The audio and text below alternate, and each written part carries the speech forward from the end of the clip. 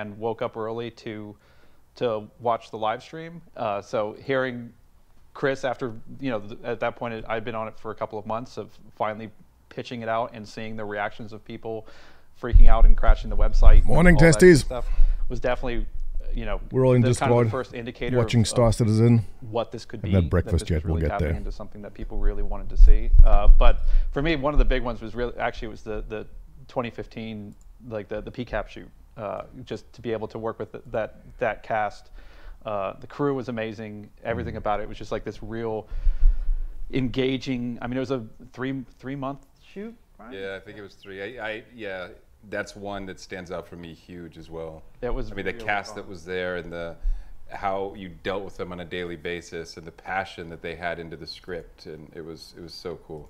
Yeah, and, the, and it was these sort of fun, weird things of you know there the uh, there was a song that can, that came about during the production that I won't spoil anything. I don't know if it's actually been released, but uh, that became sort of the theme song of the entire shoot, which was amazing. So Um, Zyloh's Zyloh's blowing up my phone saying we need to uh, hurry it up. so I, I don't know what that means so much, but just letting you know. All right, bring it back to me. All right. So thank you so much, uh, uh, uh, Todd and Dave. Uh, Dave. Uh, it's time to move on to our next Journey to 4.0 presentation, uh, the new Underground, where uh, we explore uh, what you think you know about underground facilities and then explode them in a whole new way. So check that out.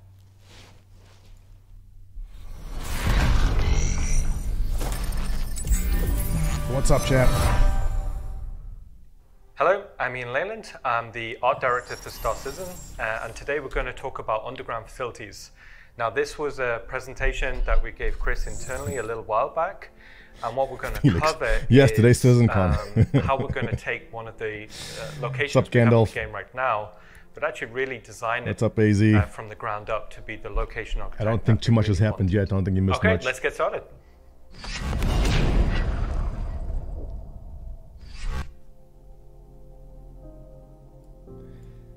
Let's yeah, talk about the a lot of. Uh, underground there's going to be five hours of talking, but uh, let's be honest. We're just here to see the new stuff. these originally Bad. Is this a new? Presentation demo, and Bunker? the time we have had wasn't enough to kind of take the location where we wanted it to be. Now, it kind of fits the current purpose. It's fairly small in scale. It gives a, a multi-room layout opportunity for FPS combat, but we always knew we wanted it to be able to scale, you know, small, medium, large to accommodate maybe 60 minutes of gameplay uh, time per location. How you doing, Jumper? Welcome. So how do we go about designing 70 minutes past. a I think Yeah, they're not going to put up? the good stuff in right so away. what we do is we split the Right. They're gonna location save, into uh, the core areas. We going to be one or two develop. ship teasers halfway, for and I think towards the last the hour there'll be some big drop. They want to make people stick around till the end. Zone one. So this is the presence on the landscape. So what we're looking at here is a an example key art shot of what a medium-sized underground facility could look like. So dominant features that we're seeing here is a is a, a kind of a key spire. This is instantly where your player uh, you should be able to navigate towards. Hmm. This could be like a, a corporate wing or an exec an executive landing pad on Welcome the top. Welcome back from vacation, And moving you down, go? it's very important to be able to get And the landing pads or the landing hangars quite close to the facility because we wanted that experience as the player lands. They're not far off from the location, they're actually quite close, and you should be able to see um, a little FPS area uh, where the player lands. Also, what we're seeing here is some visual justification at what might actually be going on. So you're seeing, you know, um, back from vacation. processing Where'd you go? tanks and supplies actually on the landscape I'm out of there. Now, what I was saying before about it being a, um, a kind of a, a much braver visual presence on a landscape, so we designed the silhouette primarily, so you'd be able to recognize these um, as a location to aim for. Also, what we're seeing here is we thought it'd be cool to actually have surface entrances as well. So we're actually thinking about primary, secondary, and tertiary ways for the player to get into um, these locations depending on the mission scenario. So like I said before, you've got like executive pads at the top, you've got the main hangars in the middle, and surface entrances down there below. Now moving on to the inside, so after the player's landed uh, through the hangars, to be brought up into the main corporate reception. Now, these are going to be quite interesting because we'll be able to rebrand these depending on the manufacturer or the location. That's where we'll uh, get a lot of the variety. But this is the, the corporate presence before the play would go down into the bowels of the facility. And what we're seeing here is, you know, just an example of what a bearing reception uh, could feel like. Now, moving into zone two, with it being an underground facility, the physical act of going underground, that's cool, right? So we wanted zone two to be about the logistics of the player going up and down and how we can make that cool visually, but also interesting from a player experience. So this is the the transit, the elevator network. So we played around with a few different ideas into this, and one of the things that we thought could be quite a yellow interesting mule? is What is- the yellow mule? elevator itself could be a mini play space. So what we're looking at here is control room uh, idea quite early. Uh, what sort of scale vehicles there could be. Now, ultimately, we didn't go with this idea. It was, um, didn't really fit the art style that we wanted, um, but it had some pretty interesting ideas. So what we landed on here is uh, something that we felt quite comfortable with internally. Now, it's worth noting we're designing these as a, an archetype first in um, a utilitarian art style. Uh, in the future, we'll uh, expand out and do other art style variants. So what we're seeing here is the control room overlooking the main uh, warehouse floor, and then this elevator is should be big and clear enough for the player to understand like that's where logistics will go up and down. And for the elevator itself, we wanted it to be its own play space. So on the top level, that's where containers will be shipped up and down. Maybe underneath it, there could be little uh, nooks and crannies. If we wanted to stealth into the location, we'd be able to give opportunities for the player there. And down below, this is what the you player listen to the, see. So um, now they're really starting to get into the bowels of, of the facility. So echoing of that control room down um, below. When you're in one of these locations, I mean, uh, they look good. They're, they really have a lot of attention to detail. But when you listen to the devs actually speak about it, you get to appreciate the amount of effort that they put. I wouldn't never. You walk into any level in any game, you walk past a building, you walk into a store or a shop, an interior. Like you don't give it much thought. But after backing this game and listening to the devs talk for like an hour on how they decided this box should look, it gives you some perspective to the amount of time and effort they put into it. And I do. I'm, I, I try to be more aware. Like when I, I do look at games now, I pay attention to the materials, to the textures, to the shadows, to the lighting. There's a lot of small things that uh, you learn by backing this game that uh, you overlook when you play other games. And I, I still do it, but I mean, you look at this, and you when you visit this kind of scene in the game or within the game, the pipes, the color of the pipe, the the, the bolts holding the pipe together, all those tiny things like this guy spent a thousand hours on. Towards logistics, and we put kind of personnel walkways almost as a secondary element. So in this image, you're kind of seeing where you know big trucks could kind of go, but we've also got like little nooks and crannies for the player to kind of explore uh, and go into. Now, as it being a location dedicated towards the moving of uh, logistics, we wanted to explore and have fun with vehicles, right? So here we're seeing the mule kind of coming and going on one of these walkways. You know, maybe there's elevators. So on the right, what we're seeing is an, uh, a ladder. So Uh, don't forget, Gene, that they've also they've uh, spent a lot of time making the software to procedure generate a lot of the stuff. The, all the interiors of the new space stations, all procedural. But at some point, they'd sit down and design those small things. So in this image, for example, I mean the railing, the screens, uh, very possible. A lot of it is procedural at this point. Uh, but what's taking a long time is the lighting, the textures.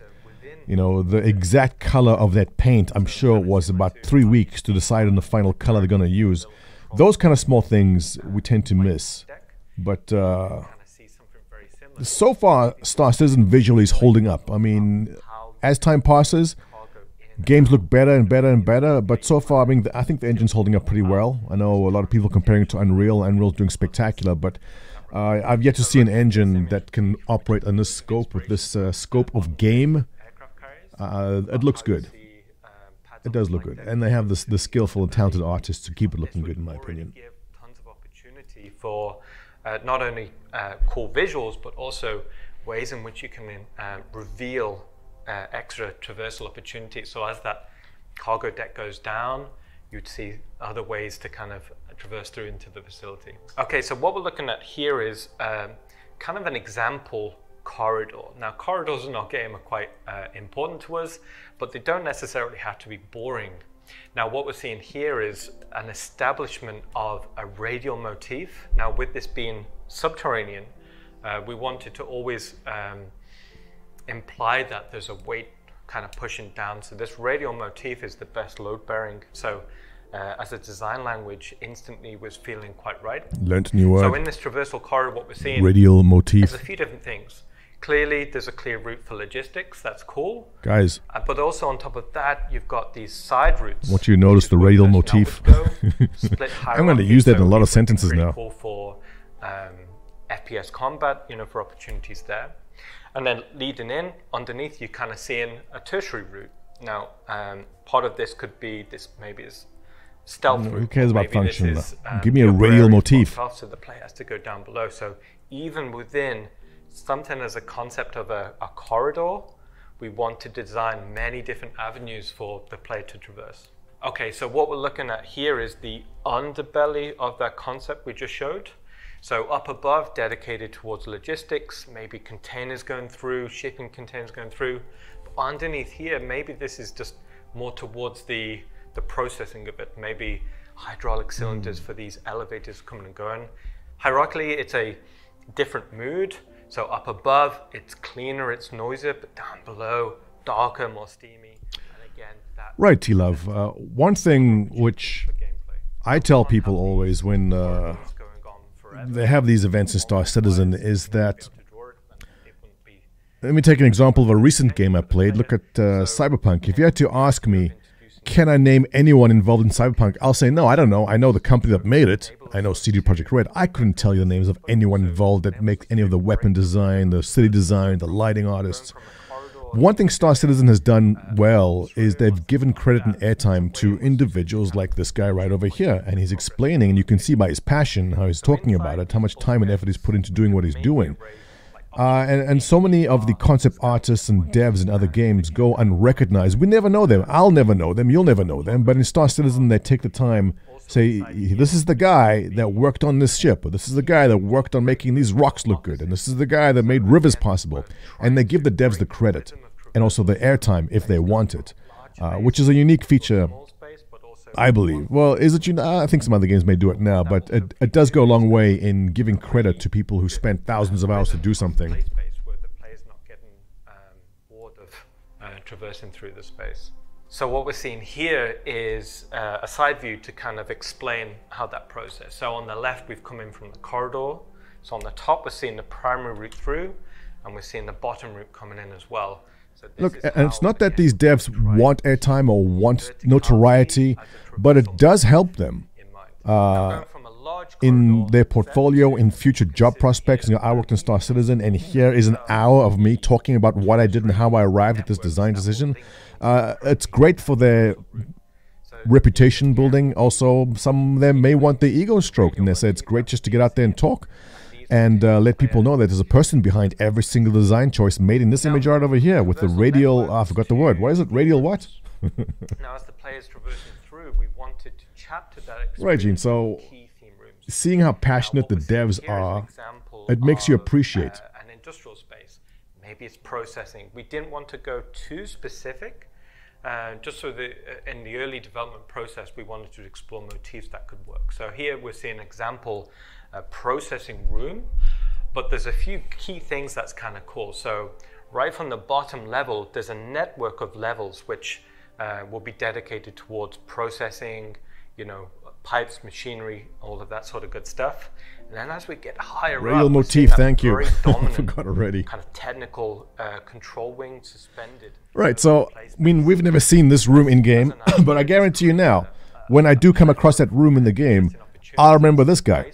And I'll go, yeah, this is what he made, and this is the design decision that would led to this, and this is why all these pipes are at the bottom to show how busy the place is, and this is why there's a radial motif to uh, ex- uh, to make you feel as if there's weight bearing down on the structure. None of that would have uh, would have been over my head if I haven't heard him say that, and it does add a lot to the game itself. It makes you appreciate every single design you see. Bringing in raw materials, processing. In my opinion, most people probably don't care, but we had a bit of fun with uh, ways in which we could kind of create these quite interesting set pieces. So it's not all just industry uh, in the underbelly of these underground facilities. There's also going to be technical areas, uh, areas dedicated towards the uh, control of the location. Pioneer so what we're seeing yeah. here is uh, maybe design, it's the, probably. the main map room. So this is where they control the networking of everything. Uh, and also on here, you've got the overseeing executive suite. So it's not just technicians here, but also uh, It's very reminiscent of like the Uh, and also as a bit seen of in fun, Avatar if with the player 3D does map. get access to these executive wings, then we're seeing another type of art style in here as well. So we've seen industrial, we've seen technical. Now we'll be seeing, you know, more like the um, the corporate uh, foyer we saw up above. So meeting rooms, office spaces, that sort of thing. And what we're seeing here is maybe there's the data processing of the location. So as a quick idea, we thought these data racks are actually submerged uh, for cooling in uh, a base of water. That's cool. We thought also it'd be cool if there's a cause and effect. So if the player solves a puzzle to go from it being below water to above water. So again, ways in which we can kind of spark ideas or conversations with design about uh, interesting opportunities. And then lastly, zone four. Now, it wouldn't be it'd be a missed opportunity if we didn't go into some Yeah, sort exactly. PPR uh, gaming. There's, uh, the I don't know if you just came in now, but just saying how usually when you play a game, I do, I, I just blow through levels, I blow through scenes, uh, internal structures, external structures. It's nice. You look at it and you keep on walking by. How do we actually take But the hearing them speak about it and hearing the amount of effort and thought that went into laying everything down, it does add a lot of uh, depth to everything you see. Ideas about how we'd see excavation equipment, or you know, with the roads kind of peter out, and as part of the roads, you know, maybe we can uh, do some pretty cool uh, layouts for the player to drive through. Something that's a a little bit more uh, invested than just a, a straight line. Now, as part of that transition period between heavy industrial to exposed cave, the equipment needed um, to create further. So if you're wondering how Star Citizen CitizenCon is going to be five hours long, this is it. I mean, this guy can talk for the full five hours about uh, all the underground structures. I'm pretty sure about it. But uh, if you're just arriving now, what we're looking out for mostly is uh, Squadron 42. We want to see some footage and we want to know what's happening in Squadron 42. Uh, we want to see more of Pyro. Everyone's uh, we love our current system, but we want to expand outwards and see more of it. And uh, for me, I love the ships. I want to see new ships. I want to see uh, what I'm buying today. and that's going to be towards the middle or the end, very likely. Like underground rivers, underground lakes. Maybe it's lava. Maybe it's acidic. And also, if we're describing uh, these locations as maybe some are more abandoned, we could start to showcase how nature slowly started to take over. This also would introduce some pretty cool opportunities. So, also another process we do during concept development is I like to start taking some of these ideas we're developing and get them in the engine as soon as possible. And what this affords us is we can sit down with Todd and we can really evaluate how well an idea is working in terms of space, size, composition, gameplay opportunities right from the early uh, visual development process. And what we're looking at here is very loose concept meshes brought into the engine, quickly lit, just for that uh, exploration process. Hmm. 40 bucks. Got ripped That's off. an overview. Your $25 of star packages at one point. Pushing for for the new uh, underground facilities. I'm quite excited about it, and hopefully you are soon. And we look forward to showing you more in the future. Yeah, Mike, everyone wants to see the cool new ships in Pyro. And the Sandworm.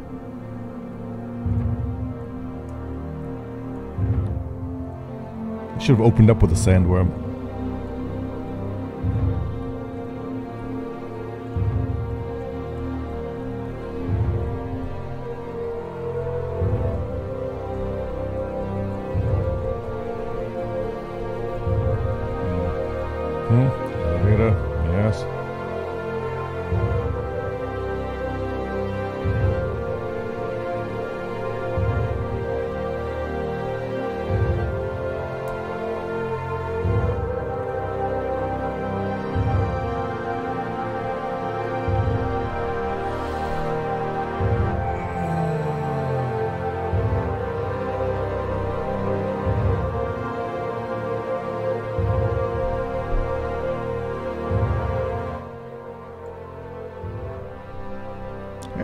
Floating uh, test logo hologram. Awesome.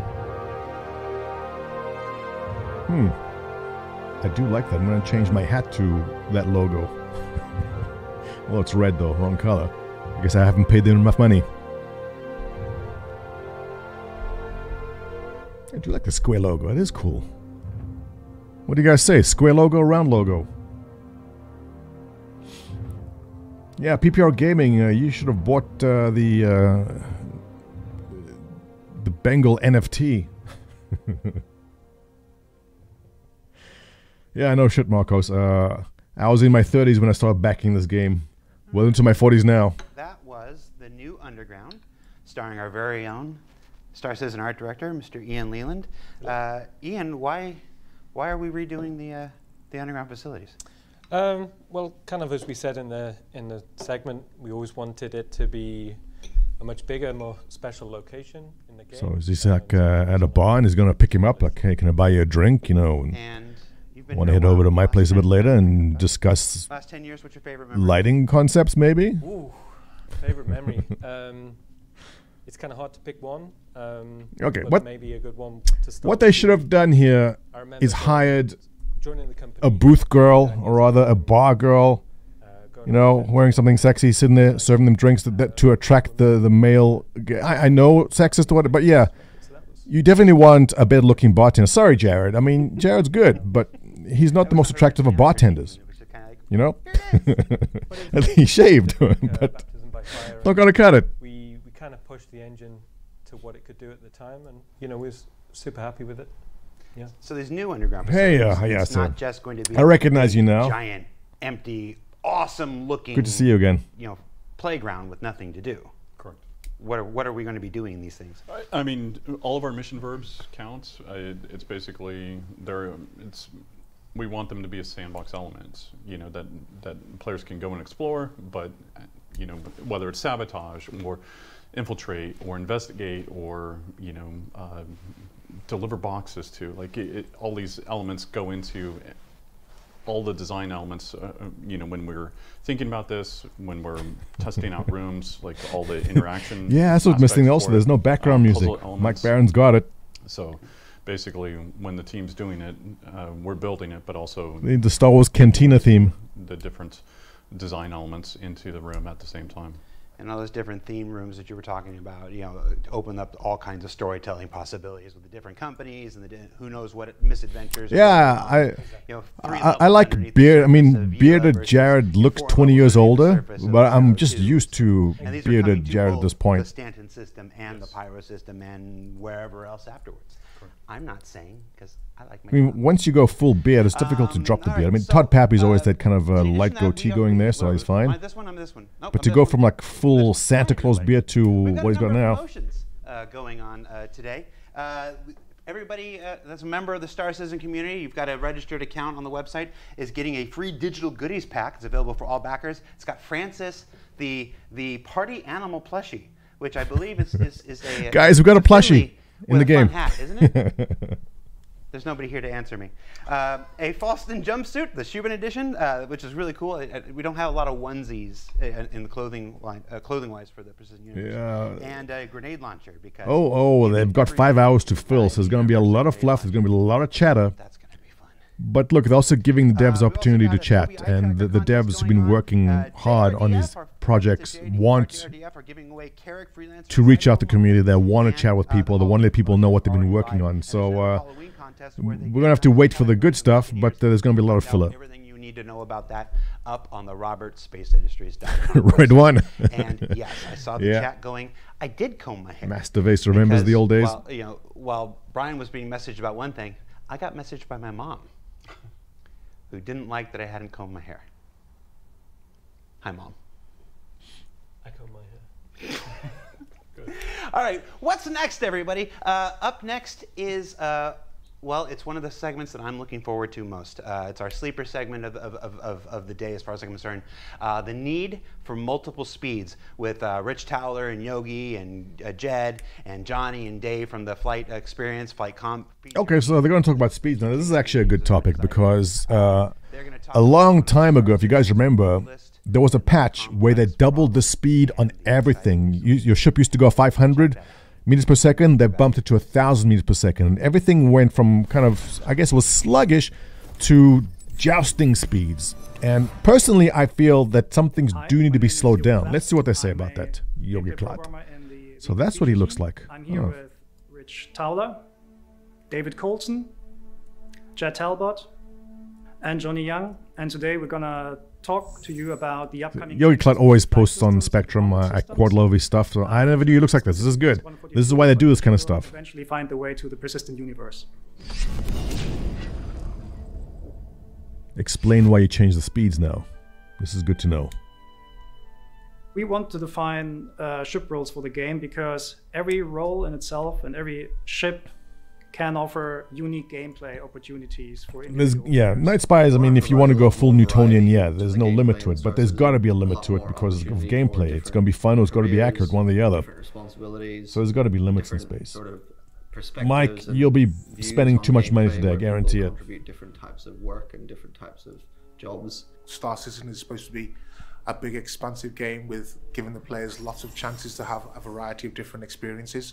It's not just about combat. It's not just about an economy. guy's sweating it's up, he's nervous. piracy, it's about all of those things. Star happening at Citizen scam confirmed. He's So we need sweating. ships that can act and function in different ways to support all of those different goals. That looks In awesome. The, the engine figure out these configuration changes on what they the. are and make the gameplay for them. the We started very What ship was heavily leaning toward combat, mostly because Defender. combat is a mechanic that is very widely applicable throughout the game, Blade. and the principles behind it apply to various other roles in the game. We've been working um, away in the S42 branch, um, and this has really allowed us to isolate these ships. So we're kind of broken it down into archetypes, and it's really allowed us to, to kind of break down what these ships do.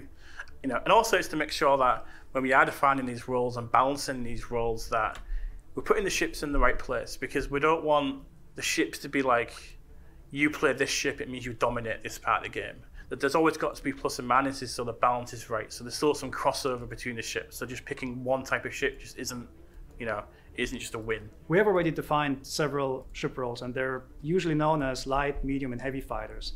Light fighters for us are fighters which are very dominant in the area of one versus one uh, PvP combat. But they come with downside because obviously the light, which means the materials chosen on the ship, are probably not the strongest. So it's more about the attack. It's more about trying to out position and getting there. Yes, uh, Siang Ryle. This is uh, uh no, we're not. long time no see. How are you? excel at uh, N versus N engagement. Yeah, there's more game loops coming. Speaking of Eve, we call multi-role I've heard that possibly they have a lot the goons might be wanting to make a comeback, or some part of them will.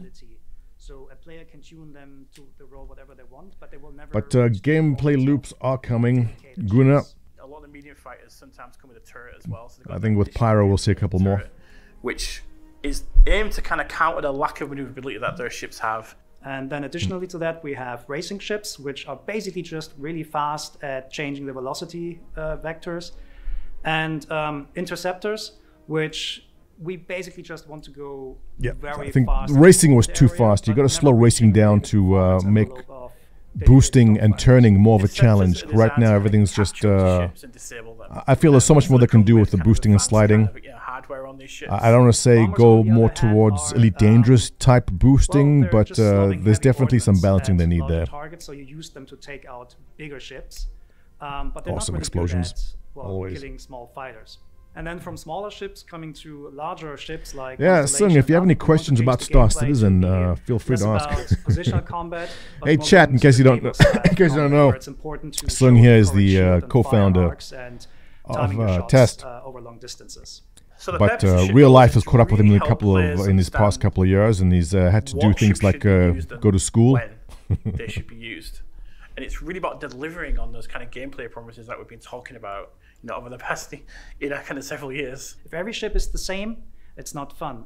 But if we have dedicated ships with dedicated pros and cons, then we can create very exciting combat environments. And the biggest challenge we see in order to get that gameplay we want is the current speed that we have in combat.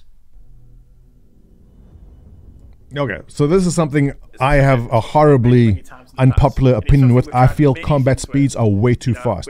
My thing is, speed, when I'm in combat with another ship, because this is kind of World War many II in space, to kind of I want to get up close to a ship. I want to be close enough that I can see the components or the weapons on a ship. Right now, the way we're fighting, the way I fight in, up anyway, is there's a pip in the distance, and then you shoot at that pip, And and then you hit it. Like you see that there's a tiny pip. You hit it, and which is also not very safe. excuse me, ship blows up, and that's it. Distance Between you and the target, your angular requirements. If I had my way, I'd like to slow things way down, so you have to close in a lot more. Let's see what they say. This is a very obvious math reason why high speed combat is kind of the opposite of what we want to achieve, meaning meaningful and effective positional maneuvering. Thank We you. That's what I said. To be closer and to be more turn oriented. Yes. So rotations should matter more Thank you. than just flat speed. Exactly what I said. Very high speeds that are pretty much the same between all ship classes negates a lot of the opportunity for smaller ships to flex different types of gameplay. Another big issue with the speeds in combat is it's very hard to keep players engaged in the combat because players can move so far so quickly in such a short space of time. It's quite hard to keep a track on your opponent. So you might think, oh, why don't we just make the ship slower and call it a day? Yes. Well, why don't you? we can't do that. The main reason we can't just make everything slower is the size of the Star Citizen world. We've got huge planets where we need to go from the planet's surface up into space. We need to transverse between different systems. So essentially, we can't have just low speeds all of the time. There's a massive universe out there to explore. There's planets to explore, and the feelings we want to capture with the speed. We still want an element of danger that you can still go too fast in lots. Okay, of so just what I was saying. I, mean, I feel things are too fast. I know this is not a popular opinion. The top combat pilots in the game are going to be crying about it if they reduce the speeds down because they're used to the way things are right now. Uh, but they can't slow things down because Star Citizen is a big place and flying from point A to point B on some planet requires speed. So let's see what the solution is. The advantages of flying fast in terms of defense is just better. So since the last year, the focus of Vehicle Feature Team shifted very heavily towards Squadron 42 and nailing down the flight and space combat experience for it. And I'm very proud to say Boy spending that we 3,000 finally bucks today. I found hope it's enough, really Robot Boy. solution that we're going to show today. Master modes. Okay, this is new. So the main idea is to simply not have combat and long range travel uh, at the same time. So we're splitting these gameplay experiences. This will be done by a thing which is called master modes. A master mode is a thing that is globally applied to your ship. Um, and we have two of them. We have SCM, which is now relabeled as uh, standard control mode, Well, these are big changes. and QCM or QM for quantum mode. The idea is that between these two Is this modes, we sounding like, uh, constrain Elite Dangerous style travel? And also get all of the maneuvering, like high speed maneuvering and traversal mechanics that we had before, but in these distinct modes that are integrated with lore and integrated with the ship, the ship functions, such that there's costs and payoffs for, for being in each of the two modes. So let's start with standard control mode. uh, 3,000 bucks if there's a- So this a is the carrier mode that we ship, intend which to be the functional mode maybe. of the ship, whether it's combat or mining or any of these kind of core kind of things the ship does. We want the player to do these things in this mode. Look how beautiful that what is. this does is, is it After all these reduces years in the game, it still looks good. of the ship, but it also enables the shield to be turned on. And obviously, the intent behind this is this is where you do your combat. It's where the guns are on, the missiles can be armed and fired, and all the kind of operational things the ship does operates within this mode. The speeds that you can reach in SCM are somewhat limited, somewhere between two and 300 meters per second, tuning uh, tuning pending. Um, but this is basically the hard cap, which you cannot ex- not really exceed. You can slightly exceed this by using uh, boost, but you cannot maintain any velocity beyond that SCM limit for a longer period of time. This So is we're Elite thinking of Dangerous this as some model. kind of energy management system, so you can go a little bit faster with a little bit more accelerations when you need to, but you know that you ha- it is a limited resource uh, and you should use it carefully.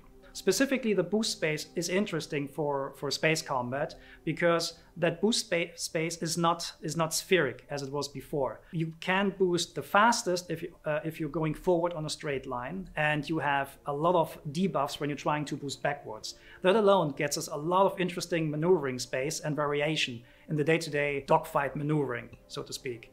Importantly, you don't have your quantum drive available in this mode. The idea is that quantum is restrained to the quantum traversal mode. The second mode is quantum control mode, or QCM or QM. This is a major change. What this mode does Major. is it unlocks your maximum velocity that your ship can reach. So when you were limited before to 200 to 300 meters per second, now you can go to 1200, 1400 meters per second, whatever your ship allows you. During the development But no um, shields. of the Emma Quantum Mode, we realized we needed something that was a little bit more kind of about traveling large distances, but not the distances that you need to, you know, speed up your quantum drive and travel across the universe. So we've created this feature called Quantum Boost, which is available in the Quantum. Eduardo official And you can live is twitch.tv slash star So citizen. at any point you want to kind of boost towards So this is ma- this is major. This is huge. Uh, limiting speed. So I say 300, and you can boost above for a little bit, but then and it's purely on a straight line. Just to give you like a. this is totally dangerous flight model. boost will allow What's it called in elite dangerous where you're traveling within, let's say, fast, 50,000 kilometers, super something? Travel to do very long range jumps between with, between planets. So. Uh, quantum mode allows you to go. Very, I can already hear the combat pilots 12 crying about this. second when you want to really fast over a planet.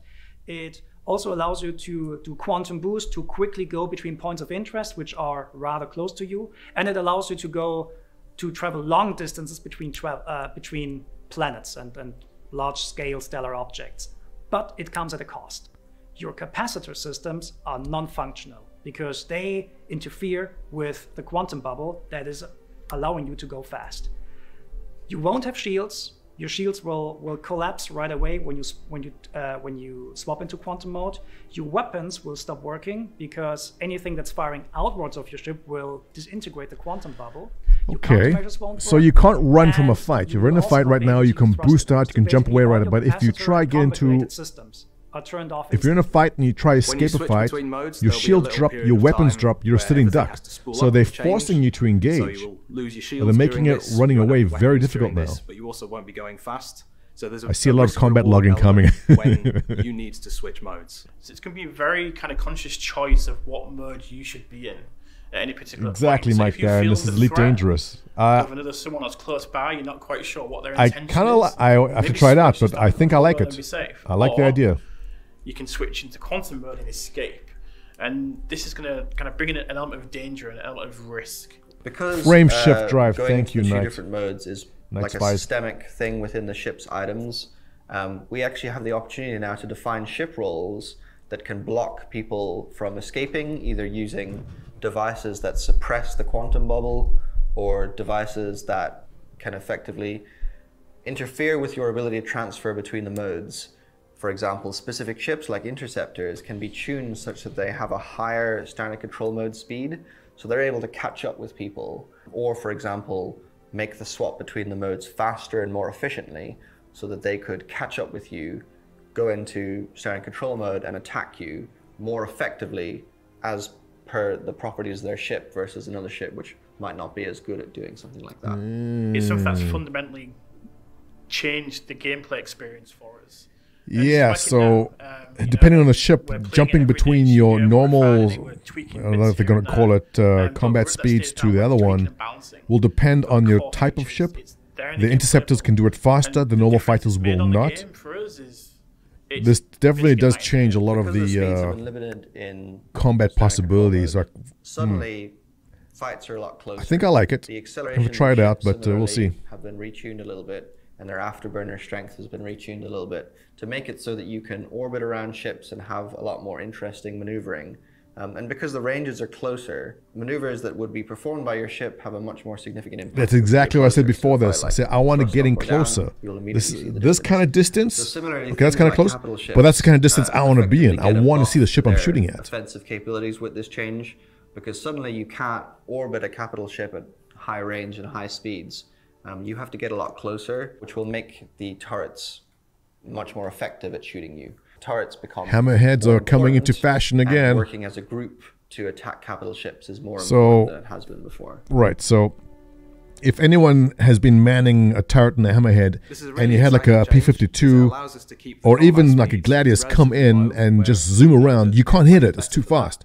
Uh, this will make point-to-point travel speeds as high as they should anti-fighter ships really a lot better now. So I think I like it.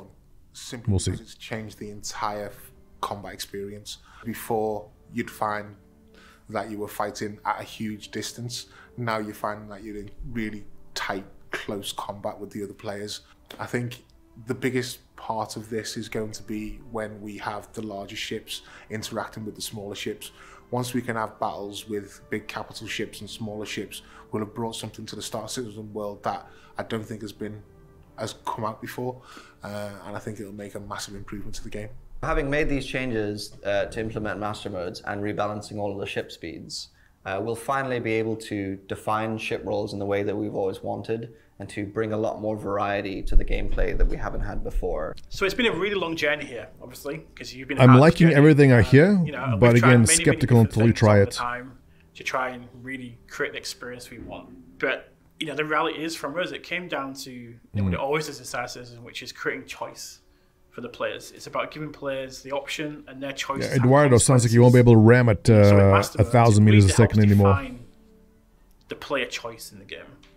So they're choosing to do combat. They're choosing to travel from A to B in quantum. They're choosing to QT boost somewhere. This speed, like the speed they're flying here, I mean, I don't know if this is a demo like, of that really speed, but that, that feels right to me. We try many times to control that as you know, as designers to try and get a specific experience at some point.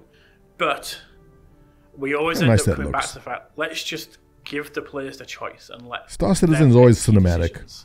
and we'll design After all these years, still. We finally have it. So we're, we're now nailing down the space combat experience Quantum for Star Drive, Citizen, right, yeah. specifically for Squadron 42. Do that, uh, the Star Wars maneuver, right, where you master mode jump to light speed into a fleet? We know that it works with our uh, flight retunings, and it's very exciting. It will yet uh, take a while to ship this to the PU because the amount of ships you fly in Squadron 42 is rather limited, whereas in Star Citizen we have about I don't know more than So 100 if you get jump, hook and one saying if you get jump, you try to run, you will now not only use your shields, your gun will also not be able to shoot back.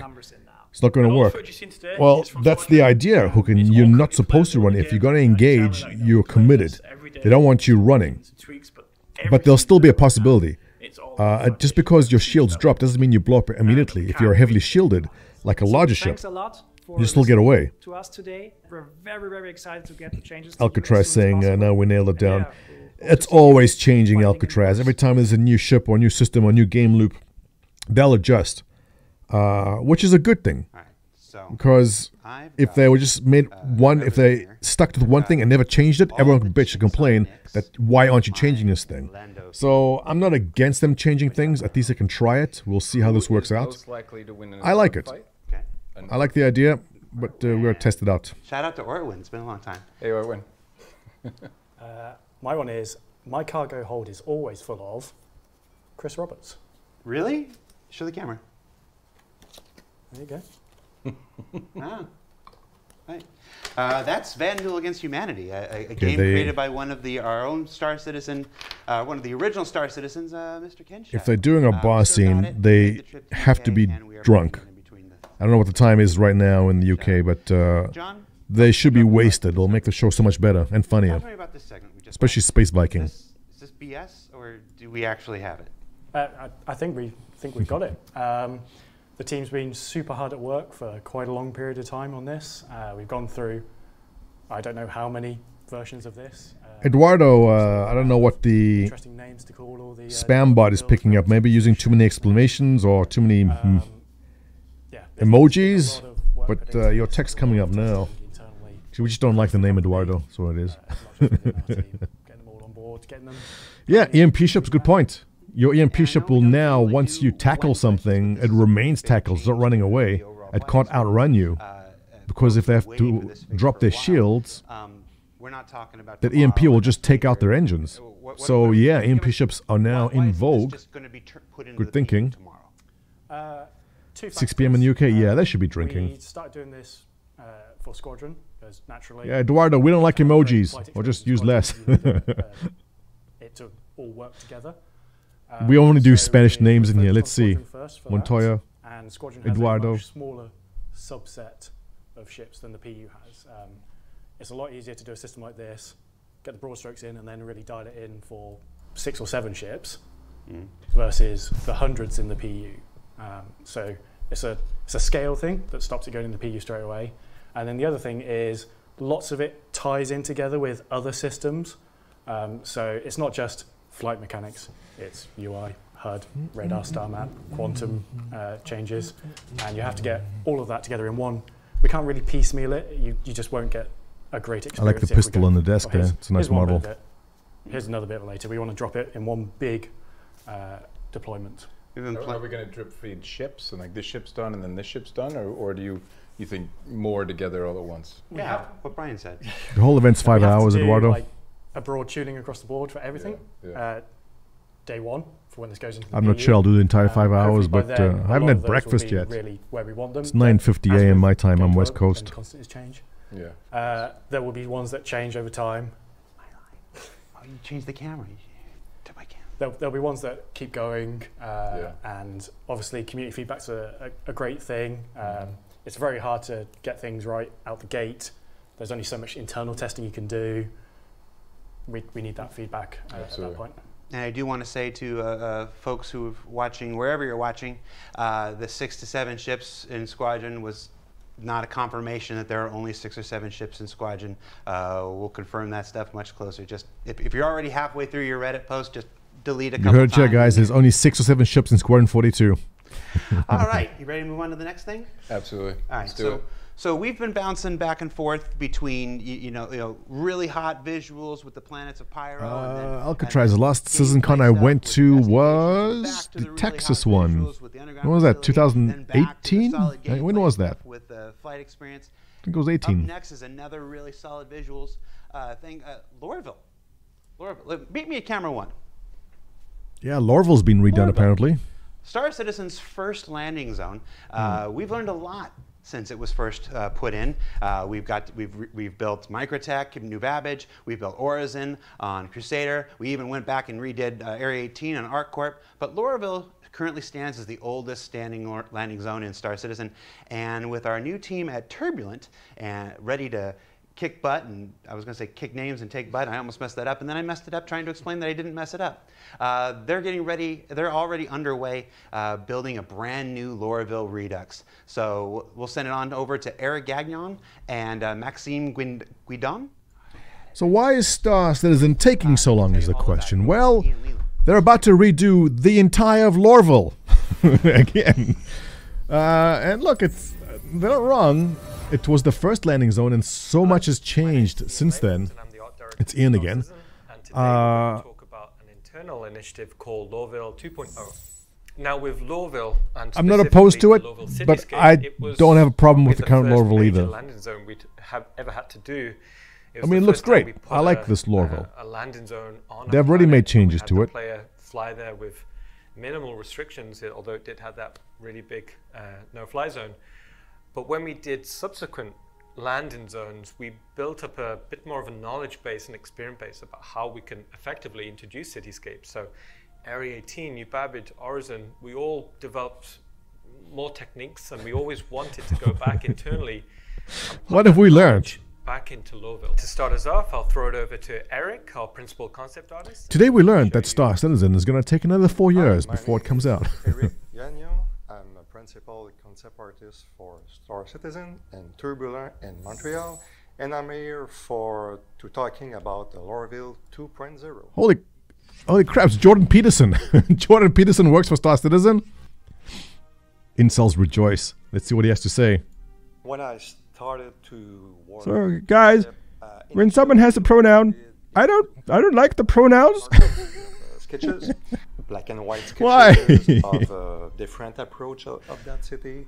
We create a Well, I- I'm totally gonna dub over his voice. Hang on. Building. Mainly, the reason we need to uh, to work on that is for uh, mainly a gameplay issues because we would like to make a, a gameplay in the interior buildings, and we need to create a, a bigger city to let the player uh, have a fun experience to flying through that. Okay, they're taking Yeah, the, so the Area 18 sketching type model, so you can fly between the buildings uh, in and Lorville. get some It's doable. I need to know very well uh, the footprint of that I- city. I take it back. the They do need to redo it then. human Yes, I agree. you know. It will we have nothing in that city. They build uh, in a gray zone.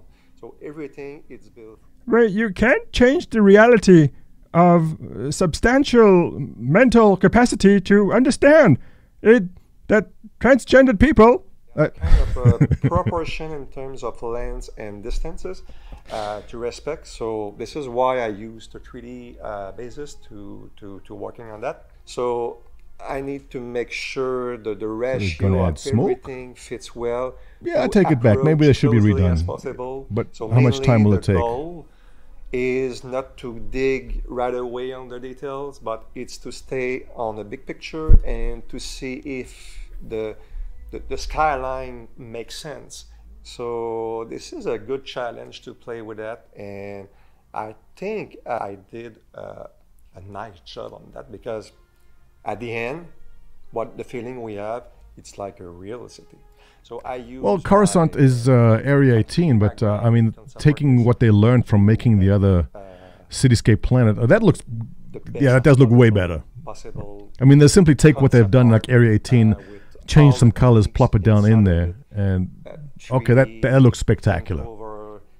I take it back. They they should change it. I mean, I don't think it's going to take long for them to do. I think they've already done it. This is concept, but uh, from concept to plopping it into the game, they've got all the technology. They know everything what they have to do. All they're going to do is just drop in the buildings and they're good. So yeah, awesome.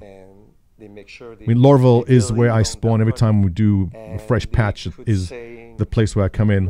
Well, okay, now we are at Lorville 2.0, and we're ready to moving on on that. Thanks, Eric. There's some beautiful image there, and we had a lot of fun. Thank you, Jordan Peterson. Uh, that cityscape. now we're not just in concept development. We've actually just passed our white box milestone internally, so we're going to jump over to Max, and he's going to show you where we're at. Bonjour, mon nom est Maxime Guindon. Je suis chef environnement artiste sur le projet Star Citizen. Mon mandat en ce moment est Lorville 2.0. Euh, premièrement, je voudrais dire bonjour à la communauté francophone de Star Citizen, à toute la communauté en fait. Euh, ce que vous faites, ce que vous partagez m'inspire énormément dans mon travail. Did he just diss on the English speaking community? time to start an engine, and uh, we, uh, we we've had to evaluate what, what was possible to do and to extend or to make it much bigger than the initial uh, Lorville Mm. city up to something that matches the ambition. For instance, we are keeping uh, the L19 area, we are keeping the CBD, we keep, we're keeping um, the spaceport, and we're building upon uh, this and just extending the, the, the city. We've done several tests with the, um, the transit system, the rails, and uh, we try to extend it out a bit. We're keeping the same number of gates, but we're moving, uh, moving them out. And so throughout these tests, we've built the city uh, as just placeholder, uh, white box, very primitive. Yeah, that looks have nice. This, this layout, this fast iteration of the whole city um, done, and then that we could see it and get feedback on it. So it will feel more like a believable city. Um, we hope it to be fun to fly around and uh, like to actually uh, do some races in it. We're building uh, arches, uh, bridges, and like underpasses, and it makes it So they figured out that people like to race around any objects they can. So now building. Uh, structures which will allow people kind of make their own kind of racetracks. It seems to be where they're going with it now. I, I'm not opposed to that. That's okay, but I mean, uh, building this, the, the just give us a proper racetrack already. The gray box. We have like uh, um, Montreal's tools teams now that are working on like Houdini tools, and they are. We we were chatting with them, see what we could uh, could use from the library of tools. There will be several areas of like a higher level of Eduardo, I don't know if they're gonna go that direction where you can just drop down on any street and there's NPCs walking around like cyberpunk style. I think there'll definitely be areas where that does happen, but uh, they're limited by the technology, obviously, what they can do. Uh, but we already know that there's going to be traffic. You'll see ships flying around, but the landing anywhere at any spot, I don't know if that's going to be happening anytime soon. We started as a team of, of two artists. So yes, Alcatraz, you'll be able to basically come down, five. And, uh, uh, in ArcCorp, basically. Find a building, set down on it, and you're good to go. each artist has their slightly different skill sets and we complete each other. They bring ideas. I let them bring ideas to the table on how to uh, advance uh, what we're doing, make it kick ass. So that's really important. So I, I hope you like what you see and we can't wait to show you more. I'm happy about the opportunity of working on, on this mandate because it's it's it's going to make such a, a, huge difference. Thanks, Max. Uh, that's looking great, and hopefully you guys can kind of see even in a white boxing format, we're seeing really good scale reads and understanding about how we can make the cityscape of Lorville probably one of our best yet. And we'll be showing more soon. Thanks for letting us showcase that for you today. Enjoy the rest of the show.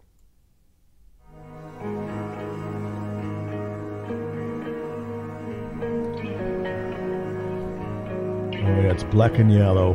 This is definitely home base for some time to come.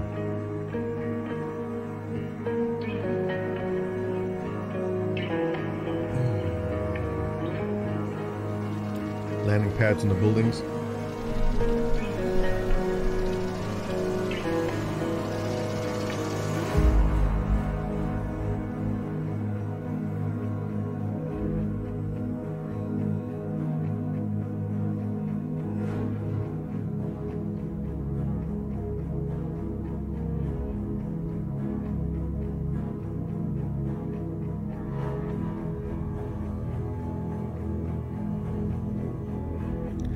It's not groundbreaking. It kind of looks already. If you had just shown me this without saying work in progress, I would say this is what we already have.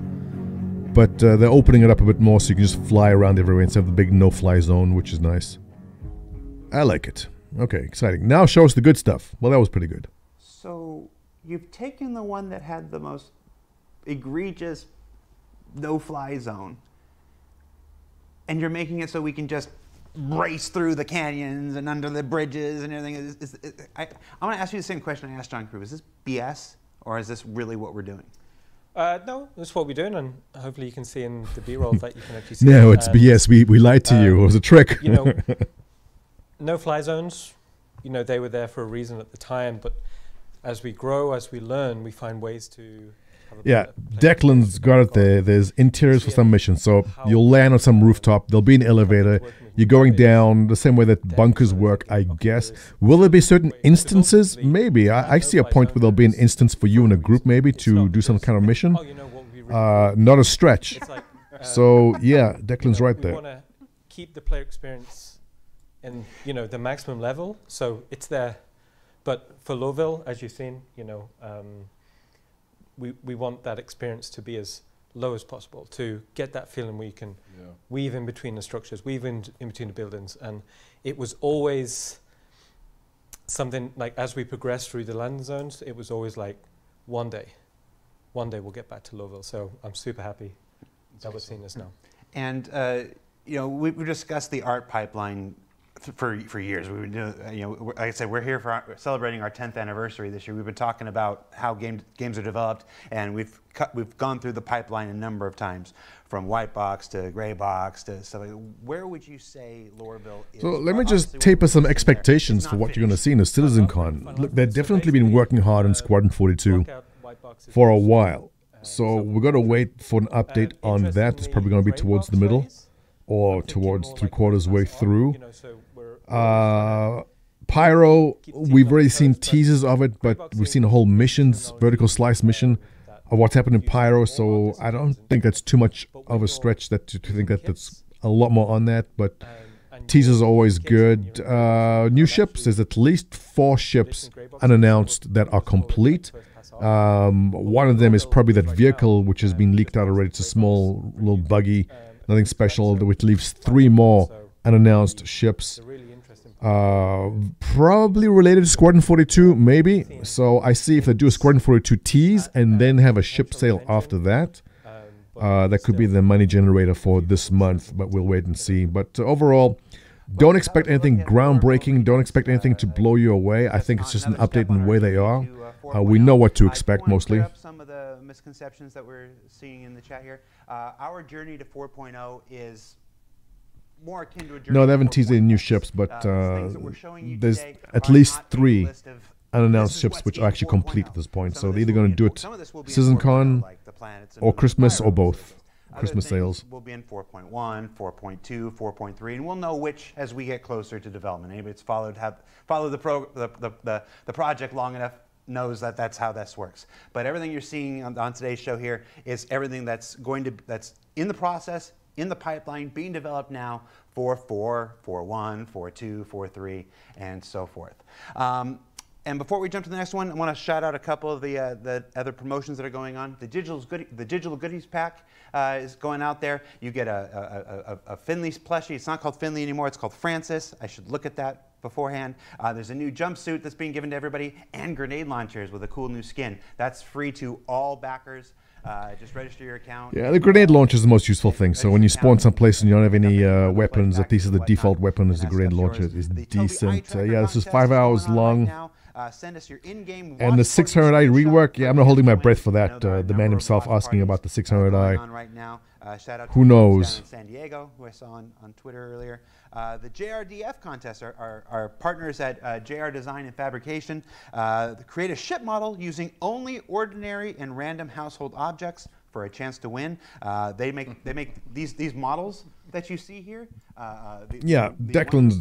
Uh, that's part of the problem of the endless production cycle they're in, or they have the ability to continue update things, which is good, as opposed to a game which is just it looks visually bad and doesn't get updated. Star Citizen can continually upgrade things as they go along, right? So, good and bad, good. It's always going to be on the, the cutting edge. Bad, it's just going to take long, right? And the longer it takes, the more they keep updating things. So Lorville now, ship interiors, new ships, redo old ships, update old ships. Or a cyclone. And then don't forget the Halloween promotion is going on right now uh, with scary helmets and and and and uh, pumpkin pumpkin carving contest. Uh, that's always my favorite. Uh, I think every single winner we've probably one of the most important things, Gene, is I want the ability to uh, reclaim my lost stuff. So if I'm wearing subscriber gear and I get killed, where is that already? It's been too long. I want to reclaim my cool armor and my cool weapons and my gold sniper rifle, which I never use because I don't want to lose it. Resource management. What did I want to say about this? Okay. When I backed the project back in 2013, 2014, before I came here, the thing that excited me most about Star Citizen yeah. was the potential for multi-crew gameplay. Uh, Eduardo, I, I, don't know what my that, settings are there for the spam, but I'll check on that uh, once we're done. And a navigator and an engineer and a comms person and, and run down to the run down and put out a fire and something's exploding in the cargo hold. You got to go and you fix the fuses and stuff like this. Uh, that multi-crew experience has been, the, has been what drew me to the project, uh, first as a backer and, until I came in uh, to do this on a spaceship. Did I mention I have a spaceship? I have a spaceship. Uh, and if you're like me, on our 10-year journey, I've been, I've been wondering, when's going to be the day? Where are we at with this stuff? Uh, well, Dan Truffin and Thorsten Leimann are here to talk about the actual working prototypes of the resource management system, the thing that will make true multi-crew gameplay possible, and the last big hurdle to getting those capital ships into the game. So buckle up, eyes forward, and take it away, Dan and Thorsten. Okay, resource management.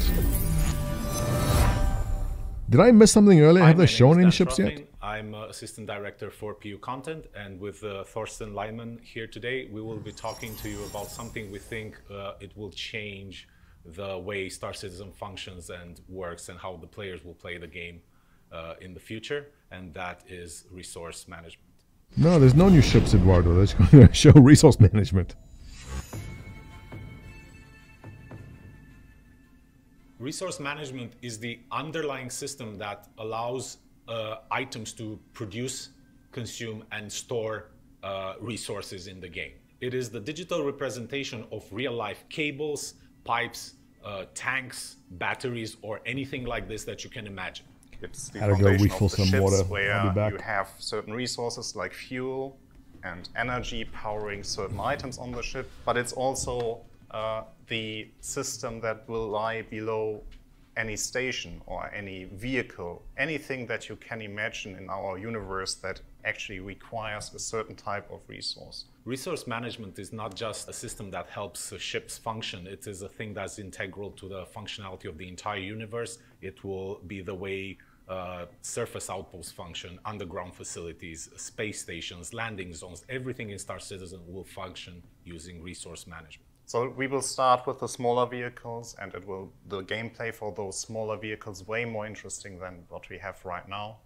And from that, we can move on to like bigger ships, and finally, the capital ships will have a real purpose in the world, and where it will have a real meaning that uh, you have the multiple roles inside those ships. It will drastically increase the time to kill for all vehicles in Star Citizen and it will encourage people to disable ships rather than destroy them. Missions like Siege of Orison will uh, increase in scope and uh, scale up a lot more with the use of resource management as players will be able to uh, cripple resources, change the way resources are distributed, cut power, cut certain fuel and critical parts in order to progress further in those missions. We can suddenly scale a lot bigger than what we have right now. And the reasons are that we have more control over the powers of certain platforms there, and we can introduce some interesting gameplay that facilitates these functionalities. Resource management is going to open up uh, the possibility of player structures, player-owned uh, outposts on planet uh, or uh, stations in space, where the player will have to manage resources, bring in fuel, do repairs, and this will not be something that only caters towards the engineer. This will be something that is valuable for everyone in the world of Star Citizen resource management will finally allow players to build their own bases and their own homesteads and actually keep that, that loop engaging and fun. And really, this is the main thing that makes multi-crew gameplay possible. We envision the players taking on roles like engineer, mechanic, uh, tactical officer. And while you have your engineer trying to maintain all the resources functioning and flowing perfectly and all the items in good operation, you will have mechanics running throughout the ship trying to change fuses, repair various things that have broken down. You will have tactical officers moving shields from one side of the ship to another in order to counter whatever incoming damage you have. Obviously, the pilot is going to be doing his job trying to move the ship out of harm's way. The gunners are going to be taking out enemy incoming fighters or other ships. This is how we envision this entire ecosystem just coming together and providing what we hope is true multi-crew gameplay. Multi-crew gameplay. And for all of you out there that are waiting for the Idrises and Javelins and want to use these ships, this is the system that is going to make using those ships possible. So all that said, this is a really important system for Star Citizen, but let's dig into the details and see what exactly this is. Resource management can be broken down into several uh, key elements. Power, energy, resources, life support, item maintenance, relay handling, access control, and gravity. So let's start with power, energy, and resources. The players can choose to overload items in order to get more efficiency out of them at the risk of burning them out.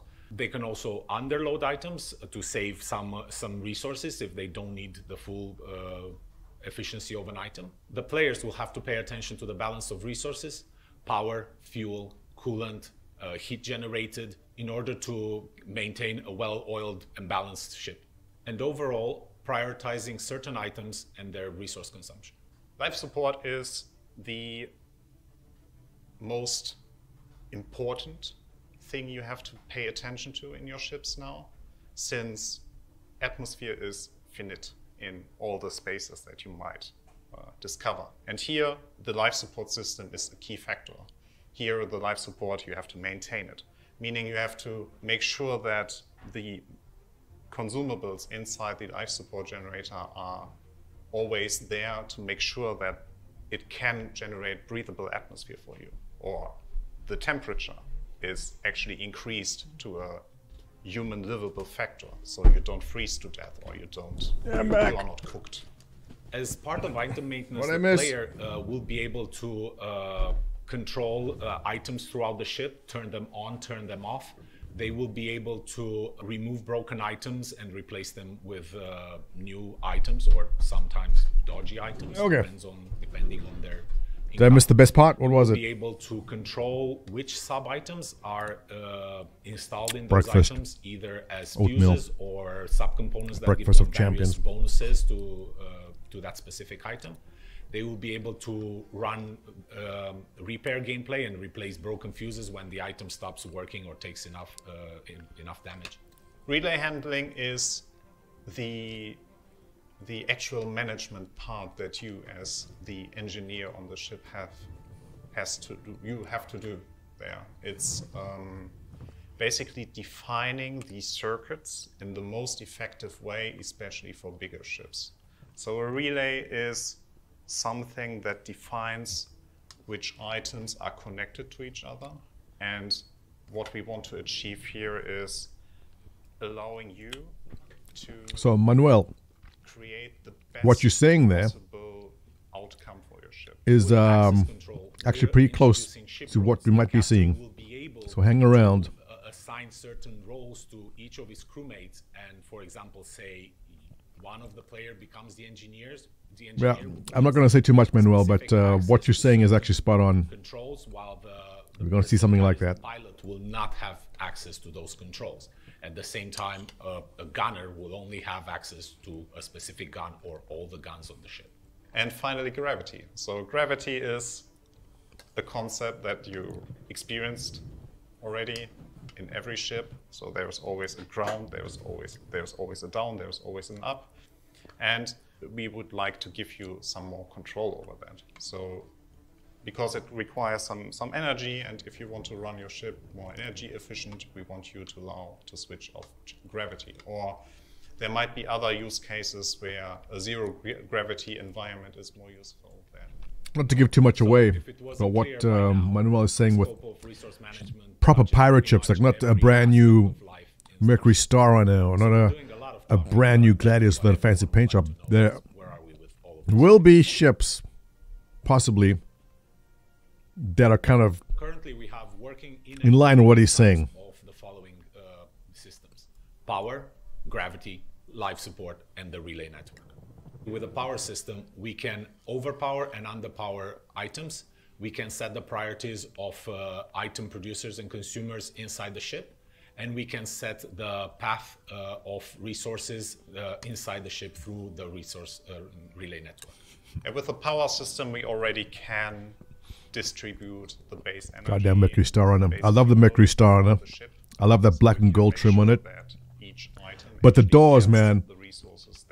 If I just had an entrance. Okay, first of all, the entire uh, tunnels under the ship, useless. I don't know why they wanted those in there. But give me a way to get directly into the cockpit through an elevator or stairs. Would have made the ship a thousand percent better.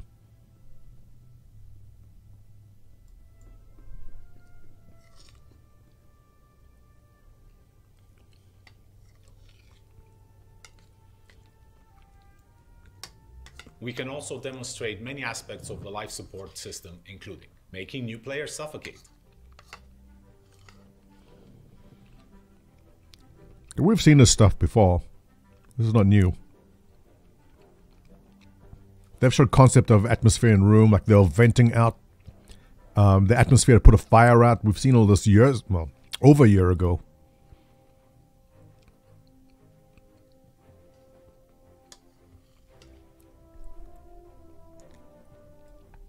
Yeah, man.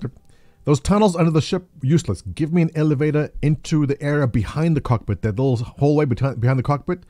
And ele- stairs, even. I don't care. Yeah. It'll just make the ship so much better. I hate having to go through the back, have to climb up the ladder.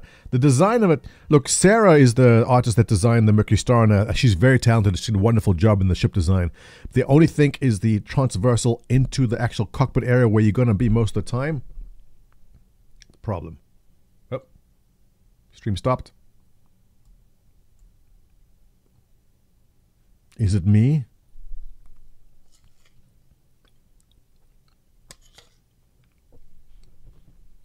Hmm. Hope it's not my internet. No, still running.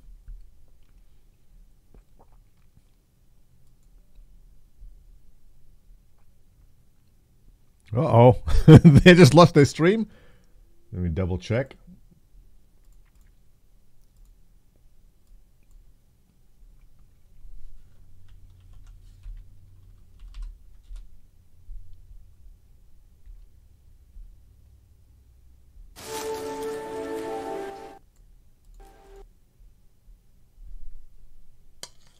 It's not me, right?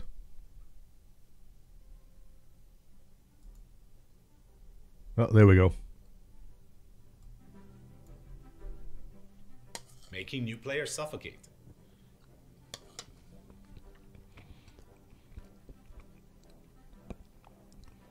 For those of you with asp- asphyxiation fetishes, finally there's a game for you. Venting and filling rooms with atmosphere.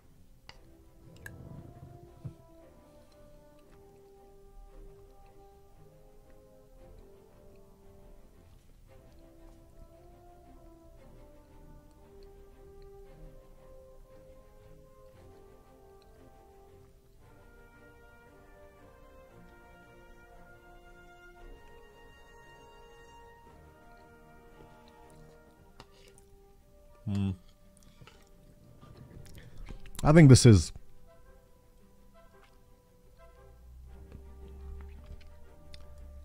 I mean, so a thing like this is something they worked so hard on, but it just becomes kind of second nature when you're playing the game, and you know your room is pressurized, but the room behind it isn't. So you open the door and the room equalizes. It's just something which is normal that you'd expect to happen, and yet uh, they've taken so long to get the point to actually make that happen in the game. Makes you appreciate the work, basically.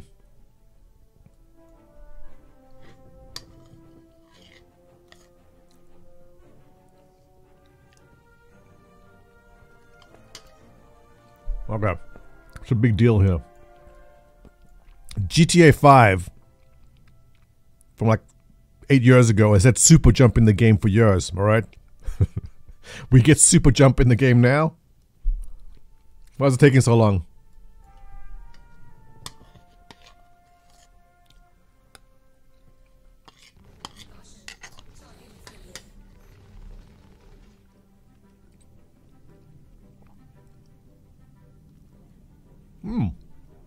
I like it. Picasso. Different ways to complete a mission, right? So if your target is a, a big hammerhead, but you're in a small ship that can't actually take it out, sneak on board, sabotage a ship, take out its shields. I like it. I like it a lot. I like it a lot. Stealth gameplay, sabotage, yeah. But with a system that is this big and complex, we do not want to rush it. We want to just get it right and get it right from the beginning. So let's talk about what's next for the resource management system. As you can tell, resource management is, is a huge endeavor for us. So like everything else, we'll probably not get everything in the initial release, but this is what we're aiming for. Interactable and accessible items on ships, relay gameplay, uh, changing fuses on the relays, resource balancing, defining control groups that will be accessible uh, through the MFDs, allowing people to create presets for your uh, resource network for each ship, an engineering UI with at least uh, a list or schematic view of your ships, external engineering screen for ships, allowing engineers to define the tuning parameters that can be accessed by the pilot with the press of a button, like loading presets and creating presets. And after the initial release, everything else will fall into place with subsequent patches. Yeah, nothing new in there. We, we've seen a lot of that before in Inside Star Citizen. Management uh, about two years ago. It is pretty much the evolution of what used to be the old pipe system, and uh, this has been uh, an interesting journey. And finally, we're starting to see the the fruits of our labor, and we're starting to see all the possibilities of gameplay that we can open up to the players in the future it's exciting to work on something that's so central to the world of Star Citizen and that can impact the gameplay in, of so many people, irrelevant of what they choose to do in the world of Star Citizen. Resource management is the most exciting feature that I've ever worked with. It's such a groundbreaking feature. You know, one ship which uh, will definitely benefit from all this, the Mercury Star Runner, because every single compartment and room has a thousand doors in it. change the game into this direction where we, where we are heading right now. Oh, yeah. Where we will finally have all the tools in place to actually allow meaningful uh, multi-crew gameplay and meaningful Mm, decisions Gib for all the players, where every decision counts. How This many of you have an Idris? Stuff that that And you're going to be flying it makes me- solo, makes me really which is the intended use. what we are working on right. Thank you for letting us share our progress with you, and I we hope you're happy with all this progress and have a nice CitizenCon. All right. Give us the good stuff now. This Bar Citizen Singapore card is really cool. I'm just they've just been staring at me playing with it for the last 18 minutes. That was uh, that, that, that, was Dan Truffin and Thorsten Leimann talking about the resource ma- uh, management system, and joining us to follow up on it is Todd Papy, John Crewe, guys. This has been a long time coming. I know we still got a ways to go. I'm not. I don't make it sound like it's you know Well, it's done, but yeah. but I mean, how exciting is this? This is Very. Uh, Like it, th- this to me brings the interaction that we want in environments, but also in ships. You know, so like, like you said with with the the multi-crew stuff, but the Kraken. again, it's it's not. You know, they're trying to push all these big ships and go. "Uh, You need crew because one guy's got to, you know, be on engineering and put out fires, and then you need guy in comms. No, you don't. one of the components. It's not the only thing, Come on, Yeah, admit but it's- we all have those of you who have uh, it's about just Krakens and the Idrises and interaction to the capital ship. You'll be flying it solo. You're going to jump in the ship just to uh, react, reacts, you know, fly somewhere by yourself. totally. Solo interaction Kraken, slow, you solo Idrises all over the place all the time. That's that's what we're looking for. being being able to make Sie- you know imagine Siege of Orison, but being able to actually assault the platforms. Hey Carl, welcome. Uh, so they uh, released Squadron 42. Uh, it's out right now. You can download it. Also, everyone who was watching uh, 10 minutes ago got a free Idris. All you got to do is just claim the code, but I think they just ran out. So you missed the free Idris part, but I think Squadron 42 is downloadable and playable right now. What, what's the what, what's the first version of this look like? Uh, so first version is going to be uh, a lot of what you saw in that video. Um, so we're working through some of the ships now, um, Hammerhead, uh, Hulle, Star Runner, just to prove out uh, a few things. Because naturally, uh, some ships were built a long time ago. Um, ones in recent times were built with this sort of level of detail in mind. Um, but yeah, you, you'll have all these components accessible. You'll be able to get to the relays, do all this management. Um, something really cool in that uh, video was all the, the fire and gravity and atmosphere stuff. And like you say, it, it goes from just being a ship you're on board. Yeah, good thing you can't clip stuff on YouTube. interactive piece of the puzzle that gives you that gameplay. Declan, where's the nuclear crisis? I'm a pilot. Something happened today that I missed. gonna- that's about it. Now, engineers and support roles are going to have a, a, a huge part to play on ships because things will go wrong. And if you don't get on top of it quickly, Did I miss something about Squadron 42 yet? Because I was pretty sure there's going to be a lot. hasn't been discussed, right? Unless I missed it earlier. This is the aspect of Star Citizen that first drew me, you know, in. So it has been a, I feel like I've been very patient and, and, and waiting and really wanting to see this go. And, and as I see uh, uh, everybody on EUPU and everybody that's, that's contributing to this thing, it's just super exciting to, to see it uh, uh, uh, really beginning to evolve and really beginning to, to, to, to be used tangibly in our prototypes and stuff like that. And I, it's, it's just, I think people know I don't generally hype very often. I'm usually the guy sitting here. It's like, don't hype, you know, manage your expectations and stuff. And you should, you should still do that. I'm not changing my tune. I'm just, this is the part of the thing that I've been waiting for personally. Yeah. So I'm excited. All right, so we've ping pong from from uh, fr- fr- from from the visuals to the gameplay to the visuals to the gameplay to the visuals to the gameplay. Uh, we've only got one more uh, uh, scheduled presentation left. Uh, ship uh, ship talk, talking ship, the, our annual uh, celebration of vehicles new coming to the to, to the pipeline. Vehicles Here we go, new ships. things, Get your wallets ready, boys. that's going to star uh, John Crewe. Going to star uh, John Crewe and Ben Curtis and Paul Jones, and I'll let them uh, take it away.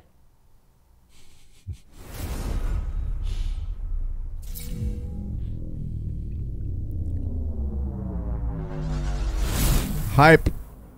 New ships. Let's go. Hi everyone, my name is John Crewe. I'm the vehicle director here at Cloud Imperium Games. Uh, this year I'm once again joined by Ben Curtis, vehicle art director, and Paul Jones, concept art director. And this is our yearly Ship Talk panel. Like previous years, we'll be talking about something coming soon, something being announced today, something coming a bit later, and then the fan favorite, the pick a ship or vehicle concept series. To kick things off this year, we're going to be talking about. Yeah, I heard that call. There's going to be a bit of a real estate disaster in the UK in the coming months, right? Ships from Crusader Industries that is designed to I would invest in ships now. Ooh, ships what? at the two-person uh, crew level and does a wide What? variety of tasks depending on which variant you uh, pick.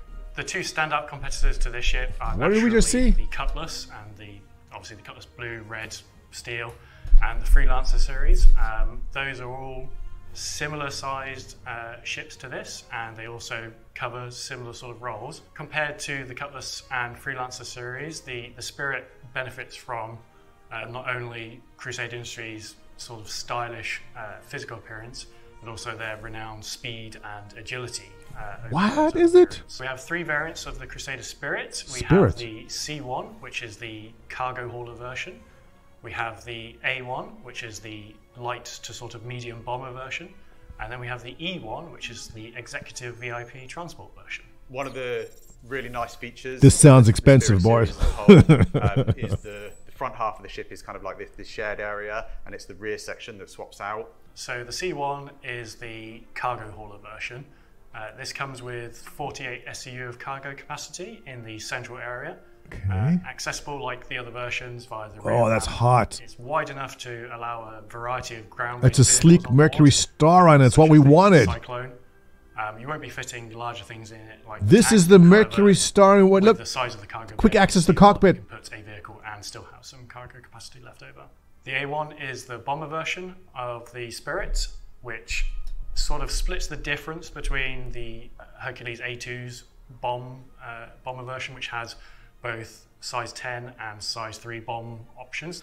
This comes with size 5 uh, bombs. Uh, they are Oh, so- two vertical, yes. uh, gravity dropped uh, formations down each side. of Yeah, I'm, I'm getting the bomber. Nice to walkway down the middle, and then you have I the don't, two I don't, I don't know if I need it. It just looks cool. each side of It's you, and black, has bombs. drop out of the, the bottom of the ship. Awesome. It delivers a different role to what the Starlifter does in terms of the bomber. I think it's a, a much kind of smaller, faster. Okay, ship, let's so talk price. Agile. You're going to be kind of Chat, getting in and what do you say? Um, and, and you know, doing your bomb run and 350? Getting back out of the danger A pop? quite quickly. The whole So pack for 700? Familiar in that sense, uh, but it does deliver. Show me numbers, guys. Give me guesses. style, um, That smells like 300 to 350 a ship for me. better, uh, and it really depends on what you want to wipe off the face of the planet that you're bombing. Obviously, the A2 has both heavy hitters and what could be described as carpet bombing, whereas this is sort of for when you don't want to completely annihilate everything on the ground. And lastly, we have the E1 variant, which uh, solely exists to give Jared Hartburn. Alcatraz saying 300. Manuel this is coming in at sort of taste of 350. what the Starliner will, will get Woonson. Skull coming in at 600. We got a high. Metaverse coming in low at 150. Eduardo at 450. Alcatraz 400. split Two, two levels. Bye bye, Hammerhead. Art now saying so, 400. You know, we really wanted to sort All of right, should we that, say, uh, that VIP experience. Uh, okay, maybe this one is 400 into a bucks. sort of multi-role ship, but when you get into the module, uh, you've got lockers, space, you know, space to put any sort of personal belongings. If essentially, you go into two elevators, left or right, and take you up to the top deck. Okay, well, we knew we were getting a, So a single seat bomber, but this is a dual seat bomber, so they went first-class above and they went what beyond what they were kind of promising and looking for. makes the E1 Mike stand Barron coming in with compared to some of the other 550. Is the kind of the large 550 to 600? Um, so when you're in this, This looks like the VIP chip area, from, um, great views and be able to kind of like Duh. explore the verse um, in, in something that I think is Commander quite Shepard's ship, what's it called? And we also have uh, the Mixmaster, which is at the front of the um, front of the module, which is basically where players can go and Normandy, thank you, Gene. Yes. you know, Total like sleek, long Normandy vibes, And players absolutely. will also have super comfy seats. They'll have the uh, widescreen TV in the. In Okay, the so- I'm really excited to see when we start getting our players and our AI Right off the bat, ships and being able to kind the of explore and, executive um, transport thing, no, I'm not interested in that. I mean, you already have an 890 jump or 600i. I don't see how this competes. Uh, as So far as a small bomber, variants, yes. number of shared This is the only ship that can drop those bombers. Size 3, size 5, what do you say? Each variant, but there are some aspects which don't need to change. And starting from the front of the ship, you naturally have the, the cockpit or the bridge. So, like other Crusader ships, you have the side by side pilot to co pilot arrangement. Then you have behind them their living quarters slash bunk area and component access. And then you have the variant section which does change the sort of internal floor plan of the ships between them. Then at the rear of the ship, you naturally have the, the ramp access area. So that's the Crusader Very Spirit. A2 uh, kind of Mercury forward to Starner seeing engine design to back, Seeing obviously. what it can do in the game in the future. From something at the very start of our vehicle production Black and gold. to something nearing the end of Yeah, you know I'm a sucker for that. Let's All talk right. about the Drake Corsair next. I'm up for the I'm up for the bomber. And The Corsair Drake is one I already have. an important ship in their lineup because it fills that multi-crew uh, exploration gap in their lineup. We've seen a lot of Drake ships of various usage and roles, uh, such as the Buccaneer and Cutlass. In this size class, uh, you naturally have the, the Constellation, the 600i, as the competitors, and what Drake brings is its usual guns on uh, this thing. rugged, overwhelming amount of firepower Yeah. for its size, sort of classification to that entry. It's Drake's uh, dedicated exploration ship. Um, it's a kind of a- a- a Email just went out. You can pick up your uh, Crusader Spirit. Got crew from Go get it. for Limited time. for crew. Wow. What's it Uh, selling for? It's got a sizable cargo hold, um, and it's kind of got everything that you need to really spend a, a decent amount of time away from civilization, away from stations, um, and just kind of being able to chart out uh, those, those deep areas of space. It brings that sort of no nonsense, no frills approach to, to the ship, and you know, you know if something's going to go wrong, it's going to be something that you more than likely can fix, and it's not going to be something that you know you have to cut back to a main dealer to get serviced and fixed. It's something that you know, hopefully you and your crew will be able to kind of repair and, and get back up and running, or just fix what's done. Crusader Spirit Fans, coming in see, at. um, the ship. Well, Oh, we were all wrong. One hundred dollars. DNA that's running through. Crusader Spirit. Oh, wait, is this the So paint? you can- No. You can kind of almost imagine how the ship. Hundred bucks, guys. That military easy Low end. feel. It's with three seventy for the whole pack. Um, That is three hundred seventy dollars for the. Spirit Executive Collection. Oh, that's if you concierge. I think what's quite unique to the, the Corsair is Spirit wings Collection where they fold up. Warbond, three hundred seventy you know, for all three. Three seventy. style Yeah, of that okay. For hundred bucks, I'm do. You can't go wrong. allows you to Hundred bucks a in and out of pop. the hangars um, much easier. Um, we put quite a lot of Oh, yeah. into 100 bucks, guys. really iconic Doing uh, that. exterior kind of silhouette and, and, and vision that we, we set, um, but still making it functional and, and making sure it, it works. At the moment, we're just kind of finishing up on final art. Um, most of the exterior has had, you know, the majority of it, its um, core art time spent on it. We've still got lighting to do. We've still got kind of like final finishing to do, tweak some of the materials till we're kind of properly happy. Um, but it's in a, a- good place, so I'm really, really excited to be able to show you. So let's take a look inside the ship, and once again, we'll go front to back. On the inside of the ship, we start right at the front on the cockpit. Um, the, the Corsair has quite a unique feel to its cockpit. In the, the pilot is kind of sat Guys, uh, CIG's in trouble. All right, they they gone cheap. the co-pilot they could have they could have sold it for three hundred bucks. Oh, cool! Look at that. Transition from Awesome. the main cockpit area into that kind of co-pilot um, kind of section. Uh, it's, it's, you know, you move right forward. we, pretty much we don't need the more money, so we're giving you the ship for hundred bucks. We're being nice. The pilot and the co-pilot. The other nice thing about this cockpit is, again, you've got these massive Yeah, guns. That- that 370 for all three. of you. Um, so it should be should be a nice Was place it 370? Oh, in, in the rear of the cockpit, we've got the captain's quarters. So the captain's quarters is actually pretty much identical to the rest of the quarters in the ship in terms of its What- kind of why is it size and its- 370 its, for three? uh, amenities. As, as you move back through the ship, there's a, um, I guess, a small kind of crossroads directly behind the bridge. From here, you can either progress backwards straight into habitation, or to either side, you've got the turret access. So it's right really at the kind of like the neck of the ship, effectively. The side turrets have changed a little since the concept phase. They now have a greater range of motion uh, in sort of the yaw axis. We're quite limited at concept stage to about 45 degrees.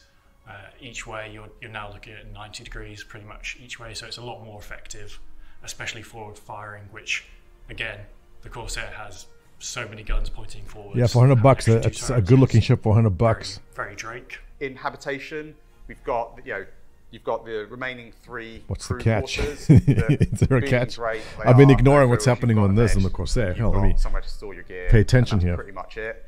The main habitation area, though, is um, if anything quite luxurious for a Drake ship, in that there's a decent sized space. Uh, you've got your, your, your bathroom, which is no frills. It's got a shower, it's got a toilet, whatever. You've got the um, the kind of chow line. Yeah, rip your Gladius, yeah. you Rip any $100 ship right being melted of down to get the bomber now. Uh, habitation area. There's a, a large. Also, rip uh, Jumptown. seating area. You know how many of these ships are going to be to, you know, just meals, peppering Jumptown with bombs now? plan your next move, um, and really, you know, decide where you're taking your, your adventure. As we move back from habitation, we start to get into like the rear half of the ship. I think if, if the habitation area is like the, That Corsair's the heart looking awesome. crew in, in the ship, then Love it, the love it. engineering area is the real Big fan of uh, the Drake itself. design. It's sort of this octagonal, hexagonal space uh, with a few little rooms coming off it to cram components in. And off one of those, you have Subscription side ships. airlock, which again has suit lockers and weapon lockers in there. Yeah, don't give him ideas. Before you go into EVA or docking or coming back out of. When it'll be in the game, it'll be in the game in uh, in five years. the lift, and the lift not only goes down to ground level, but it also takes you um, up to the, the roof of the ship. Oh, look at So those handles, that's cool. on a, you know, That's new. Quick spacewalk, or you need to go and repair something on the exterior, then you've got kind of easy access straight up the Nice. lift, and, and out you go. Then finally at the rear, you have the main cargo hold, which has space for an Ursa rover or similar sized vehicles and down, along with a Yeah, that Corsair is awesome. cargo capacity. And you know, Like, so much nicer than ship, uh, the Constellation ramp at the it. or equivalent. mechanics are exposed. You, know, you can really see the workings of, of how the ship actually operates. If you're a fan of Drake, it, it, it certainly ticks all those boxes. So I think the Corsair is a particularly cool ship. Um, I love the Eduardo, styling that's not how it works. asymmetric co- uh, wing arrangement of You it. got to buy the ship now to get the LTI on it. fun addition to the game, giving those sort of players who enjoy that Drake experience their slice of the pie, and you'll be able to. Yeah, I'm going to buy the bomber one and, and name it Morphologist. later today, a vehicle that's at the end of the pipeline, we have the Greycat STV. Racing is a cool and fun aspect of Star Okay, so that's the spirit, and this vi- this is two of the at least four completed concepts. Uh, I wouldn't be surprised they're going to save a concept for Christmas time, but it's possible we see one more concept ship now. So the STV is the Greycat sports terrain vehicle. Um, it builds on what they learned from the, the PTV, but it brings it um, out of the, the hangars, off of the tarmac, and onto you know much more rugged terrain. It's a four-wheeler, two-person open-topped, sport styling, everything you need to razz around on the planet. So the STV is actually part of a wider family of vehicles. You may recognize a resemblance in the name to the Greycat PTV, which is also part of that family. And we also have a third vehicle lined up that we want to do in the future called the UTV, which is the utility terrain vehicle. And we've actually reconcepted the PTV and we have the concept for the UTV. And when you see all three side by side, you'll see that family resemblance.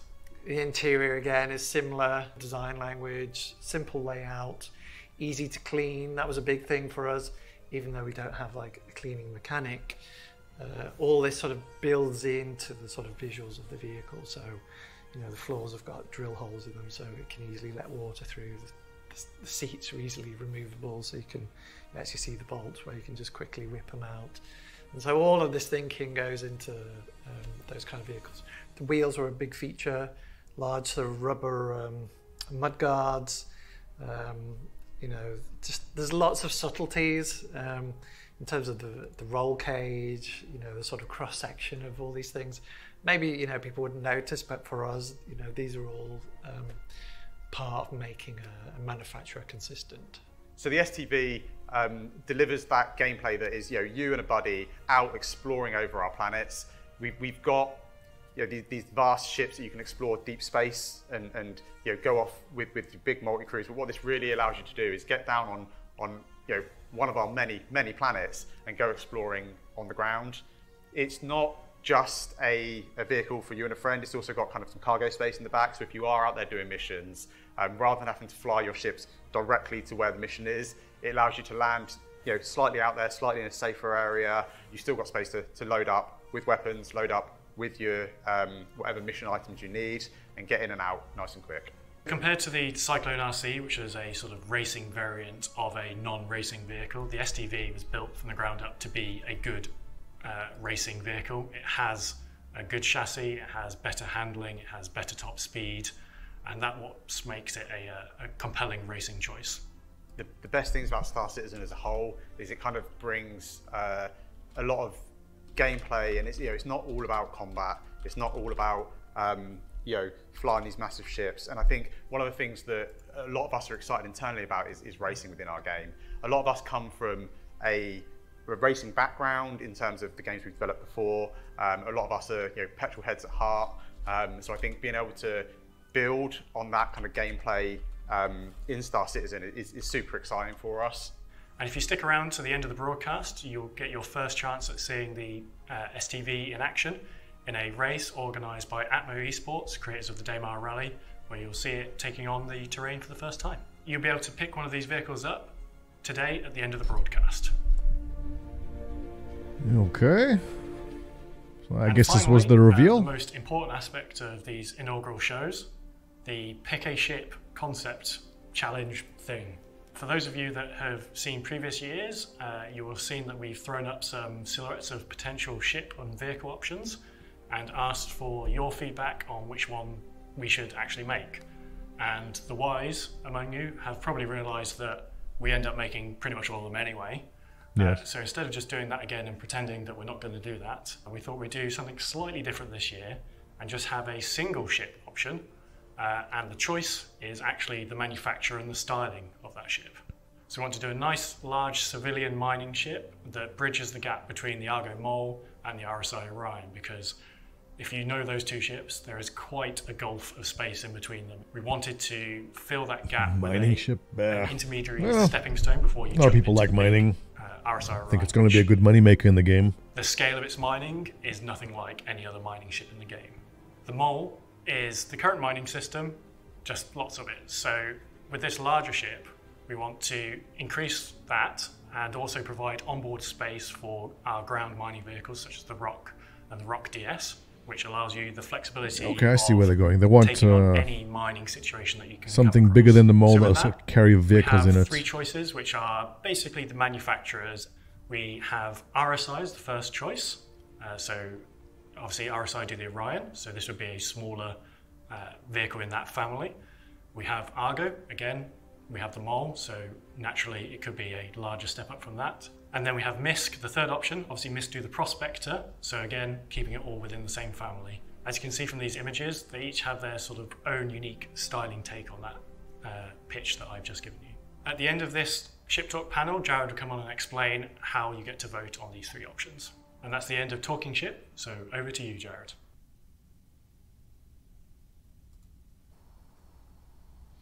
All right, so the Crusader Spirit is available now as a concept promotion on the robertspaceindustries.com website. The STV is coming to the PT, uh, the, coming to the the, the universe uh, at the end of the broadcast, uh, just in time for the Atmo Esports uh, racing event that's happening after this. And uh, the Corsair will be making its way to you at this year's. Okay, so where's the Squadron 42 stuff? And to vote on this year's Take care, Winston. John John Crewe pick a ship challenge thingy is Test Squadron, Best Squadron. there is a Thanks for dropping by. robertspaceindustry.com website where you can go and vote on the manufacturer for the next big mining ship. So, John, recently you went through and just nuked all the speeds of all the ground vehicles, and obviously you did that so that the STV could be the fastest. That's that's certainly one take on on what happened. Um, to talk about it a bit more in depth, uh, th- it was actually planned for quite some time. Um, as we know, game development timelines go all over the place. So we'd actually done this for 318 Evocati, which sadly did not come out before 317.3 went live. Um, so we did that because, quite frankly, a lot of those vehicles were ludicrous speeds, like uh, 55 meters a second is like over 120 miles an hour off road. Okay, back on talking about speeds again, but uh, yeah, uh, unless they're saving something for the end, I thought there'd be a lot more Squadron 42 stuff. So this is, I don't want to go jump the gun and say disappointing, but uh, I was expecting Squadron 42.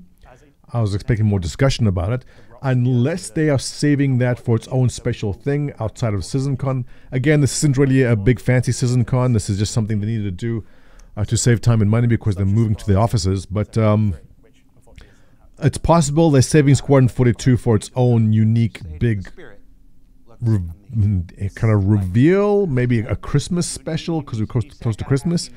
I don't know, but if they finish off the CitizenCon with nothing on Squadron 42, uh, that's a huge disappointment. For me, anyway.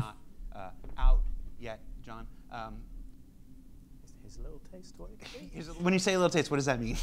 I'm asking for me, not not for these people. I'm asking for me. What does that mean?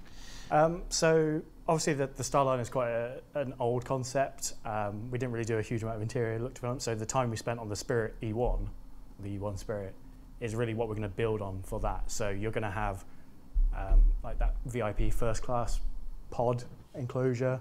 Mixmaster, the most important feature of the Starliner. I have no idea how that's going to work. Second email from Tony. CIG telling me I have to go buy the Um, Spirit. yeah, that, that sort of feel, that, that, that luxury transport feel, is something we haven't really shown in Star Citizen. Um, So here's the thing on the pricing. Yeah, so the, the low end one is 100 bucks. The the bomber's 155, and then the transport's 135. Um, if you look at the curve of what people are willing to spend versus how many ships they can sell, right? If you do like the XY axes and see where you are on the curve, they can make a ship thousand dollars and they know they'll sell X amount of it. Or if they make a ship hundred dollars, will they sell the same amount as if they were selling a more expensive? Get what I'm saying? You can draw a chart, but um, it's it's very likely that their uh, economics department, if they have one, priced it this way because they know that for 100 bucks and for the amount of new players in the game right now keep in mind there's a ton of new players. Not everyone coming in is going to be spending thousands of dollars. Like spending 100 bucks on a game which isn't out is still ridiculous right? But it's not impossible. So i think they definitely went on a cheaper price for these chips. They could have easily gone 150 200 in my opinion. But with the amount of new players uh, in the game right now uh, the idea of spending 100 bucks on a game which isn't out is ludicrous. It's insane. Uh, but it kind of makes it more tangible if it's has a cool ship. It's 150. It's a bomber. They priced it low because I think they'll sell more of them. That's why they did that. PTV still looks how how everyone recognises it, but it sort of works with the modern mechanics. Let's do a sporty version. Let's do a utility version, and so we've got those three together now. That you can really see like the, the family lineup, and they each do slightly different things, which is cool. But yeah, the, the STV is that beach buggy, dune buggy thing to just razz around. No, it's, it's, really cool. I really like the styling of it. So, if you, uh, we've got one small thing left, and then one rather large surprise left. So we'll do the small thing first. Oh, here we go. Squadron 42. Here we go. I'm not going to tell you. I'm not going to tell you. I'll tell you. In, I'll tell you in like five minutes. Uh, but before we get there, uh, last year during last year's CitizenCon uh, presentation, we we explored a lot of the outlaw lifestyle, their their their outposts, the space stations and stuff. Uh, we thought we'd do a little sizzle to follow up on how those things have evolved in the year since. So. Get ready, we're going to show a quick sizzle, sizzle, and when we get back, uh, there'll be something, there'll be a neat surprise. So stay tuned.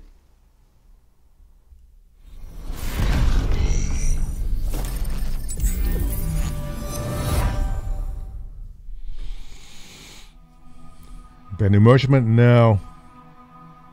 Robot, I think it's a Squadron 42 Ts. Better be.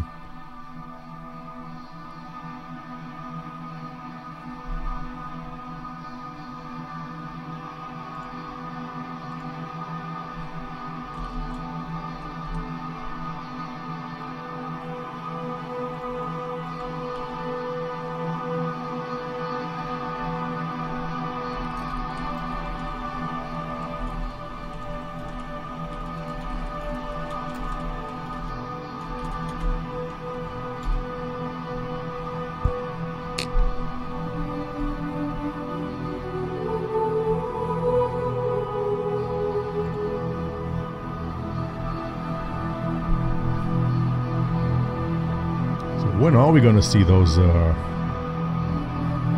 cryopods?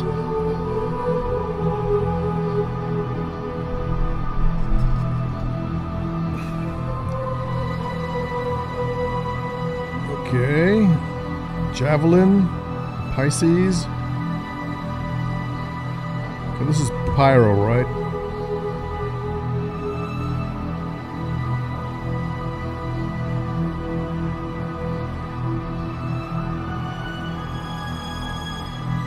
This, I mean, we, we've seen the kind of artwork that's gone into this. This is nothing overly new. Uh, it's been teased enough that I say just put it in, let us just get in there already. I've seen it so many times in Inside Star Citizens. It's the whole uh, Grim Hex. Can I use the word radial motif in something already? what is my radial motif? This isn't Squadron 42, no. This is Pyro.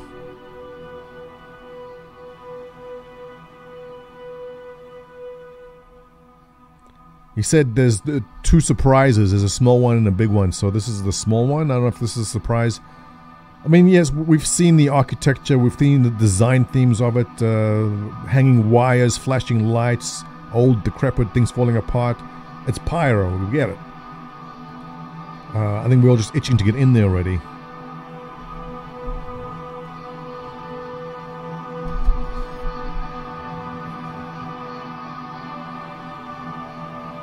I mean, yeah, it's new visuals, but not new as in we've seen enough of the design language for Pyro that uh, it's you can show me different angles. It's the same thing.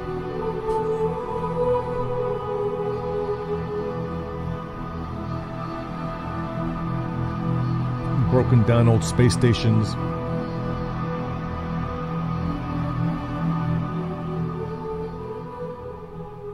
Yeah.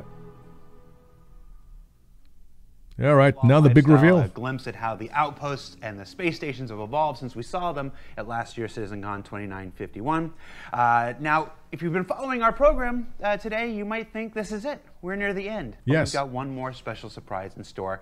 Joining us Let's on the go. show today are two people who probably need no introduction, but we're going to do it anyway. Founder and CEO, Mr. Chris Roberts. Who? Hello, everyone. How you doing? How you doing? Oh, is that what Chris Roberts looked like? Ah, Welcome to the spaceship. Welcome back to the spaceship. You, you opened the ship. what a surprise. And This- uh, this- this better not be the surprise. director, uh, Mr. Richard Tyrer. Hello, how's it going? Good. This is your first time on the spaceship. It is. It It- is. What you think? I think it's very nice. Very I'm really happy. I'm just going to ask everybody how it thinks all day. Um, so yeah, so Chris, Rich, you're here. Are we are we going to talk a little bit about Squadron 42? Is that what we're doing right now? Uh, No. Well, yes and no. So uh, both me and Rich. Psych, uh, guys, there is no Squadron work 42. It's really been a trick. on, uh, Squadron, as, as well as helping out on the PU. And uh, one thing that we've thought um, that would maybe better to reiterate is there's a huge amount of work that we're doing on Squadron that is going to make a massive difference to Star Citizen, the PU, and uh, we wanted maybe to talk about some of the things that we're doing because I know a lot of people say, well, everyone's working on Squadron, no one's working on the PU, and that's not really true because a huge amount of the core gameplay that we're working on on Squadron is specifically being built not just for Squadron but to benefit the PU, and we're just doing It's it. $500 million yeah. of Squadron to allow us to really, uh, you know, polish and make sure the features work well without having to be caught up in the sort of quarterly release cycle that you have on the PU, uh, because we were finding it was it was hard for us to really finish the features out. You know, we'd get a tier zero out, and then it would just sort of sit around for a while because everyone was rushing on to the next set of features they wanted to do. And and for Squadron, obviously, we're you know it's shipping as a final polished AAA title, so everything needs to be really put together, working really well, and playing great. And so we're trying in the setup that we're doing now to do that for the features that we've identified that we need to make sure works really well for Squadron, but also Okay. will play across into the Yeah, yeah. And So now thought it'd be show really us. useful to come by and Show us the video. Tell you all about some of the subtle things and the gameplay aspects that we're working on that maybe you haven't heard from Todd or Tony or everyone else that like in you know today and uh, you know during the ISCs because we sort of try to keep the squadron stuff close to our chest to, to really sort of surprise and uh, impress people when we do it. Uh, and so yeah, we thought why don't we just come by and maybe just talk about little things, maybe show you a sneak peek of something. Here we go. there, and not everything because you know we. Squadron trying 42 sneak peek, let's do it. Close to our chest uh, until it's really ready to let the baby out of the carriage and it's you know beautifully dressed and all the rest of it. Uh, but um, you know, hopefully uh, it'll give you guys some. Yeah, look, it's all very exciting to get a sneak peek, but honestly, this game, Squadron 42 just needs to get out the gate already. And ultimately working on. I don't know if he's going to give any dates, but they, they do need to move on this.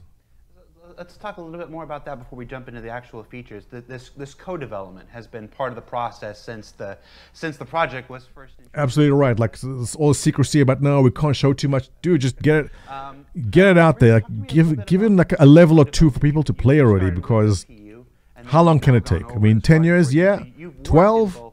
It's it's pushing it.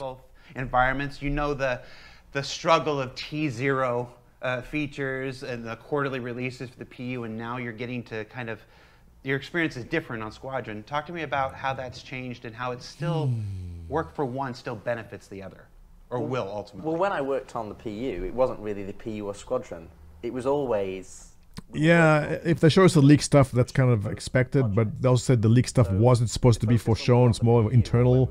We'll see in a minute, I guess. Anyway, uh, Joe, thank you very much. Uh, I I don't think you know me from Eve because I'm not who you probably think I was in Eve. I played Eve for like just less than a year, so I'm not from Eve. But thank you. you know, if you've seen me doing talks on SC Live over the years, or even in some of our retrospectives, is that we'd get features, and the way that our, you know, CIG set up is we have feature teams and we have content teams. So what would happen is we'd develop Upgrading a ship to the Spirit A1 bomber costs 175. What, well, I mean, it depends what you're upgrading, but the Spirit itself is 155. How are you upgrading something that costs 175? That doesn't make sense. Scam.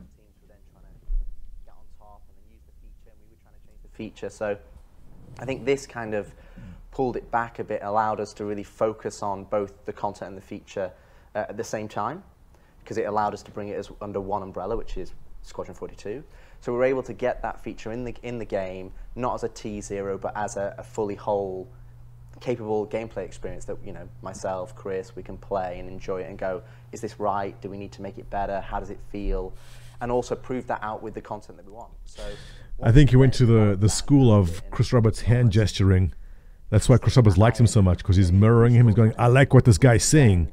move it into the PU. ultimately, it's not that they're going to get features later because they would have had them probably earlier, but just not not ready. Or you know, you can I can pick a few features right now where you think, well, there's not really a huge purpose for them. Mounted guns is a good example. It's not really a huge purpose for them in the PU right now, but we're making sure that any feature that we work on has that purpose.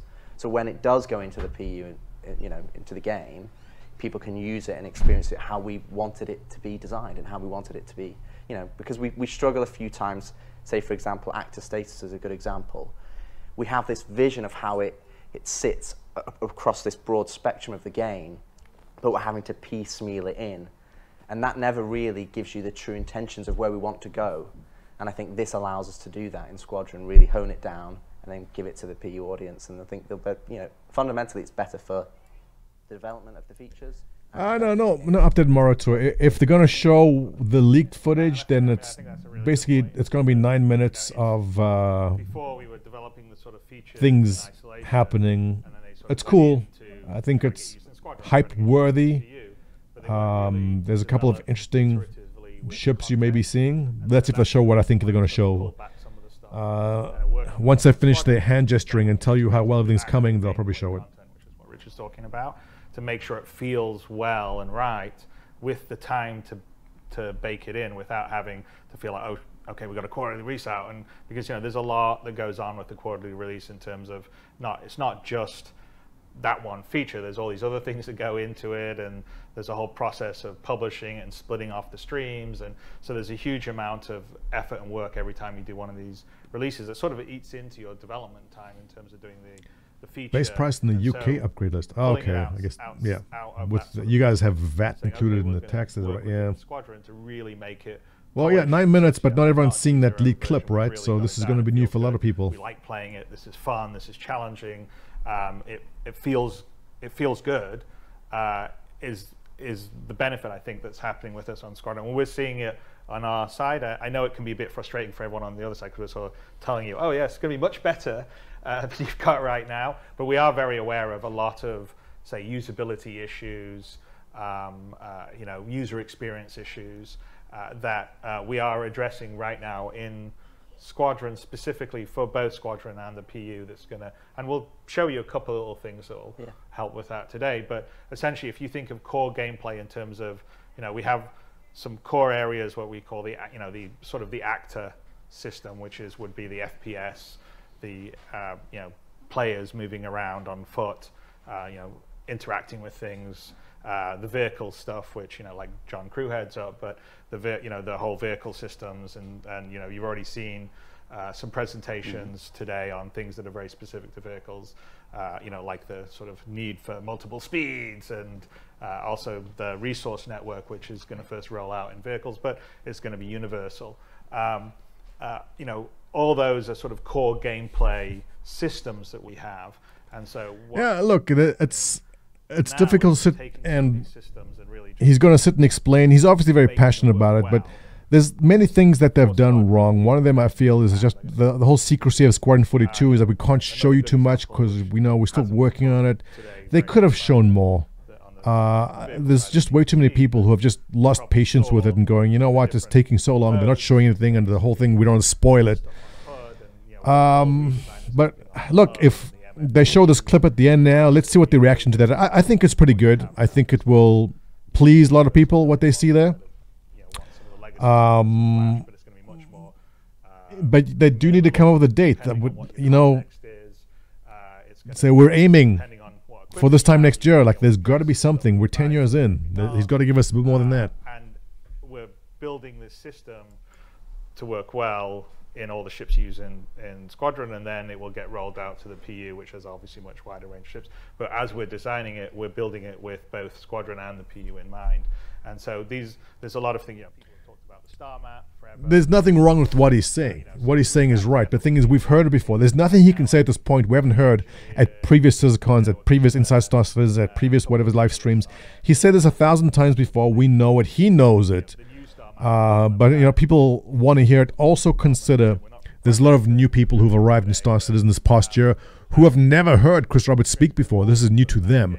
So, you older backers, uh, the original backers, veteran backers, this is nothing new. He's going to sit there and he's going to explain how it all ties into the PU and what happens in the PU will seamlessly transition into Squadron 42. You know, uh, but consider there's a lot of new people in the game that have never heard any of this before. It's new for them. couple of years, uh, and um, yeah, we're pretty excited. So we wanted to, yeah, visit you and talk a little bit about it. I think there is two common themes that I think you'll see throughout the entirety of this talk as well. One is the fact that it's, it's how we develop the features. That everybody looks at individual features, has got the microscope of that specific feature, but it's how they all interact together to create the game. Hmm. So it's, it's about bringing them all together to create that gameplay experience. And number two is that none of these are like, oh, we're going to get to this in, in however time, and you know we're going to work on. That all of the stuff that we'll talk about today is stuff that we're actively working on, and not in the inception, but you know we have in our hands. We can play it, we can see it, we're feedbacking on it. So it's something that you know we're fairly advanced along, and so you know hopefully we'll be able to. That- That's the thing, Eduardo. The, the new bloods coming in now are not going to have to wait 10 years, you know? Maybe they just wait five years. Uh, some of the things will have aspects to show. Some What's up, Chrome Ninja? Aspects to show, uh, like the star map, like Chris just said and whatnot. Uh, some of the things uh, will be presented in test maps because we don't want to give away any star, Squadron 42 What, did you say test? locations and stuff like that. That said, I think we can maybe show some stuff in Asiato because people have, have, We already- have we seen already that. showed that at one Yeah, location, Yeah, so, yeah. yeah. So, uh, so yeah, you, you you guys ready to, to this enough preamble? Let's go. Let, let's start with uh, let, Rich, you're the, you're, the, you, were, you were the AFT guy, now you're the whole squadron game guy. But let's start with something uh, that affects everybody. This is a first person universe, after all. Uh, let's talk about the F- FPS radar and uh, the player interaction system stuff. What can, you, what can you tell us about how this has evolved? That's interesting because we, we obviously, I think I've given a talk on FPS radar and scanning in the past. And I think the biggest thing that when we look at what, what Star Citizen is now, what's the first thing that you do, you know, you're in your bed? How do you interact with the game? How do you interact with the environment that's around you? Doors, getting into your ship, how do you interact with Yeah, the so Manuel, you're right there. Squadron 42 and Star Citizen are the same thing. It's the same platform. Uh, and one reason why Squadron 42 is delayed and why Star Citizen is delayed because one thing changes the other. So right now they've been speaking about before this about the flight speeds, right? So flight combat speed changes what happens in Squadron 42. In Squadron 42, if there was a mission to go shoot down someone, but now they've changed the speed of combat in Star Citizen, PU, Squadron 42 needs to be adjusted. Say, if this is how the speed ships work, how will this fit into our story narrative? And it's the problem. Having the single player game and the online game being developed simultaneously means each one is dependent on the other one, and every, every small change happens on one affects the other one. And I feel there's a constant back and forth with balancing, ship balancing, weapon balancing, shield, speeds, all this in the PU affects what happened in Squadron 42 as a single player game. Delays, right? Right and immersed that you're immersed in it. Well, you can you can interact with things like the props. Of Uh, so yeah, Robot Boy, you are supposed to get the F8 Lightning, which is the heavy fighter. Once you complete Squadron 42, you'll be this ace, highly decorated military person, and you get an F8 that you can then use in the game. So that is what's been said. Whether it happens or not, well, it should happen. I mean, I think it's been said enough. Doing the persistent, uh, If you say things enough, it's true. streaming and, and, and later on the server meshing is to have this fully persistent universe that yeah you can push the chairs around or that that cup I could take off your desk and take it to my my spaceship instead of your spaceship, Jared. Just it and and it would now. it will be there and it'll persist. So so obviously interacting with things is a huge deal. Um, in Squadron, we have a huge amount of physical puzzles, interactions um, in a level that you I haven't seen in a lot of FPS games. So it's it's almost like a sort of story game and a puzzle game and a traversal game and a combat game and a Yeah, so Night Spies Squadron 42 is a single player game. Uh, you arrive in this universe, there's Vanduul attacking an outpost, you join the military, uh, you learn how to fly a, a fighter, uh, you go on missions, and you become a decorated war hero, and you defeat the Vanduul or you fight them back, and then the game ends, and then you go into the PU where you continue uh, the story. So. That's well, I don't know the exact plot of Squadron 42. I don't want to know it until the game comes out, but uh, that's generally it. Those, are, by the way, have been a number of bit large complaints on the PU, just getting in, new person getting into the game, like how do I get out of bed? How do I do some basic Yeah, no lies, Garrick Duval. Uh, people are already retired waiting for this. Think you know there's a lot of people. It's almost like you know I don't know whether it's a From Software thing where it's like, oh, I managed to beat the challenge of Star Citizen and I actually got to my ship. Um, but um, you know we need to make that better, and so that is actually one of one of the big things we've been focusing on, and the, the player interaction system. And by the way, these have been plans that have been around for quite a while, Absolutely. and uh, you know, Rich back when he was in charge of sort of the core gameplay group, which was the AFT and the, the weapon um, teams and the actor tech team and stuff. Um, that was on the list of things to do. It just, you know, because of what we talked about the release cadence in, in Star Citizen um, on the alpha, it just, you know, didn't get to it yet. Well, we're getting to it now, and and uh, you know, we're working on it. So I, I mean, I mean, p- part of it is basically removing the barrier. So removing the, the clunkiness, as Chris said, to, to how to you interact with the in, you know with the environment. So what we've kind of gone to, we've gone to kind of this weighted system. So it's if you're No, you you joke, uh, Ramal, but people have left their assets in Star Citizen in wills. That if something happens to me, my ships go to specific people, and it's it's happened. It, it's already happened. So if I'm looking at your desk, for example, you've got quite a lot of things that I could pick up and take and do whatever I want. But you want to be able to just walk over there and not have to go into a mouse cursor mode to be able to then select it. You should just be able to go, I want to look at the green ship. I'm going to pick up the green ship. I want to look at, you know, your little mini mini ship over there or the book or your coffee. Yeah, yeah. Show us the video. Come You on. just want to be able to go and look at those things, press F, and, and, and you, you need confidence that when you're looking at mm. something and you know we have the, the user interface to tell you that yes, this is the thing that you're going to pick up, and you don't want to have to go into this separate mode to be able to do that. So I think that's one of the fundamental things on the player interaction experience, and that that's such a pervasive system across the entirety because it's the same when you're in a cockpit.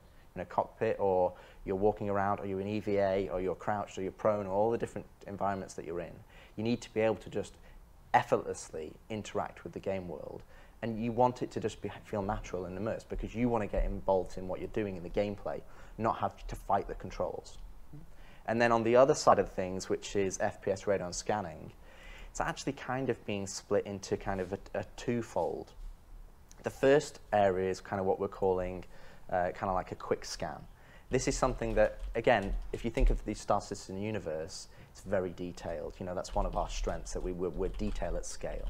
And so you want to be able to go in and, and understand all the individual pieces that you can go in and go, I want to move that thing, or I want to go and get in a giant ship. But sometimes it's quite difficult to realize, okay, what is, what is environment or what is interactive or which bits are relevant to me.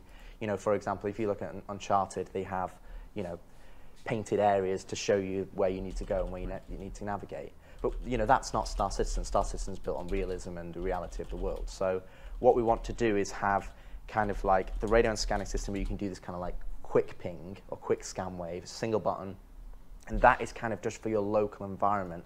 And everything will then be tagged as you look at it. So kind of think, you know, I look at the camera, it'll come out and it'll have a little box, info box. Eduardo, it's okay, not boring. The camera, this is the information. Remember, there's a lot of new like people haven't seen this before. Mini scan on the camera, but it's happening for everything around you. And you can just quickly look around and be like, oh, there's a cuttable surface there because I want to be able Well, to I missed. They say they want to move the Oh, uh, inner thought thing. They want to remove the press Oh, F. there's a terminal there that I can hack.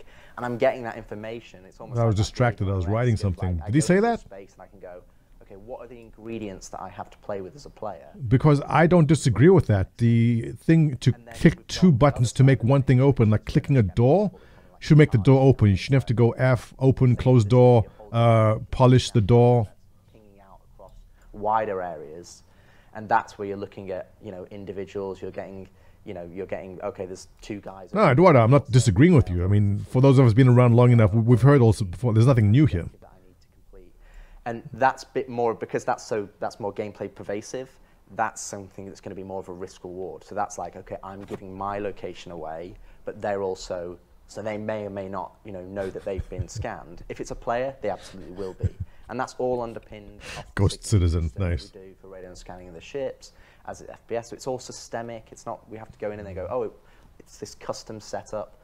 So we have this kind of usability aspect for radar and scanning for people to be able to go in and understand. Well, on the topic of the inner thought thing, that, that in some motions, like if you walk towards a door, the expected reaction when you mouse over the area is open. There's no other thing you want the door to do.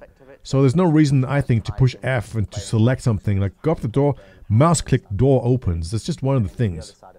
Uh, I think they can. I mean, it's just a mouse click, but when it comes to user interface, if anything is more than what's expected by the end user, it is a bit tedious. Uh, what's this first one we're going to look at? So the first one is more kind of um, showing what I described with radar scanning, that first aspect. So you're going into a space, you're doing a quick scan wave. Okay, I missed that. So yeah, I- I'm totally for that. Like inner thought doesn't have to pop up for everything. There's some things which do not need inner thought. Like if there's an object on the ground and you click over it, the expected reaction is pick it up, not you know in a thought like hmm, what is this? Uh, this is obviously going in and utilizing some of our new building blocks UI for the doors. And then here's a scan wave, and you can see that, that I'm looking at that data pad, and then it, you can move around, and it's giving me that information. So right now, it's just giving you the basic high-level information in terms of the names and things. Uh, but you will also have more detailed information depending on, you know, contextually what. I like it. And what you're Picasso. seeing here is part of the player interaction system. So you can just, even though that's kind of, of a complex area, Oh, lots of things yes. you can interact with. Way better. But you're getting Okay, it's taking them 10 years oh, to cool, get I to can- this. I can grab that, or I can use the data Yeah, pad. mouse over, press F. You, you're not having to go into interact mode. You're not having to be driven by the cursor. You can go Beautiful. in and just Yes. press F or interact with it. And you know, you've probably seen this in plenty of AAA games, but they don't have the detail and Placing down. Okay. do. So we want Perfect. to make sure that that system Okay, this robust. Is more exciting to me you kind of an idea of- than the speed and I'd also changes. that like part of the idea is This that, as you know, there's a the- quality you know, of- there's yeah. the default action which in this case is what you see. All right. So as far as quality of life goes, this is where it should be. Uh, so much better than the inner thought thing. You point at an object, it says F to grab, F to close, F to place. Absolutely perfect. I like this is like out of everything that's happened. this is probably the best uh, quality of life change uh, they've announced yet. Which was basically saying that's a multi-action. So as you look at it, if, for instance, in that case, if you hit F, it does a default action. If you held F, it would bring up uh, the modular wheel that would show you the other actions, so you could. Yeah, and you know it's not a huge thing, the whole inner thought and the wheel and everything. But every other game you play, it's just you look at the object, you mouse over it, and it's F or E, interact, pick up, throw. Uh, you know, it's one click.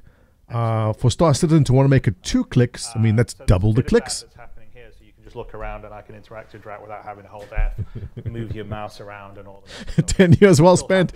Uh, yeah, but look, you got to give them credit for the fact that they, they try. They go, how about this thing called Inner Thought? Let's try it out, and they gave it a shot. And they iterated and improved it. But also, there's so many things which they didn't have to try, iterate, and improve because it's been really tried and true. The inventory system. We've been using inventory systems like on Tarkov and everything else in MMOs for how many years now? They don't have to redesign an inventory system. It's pretty much clear what needs to be done in that already. So it's it's curious that some very well established and accepted practices in other games haven't automatically been adopted because they want to try, iterate, and improve. That's fine. But uh, at the end of the day, go back to tried and tested. You know, mouse over, one button, click to interact, done. It's the easiest thing. And I'm glad they're coming around to it at least 10 years later.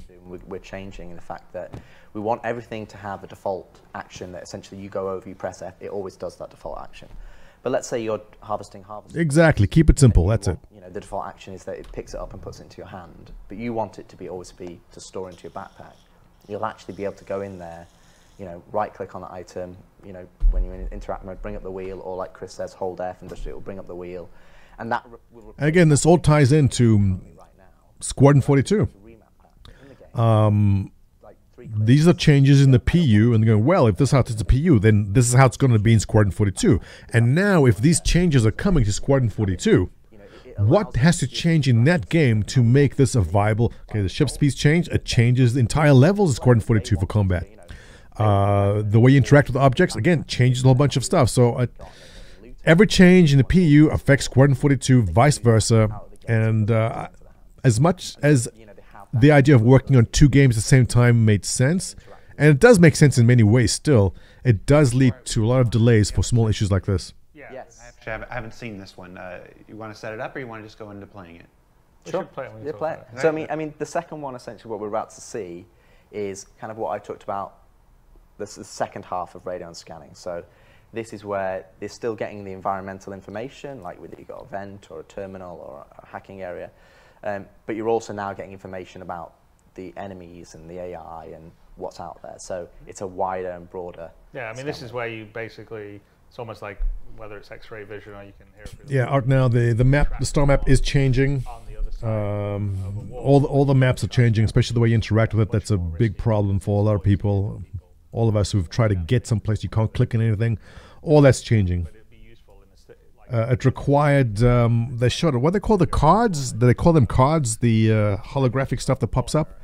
They're waiting for the new tech, which they've actually developed now, to be completed, and that's going to also replace the current star map. In Squadron, you know, we're we're trying to have a certain amount of realism, so you're not just going to go and gun down 400 people. So we want you when you're in situations you're outnumbered and you have to you know, it's it's more of a stealth game in the FPS than it is a straight out mm. run and gun shooter. Right. bring it to the point of realism, then bring it back to the point of fun, as you said. Well, you know, there's a lot of fun stealth games. All right, so I want to see this clip. I haven't seen it yet. Let's let's roll FPS two. So what you're seeing here is that he's going to do a scan wave in a moment. Mm. Essentially, what you'll see is that it's now penetrating through the walls. Yeah, I need lots of coffee here. See uh, the slavers that are in this environment. Now, these slavers don't necessarily have a radar scanner, so they're not able to pick you up. So what will happen is when you do a scan wave or a charge scan wave, your signatures will basically um, skyrocket. So that's what will give you away to other people. So in the PvP environment, you're only getting, you know, it's, it's a big risk. You, if you want to do it, but you're giving away your location. So if you know if you're willing to do that, then so be it. But in a more of a PvE environment, what we're going to do is we're going to have tailored. Some some enemies will have radar and scanning, and some won't. So if they do, then they'll be like, "Hey, I've just been pinged," and they'll get your location, and then they'll go and investigate. So what you're seeing here, you know, on that video is kind Okay. of a, a more a wider, broader area and seeing through the walls, whereas the first one is kind of a more limited. Give me vibes from aliens where you, you're to the pinging the aliens coming towards you. do. The first one is really more about just, you know, we want to encourage the player to go into an environment go. Yeah, they're totally taking uh, cyberpunk stuff here. I like it. And then the second one is more of a wide escape, like uh, Chris said. You know, when we're playing our stealth levels, you know, you need to have kind of a good understanding of where they are, and it's only temporary, and you, you will have a cooldown on that on that charge scan wave. So you're not just going to be able to spam it there forever. It's like you get a temporary picture, and you go, cool, I've got a good snapshot. Now I'm gonna, um, you know, make my move and go forward. So while we're still here on the first person experience, the player experience, let's, let's, let's stick to a couple more topics that are related just to the, the, the, the player before we move into ships and bigger stuff. Um, ledges and ladders. Uh, you know, everybody knows the, the struggles Come of on, show us the good stuff. existing universe. But Ladders. that's not the only way to, you know, traverse the universe to get around and stuff. Uh, I understand that you guys have made a number of improvements to mantling over ledges and how to use ladders. I mean, Legend and Ladders is kind of uh, best a- game I ever it's like a when I was board game. Yeah, Uh, exactly. that scan's been used in a it- It's couple of kind of games. a t- two features that we're focusing on, but I mean, as Chris said, in terms of squadron I development, think No Man's Sky is a scan feature like that. the traversal Witcher, experience. yeah, How that's right. Yeah, move sensors. and you know, just from general locomotion and how that feels, and then in terms of you know the traversal moves, so vaulting, mantling, ladders, and so on and so forth. So one of the two areas that we've identified that we wanted to push for was a for ledges, which is we wanted you to be able to. Oh, I've just I've slightly misjudged my jump because I'm in first person. You know, I can't see my feet, and I, and it's you know it's kind of frustrating. You're like, oh, it's just right there. If this was real life, I I just put my hands out and grab it, right? That's right. So Assassin's that's the Creed. part that we can actually No Man's grab Sky. onto ledges now that you're falling past, so that you can actually then pull yourself up, uh, which adds just It's almost as if the scan thing is good in other games. Yeah. levels now, and it's it's the difference is night and day because when you're in a first person, it's very difficult to judge like right on the edge. So we can add a bit more challenge to the traversal so that you're actually moving around with ledges and grabbing and pulling yourself up. And then the other side of things, which doesn't necessarily sound that interesting in terms of oh, it's improved ladders, but again, is if you play the star system right now, you get onto a ladder, you're, you're looking bolt straight forward at the wall, you're locked, you can't look around, you have no spatial awareness. It's just that's it. You're locked in. You can't get off halfway. You can't jump off. It's you're kind of very locked. So what we've done? jump on halfway, too. No, no, exactly. So what we did is we kind of leveraged how we did body dragging, and that you know, even though you're attached to this thing, you want to be able to look around. So you can attach to the ladder. You can jump onto a ladder directly. You can attack. You can run uh, and jump onto a ladder. You can look around full 360 degrees. You can look around 90 degrees as you're going up. Okay, so they've put a lot of thought into how you're going to climb ladders, all right? A lot more, you know, it doesn't feel like, oh, I've just, now I'm locked in. It just feels like you're more of a human being on the ladder and you can look around. And then, obviously, if you can look behind you on a ladder, that opens up environment, you know, opens up scope to jumping from that onto something else. So it's, yeah, because you can jump off the ladder halfway up it or wherever. Exactly. So there's a there's a huge amount of. I mean, with in Squadron, we're putting a lot of traversal gameplay in, uh, which will uh, make its way into the PU when all these sort of systems settle. And I think Well, sounds like yeah, ladder's a lot more uh, flexible now. Yeah, jumping off the ladder mid- midway. I wouldn't be opposed to them slipping you into third person for ladders, because first person's a bit uh, close visually. even that in the derelicts was really inspired by some of the early work we were doing in Squadron. A It's like um, Fallout 76 does this when you pull out power armor in Fallout 76 and you get into your power armor. It goes into third person view for you to jump in. Um, so I'm not opposed to that kind of mechanic where you grab a ladder, it puts you into third person, and then slides you back into first person once you get off the ladder, just to give you an idea of your surroundings. in most of the areas that you go through, there's more than one way to get to the end to solve the problem. To you know, do you you know stealth around? You just take it on head on and start shooting, or um, there's a way that you can you know do it without seeing anyone because you've just you know taken this difficult traversal path. So those are all things that are important, and, and so it's little little things like this, and, and I would say, I mean, we've got a video to show, but we're still, you know, like some of the finesse of the the animation detail is still to come. So this a lot of it is Yeah, this is a lot is the block block out. out. But you know, we you know we we have this beautiful m- motion capture stage here that we will show you guys uh, some point when um, the Manchester Goods Yards and this stage are fully finished, and then Jared will do a wonderful. We'll do a a updated version of the 2013 tour that I did with Erin, uh, but it will be in a much uh, bigger environment. um, anyway, uh, so uh, but I, I, I would say definitely that um, I mean we could show it, but the, the we got details to come. Like for instance, if you jump and you just make it, you know, you're going to, uh, you know, catch your balance and do that sort of stuff. So that's not in here, but that's sort of the details, the finesse that we're adding to really have that sense of you in first person, feeling your Okay, and your 42, let's go. Going up and, and, and, and, and down on it. I mean, if you cut out to the third person when you see some of the stuff, you sort of see some of it even in the blockout animations, but there'll be much more in the, the final version. But we probably should Yeah, let's- run the let's video it. if we can. All right, uh, ladders. So obviously this, as you can see, this is final art. This- absolutely, So this this is is great. taken directly from Squadron 42. No, it's obviously a test map. But you can see here that, as Chris said, it, it, the, the, you know, the level of inertia is, is still blockout phase, but you can see that we're actually starting to get that you can grab on, you can go straight into a mantle or a vault, you can go straight into the pull-ups. And the thing is that what you're seeing here is, you know, while this is just an test map, a lot of these are providing design ethos to then feed into the PU. So if we've got derelicts and we've got environments that we want the player to go and do missions in, we don't just necessarily just have to rely on you've only got jump, or you only can do vault and mantle. And right Okay. there, we did a we did a Yeah, so parkour definitely improving. Uh, again, there's games which have been doing this, but keep in mind that to do this from scratch themselves. So it's it's quite an accomplishment. Um, it's a long journey that- to get to this point. I can appreciate the effort, uh, but it's like not groundbreaking compared to what other games have already done. Assassin's Creed being one, right? I think the climbing, jumping mechanics, Assassin's Creed are pretty good. But also keep in mind this is a uh, it's the PU. This is not a um, solo game, so there are more complications. Uh, that looks pretty good. Yeah, I mean the other thing Yeah. to say about uh, about the traversal is while we're highlighting uh, ladders and the ledge grabs, Mirror's Edge, here, yeah. The other thing is that we're also, you know, we've taken deep dive on things like the control input. So, for example, we've got action queuing coming up. So, you know, for example, if you're sprinting and you were you were shooting just before you're sprinting, you might be holding down Shift and left mouse button. And then now, what happens now if you then release Shift, you've stopped shooting.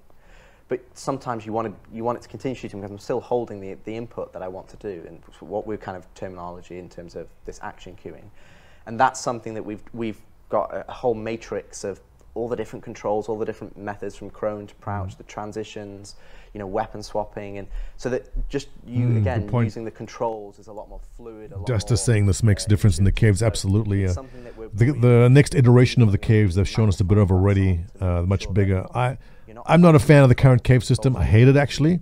Uh, even like the prison system, I hate because the claustrophobic caves. Uh, I just don't like them. I don't think there's anything interesting about it. But the new iteration of the caves, the big wide open ones with more spaces, uh, definitely a lot more interesting. And this system does slot right in with that uh, ability to jump off rocks and crevices and yeah. So I think uh, new caves plus this more interesting game loops. I avoid every single mission there are in caves because of it, but uh, this could change that. clunkier than it should be. Uh, and so we've really taken a deep dive on all of it, Yeah. and uh, to make everything a lot more fluid. The, you know, looking around on the ladder is a good example, um, but also you know, like on a bigger level, right? We've done a complete rework on um, like you know EVA, what we call sort of push and pull. Uh, there's you know physical interaction. Uh, I mean, we should probably talk a little bit about that. We have a video to show of that, but it's a complete redo of the current EVA system, uh, and it's has a lot more of the what you would expect when you're in in space, in vacuum, pushing yourself off. You don't, for instance, you have momentum now. So if you push off in a direction, you will just Yeah. keep moving in a direction. Uh, the use of it's far more easy. Yeah. Handling weapons and looking around, and some of the tech that we've developed for the push pull is the same stuff that will be that we're going to be using for prone and a bunch of other stuff. And and really, the looking around on the ladders is kind of based on some of the Yeah, I mean, to be honest, a lot of those systems are. I mean, when say Chris says push pull, he means zero G push pull, not trolley push pull. Um, Although we'll talk th- about that too. Yes, we will. But when we talk about uh, EV82 and zero G, the Okay, so they, they can't do that. They can't tease and say something good's coming and then spend an hour talking about trolley push pull and ladders. I mean, yes, this is important gameplay mechanics, but you can't tease something good is coming up and then spend the next hour talking about uh, parkour in space. Come on. Where you're like, you, you can't really understand the perspective of where you were in. It's like, oh, I'm now upside down. So, So as far as VR goes, there, uh, who's in the name? It's not dropped off. There is one. There are one or two devs there which are very excited about the VR possibilities of it. And you see in everything they do, it is I don't say VR friendly, but in the way that your character reacts with uh, items in the game, that everything can be touched. It's not a stretch for them to take that and make that into VR eventually, but to make things or to focus on VR right now, I don't feel it's right. I mean, I'm a huge VR fan. Uh, you know, always have the latest Oculus or Meta uh, device with me all the time, but um, it'll come around when it's ready. But I, I don't think VR is enough of a uh, demographic to make it worth their while right now. It's not actually. It's not. The VR demographic itself is very small, so for them to spend uh, focus on VR right now, it's not worth their while, and it's something which may come across in the future, maybe. originally tried it where you would drift and you know actually do the curve, but it just made traversing more intricate spaces, which is what we want to do. And you know, eventually we want to be able to turn gravity off in ships, and that you can take those down and. Well, and it, it- it's definitely. I mean, that's part of the plan. I mean, we Absolutely. even, you know, in the resource network um, uh, so segment, that's one of the things. So all, all of those tight, intricate areas that we've built over the last seven, eight, well, ten years now, I suppose. Um, you know that you can go into those tight areas. You need it to be stable. You need it to be in a position where you can turn on a dime, that you can look upside down, that you, you get a good sense of what you know your orientation. And I think that's something that we've really pushed ahead on E EV82. And, and to be honest, the engineering team have done a really fantastic job. I, I find it a lot of. Yeah, but on the topic of VR, I mean, it does. And then, I- then I'd also say the other thing. Nothing comes close to the VR experience in Elite Dangerous as far as space sims go. If you guys haven't tried it and you do have the ability to, try Elite Dangerous in VR. It's spectacular. Just the the the size of the sh- when you're in the ship and look around the cockpit, or when you're coming down to land, the sense of uh, size, of proximity of things around you, it makes so much difference. Uh, so the hope is, yeah, one day they do add VR to Star Citizen. I mean, no one hold your breath for it, but uh, the way the game's been designed with the physicalized assets and physicalized buttons that, uh, you know, if you do reach out and touch something in the game, you are touching and it should do something. Uh, and that ties in with what they showed us with the new, uh, instead of the inner thought, you know, just mouse over and press F. That is VR friendly, much friendlier than inner thought. So, yeah, it's still, it's in the back burner, but again, yeah, soon. Um, so if you you know if you do I don't know a boarding action or something, maybe you need a, a you know a spacesuit that has the EVA pack. Now, look, Braben, they've done. Elite Dangerous did well. Braben did very well with Elite Dangerous. They got it out quick. The game, I feel, was good, uh, but obviously limited by its engine and what it can do. Uh, but as far as games go, Elite Dangerous was a success. Can it be a success going forward? I think it's very challenging just because of what Star Citizen and new games are offering now. But Elite Dangerous, I think, uh, did very well as a released game. They've made good money from it, I think. I haven't checked the financials. And uh, I think David Braben can uh, put that behind him and go, yeah, I did what I went out to do, and it was good. Or uh, you know you come into a city, you shouldn't be wandering around in heavy armor because that's antisocial. Maybe they don't let you go in there. So we want people to have reasons to uh, wear different things, uh, have storage. That's the whole point of the physical uh, inventory system. And as we're starting to roll out, more of it's coming in in Squadron, and then in the PU, that's definitely coming online. Uh, and you know things that we're doing like that with the you know the physicalized cargo and everything else. And if you look at all the new ships, there's always locker and storage. There's, there's you know we have a whole system for um, outfits now Mm. that we're, was first going to be in. Okay, that's good. An outfit system, so you can uh, click a button and it puts on your favorite jeans and shoes. Uh, but that was also a question I had. Uh, what's the point of having all these lockers and stuff in your ship when if you just run around in heavy armor all the time? And he said there's some places you might not be able to go in heavy armor. There's some stores, there'll be some landing zones where heavy armor is not permitted, and you have to change to casual wear. So I like it. I like it. EVA is one of the minor parts of that, where, like I said, you you either have an EVA suit with the pack or not, but you still will be able to. Yeah, Star Citizen is perfect for VR. I mean, it is VR ready in a sense that uh, what you see in front of you is actually your eyes, right? And that, it, it's sized correctly. Oh, look at this. Look at the EVA here. What you're seeing Cool. here is that you'll probably see some of the in the third person the thrusters are not um, firing because Yeah, it's the, old- it's it's, the, decoupled. it's the old VFX, uh, but Yeah. it's also the old VFX code. So we haven't part of the proper. This is the, a current PU suit versus what we'll have is a new one with a proper like pack that has the thrusters in the right position, and when you go forward, the thrusters going from the back. So what you're actually seeing here is you've, you've actually connected to this surface. So now it's almost like you're in a prone situation, but this is going to be what, what more our new prone will be. Again, you've got full 360 degrees. You can just move your mouse and you look all the way behind And- you or all the way in front. And right now we're moving along here, not because we're thrusting, because we're using our hands exactly to move ourselves along, and we're looking around as we're doing that. If we went out to the third person here, you would sort of see us moving our hands around. I think we'll see it a little later on. There we go. Here we go. So we're just sort of pulling ourselves along. And if we wanted to at this point, we could stop and we could push off against it, and then we would just go floating out. So this push-pull system has So been discussed for years already. There was uh, a short clip from a, a Squadron 42 teaser from two years ago, or three, seeing here- Yeah, where he just showed this kind of So movement you're on. here, So this has been in the back actually, burner for um, I don't know how long. Kind of, you're just floating alongside the actual um, this fin of this uh, Asiata station, and this is actually keeping you in this orbit. And then if you did, and that's just you just push forward and go, where you can actually jump off into space. But then this becomes Yeah, you know, for this, well, yeah. So frame rates on VR definitely you need 90 frames per eye per, at minimum, and uh, we, it would have been impossible years ago. But now, if you look at the current uh, generation of GPUs coming out, not that out of the question.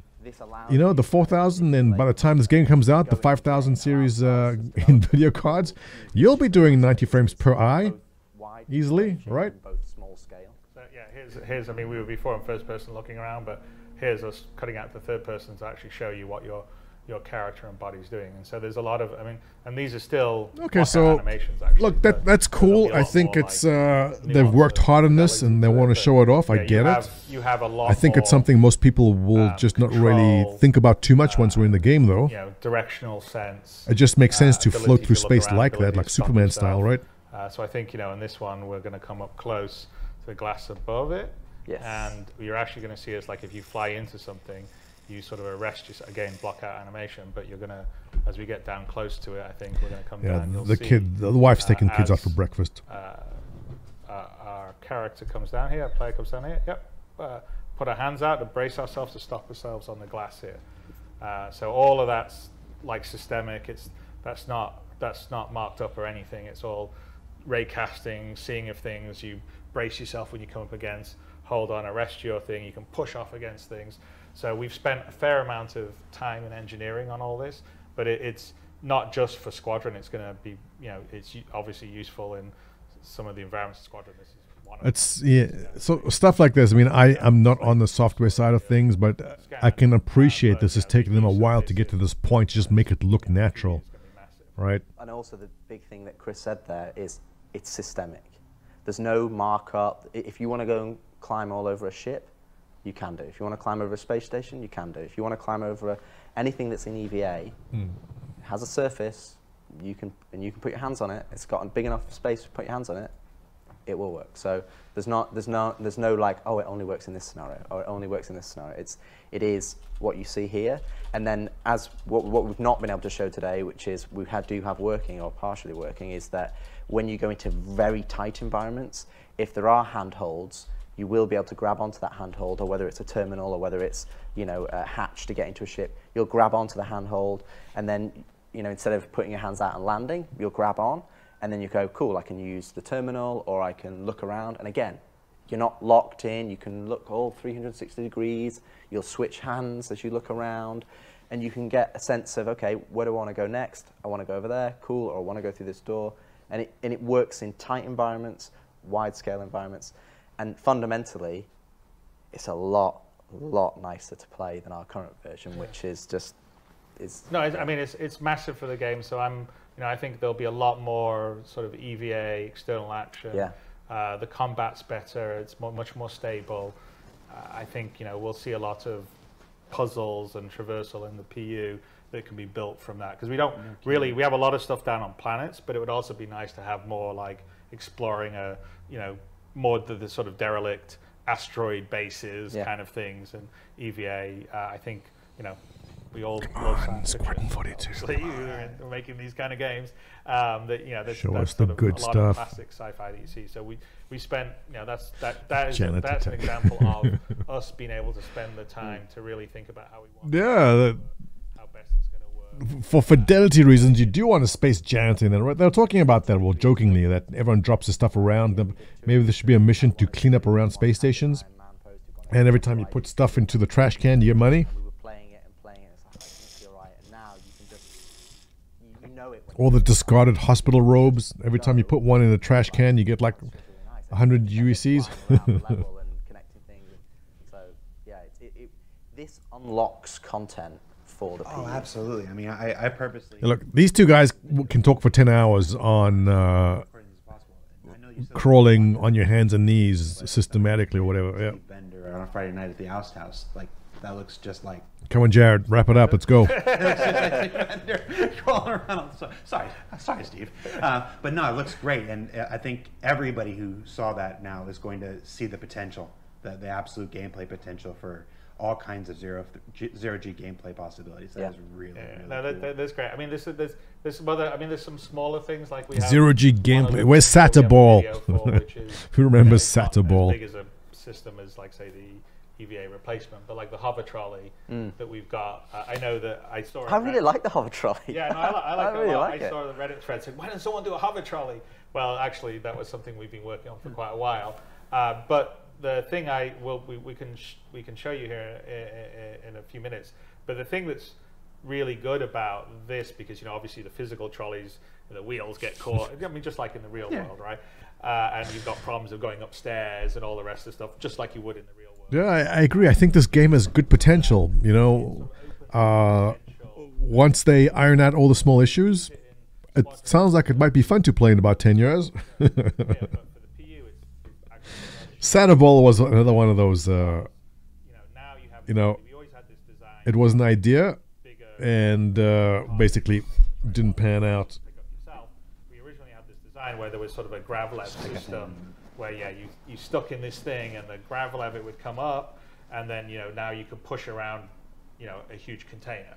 And we're moving for physicalized cargo uh, it's going to be in 318 um, I think Tony's trying to squeeze a few things in. We'll see if he manages to get everything in. But um, this isn't necessarily going to be in 318 but it will come in probably um, you know not too far in the in the near future. But this allows you to not you know just have your little tractor beam and pick up something and move it around. But you know okay let's have a bigger container. And what happens if you okay turn it on up it goes and then you just push it into your cargo Show hold us the turn it clip. off locks into the cargo grid and now that cargo container imagine a bigger one well you know what happens you know like right now in the inventory system you can put things in your you know local inventory of your ship or um, you know other various inventories well imagine Okay, your I'm gonna- container say I'm gonna take a these bigger, bio like break. maybe a 16 SC And when I one come back, I'll still be on the topic. sitting there and now I can place I don't know large vehicle um, items in it. I can place all sorts of stuff in it. So I could load up this container. I could push it into my ship. Then I could fly it off to some remote planet and put it next to you know where I'm camping out, or longer term where you say maybe a player base or some group of players with persistent decide to take over a derelict or something, and I can like basically load up a bunch of supplies in a in a container, like bigger supplies or weapons or armor suits or whatever, and put it in there just by doing this. So, so it, I think you know the underlying sort of hover tech for the trolley stuff is really good because it it will really play into the the cargo and the logistics that are going to come with that because longer term with persistence and what we're doing I think there's going to be a whole bunch of gameplay that will be around, revolved around the logistics of of living right Mm-hmm. like how do I how do I have my food? How do I have my drinks? How do I have my raw materials? How do I have my weapons? Uh, you know if two orgs are fighting a war over a patch of land someone's got to show up with extra you know ammo and missiles and you know all that kind of stuff and or weapon replacement especially as we get repairing and the salvaging and stuff you know okay well rather than have to fly it to a place that can do your repair maybe there's an on field repair that's happening right there and someone's changing out a broken weapon for another weapon because you've loaded it up and stored in, in What I missed, they show it? container so I, there, there's the possibilities in the PU is huge and this is an example of just little bits of tech that we're putting into Squadron that we're planning on bringing it across into Okay, so the persistent um, entity stream is always talking about.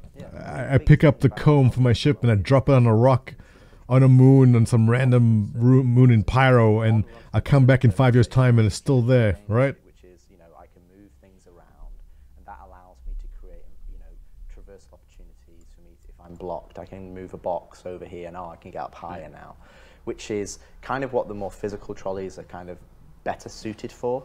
Uh, and this is another example where we kind of put trolleys into the PU, but there wasn't really a Your Lord Cat's right. Chris Roberts had a dream about 15 years ago, and the dream was that he could have a coffee cup on his ship, and then he could go to a random moon in some far star system and put the coffee cup down on a rock. And from that day, he worked to achieve this goal. Maybe there'll be a game around it. Maybe there'll be some shooting, some fighting, some mining, maybe bounty hunting. But the most important thing is that that cup persists. All right? which is taken into account. Hover trolleys, you don't have to worry about that because, you know, let's play the video. Let's see the video. Let's see the video, and you We- can, We've you can hyped see this it. up now. Hover trailers are the most amazing thing in the world. Yeah. Here we go. Oh, hover trolley. Yes, let's do it. So you can see here, this is actually a, um, a, Slaver cra- pod. a slaver pod. So Uh-huh. It closes down it's on the floor Oh, Star we Wars. activate it. levitates up now This is total arm, Star Wars, yes. you get hold of it bam No And inner by the way, thought, our new, awesome. the new interaction system's not working Yes. in, in this demo here It's a separate Nice. So yeah, this is bounty hunter stuff. I like it. over Bulkheads. bulkheads But this is essentially a, a- a really big improvement for us because we want, you know, we want physical cargo, and we, we, want physical cargo to be a really a big deal in the PU. That you have to move that cargo, you have to make decisions of how long it's going to take to load it up, not just buy it from the kiosk. So this is cool. Not because it's hovering, because I'm, I'm excited for the bounty hunter type game loop where I get to use my um, hawk. And uh, well, the hawk doesn't have a place for a pod. I guess it's the Cutlass Blue that does. But uh, capturing, apprehending your target, you know, transporting them to where they need to be, getting paid. That that's the kind of game loop I like, like very Mandalorian type feel. I like that. He's gonna drop in the cutlass. Yeah. So this I like. To. I mean, this isn't impressive much, but I like this idea of this game loop. This excites me. Whatever we do eventually. And I've actually, we've actually had this working on a planet, so you can just push this over planet terrain. You don't let go. You stay stable because it, it doesn't actually undulate uh, unless there's unless there's something actually physically touching it. So it allows it to be much more stable. And what we want to do for your uh, cargo loading is that we'll use a system similar to the cargo grid that you'll be able to snap things on top of it. So when you, if you have a flat platform, you'll be able to snap cargo boxes onto it so they won't fall off. And Then you'll be able to, you know, reliably move I like it. without frustration. And again, you can see some of our design ethos coming through is that we're trying to So what we can tell from this is basically a game loop. Will the mission will be transport cargo. The cargo is this. Uh, from point A to point B, you get attacked along the way from this person's friends who want to try to rescue him. Uh, you have to deliver him to a place. So that's a, a game loop we can expect. that are related to the player, to the first person and stuff like this. And we got a couple more we're going to come back to later. But let's move up into spaceships because spaceships are, are, are, are a big part of the experience. Our heroes. Um, we, we just had a uh, earlier in the day we had our flight experience uh, a segment where they talked about master modes and quantum boosts and stuff like this.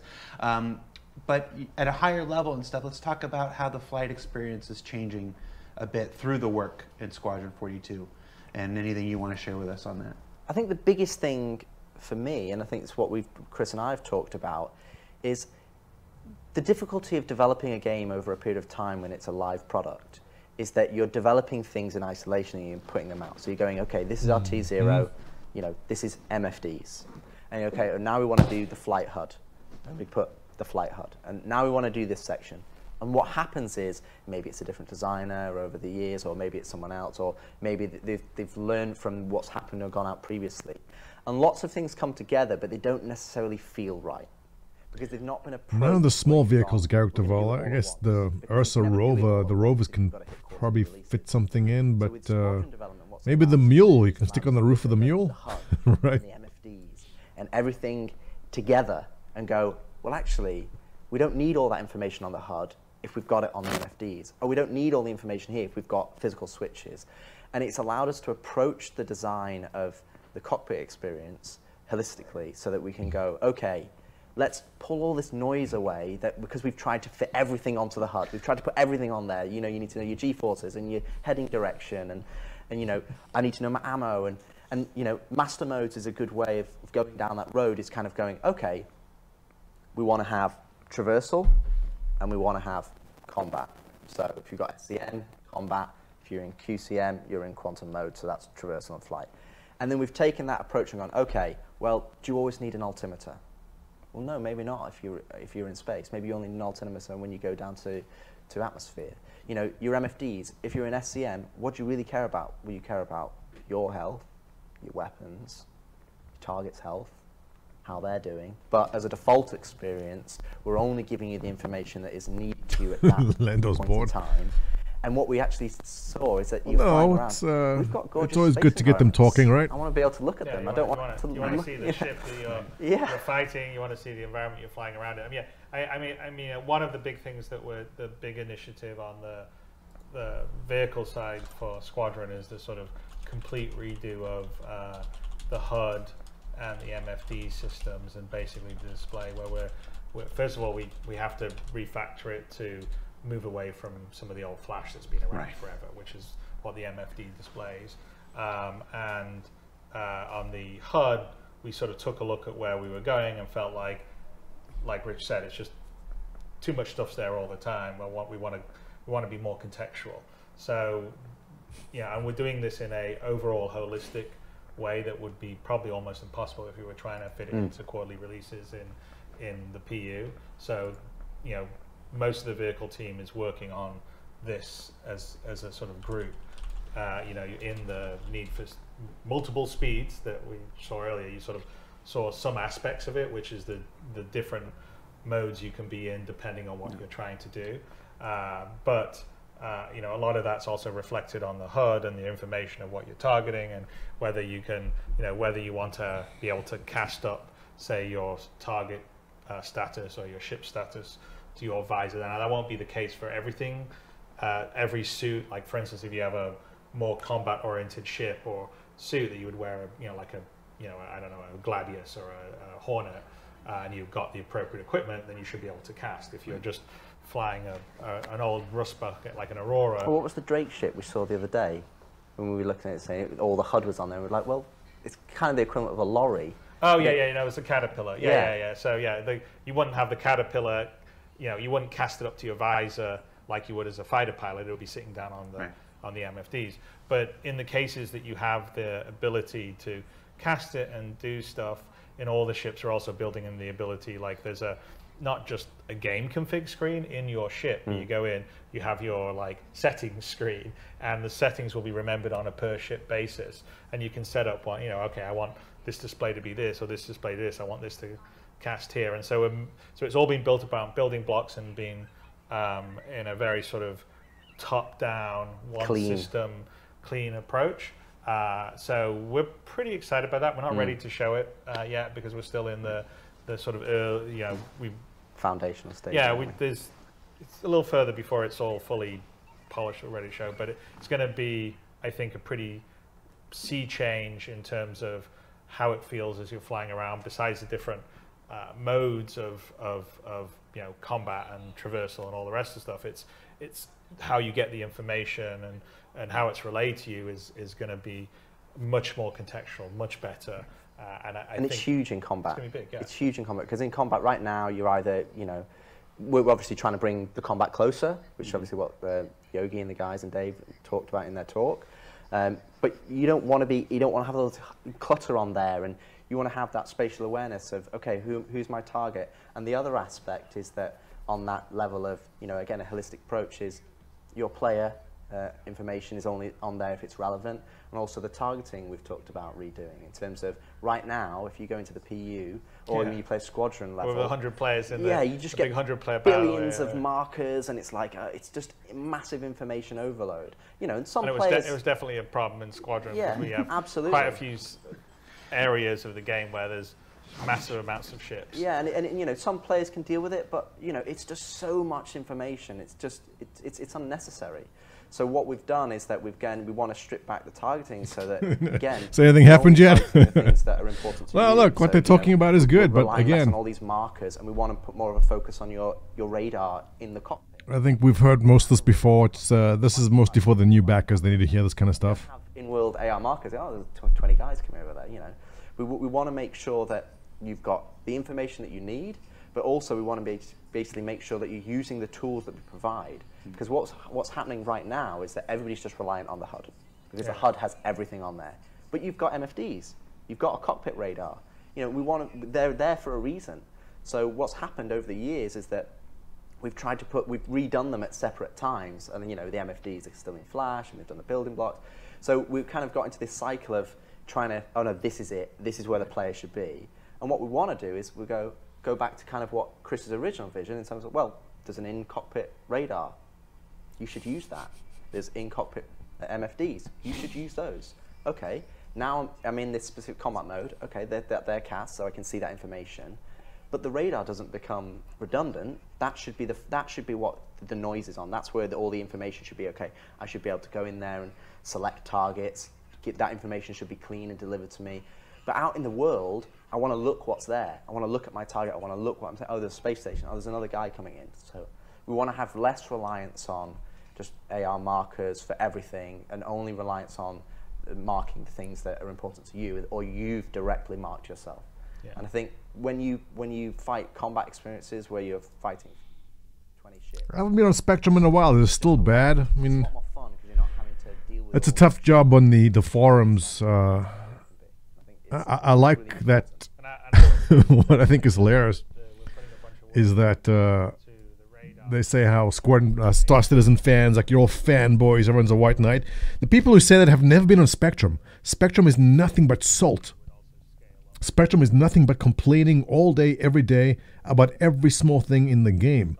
Uh, so every time some journalists write, you know, how Star Citizen fans are white knights and, you know, they Chris Robert Simps, like, dude, go into Spectrum for 10 minutes and see what the community is saying there.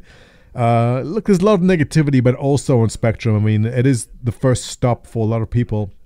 And uh, when new patches drop and things are good, there's nothing but celebrations in there also. Uh, but it's also when anytime there's something to complain about, you go to Spectrum to complain because that's the official forums. And in a game this buggy, yeah, there's tons of stuff to complain about.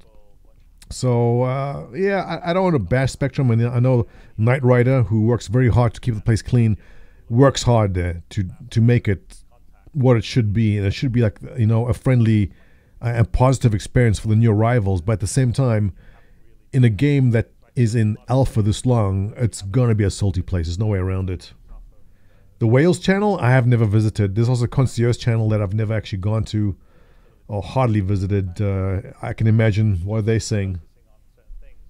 If they could do things like select their targets easily from the radar, they may not be wanting to see 400 marker, AR markers when they're flying around.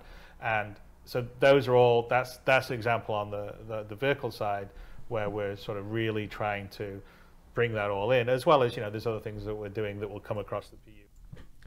I don't have access to the uh, Legatus section, but uh, I've heard Legatus is the absolutely worst. Also, uh, not that everyone in there has achieved Legatus from their own spending, but they've uh, a lot of the the ship sellers, the gray market guys, who've achieved the status are in there, and uh, a lot of complaints.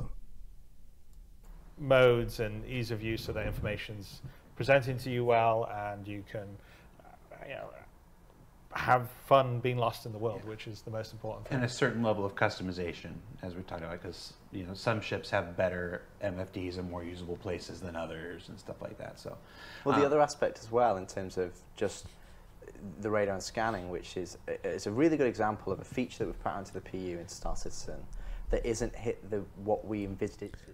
Well, they've got a time slot to fill, right? I mean, you get these three guys in a room.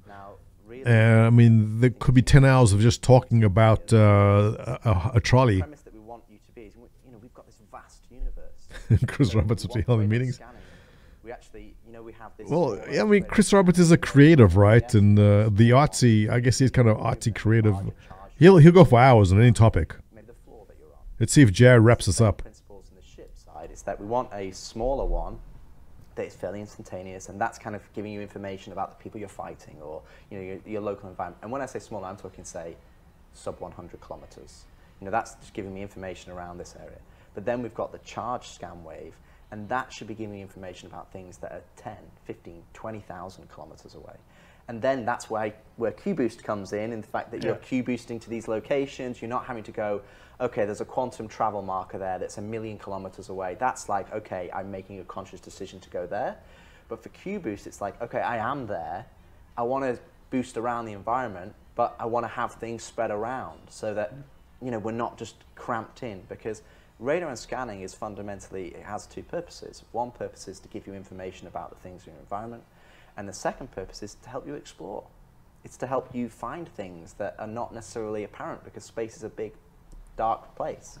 So we need that, we want to be able to take advantage of that. So when you have this ability to detect things that are much further away, all of a sudden you start to feel like yeah, you, are that you, pilot. You, you got to fly to them to Yeah. to investigate them. I mean, so I mean, I think that's like that's a good example of something on Squadron that you know we were also looking at like how do we solve the problem of your you know patrolling an area, right? And it's not very much fun if you patrol an area and then it's like, I you know space is big. I go to this area and then I look around and I my radar covers 10 kilometers in front of me and that's it. That doesn't feel like I was patrolling, you know, a large area of space. And so we, we sort of were thinking about, well, how, you know, really if we think about it, there's like short range, which is, you know, what you would call the standard control mode, like uh, slower exploration. I come up to a, you know, a derelict or there's a cluster of asteroids that I'm going to fly around to see what's happening.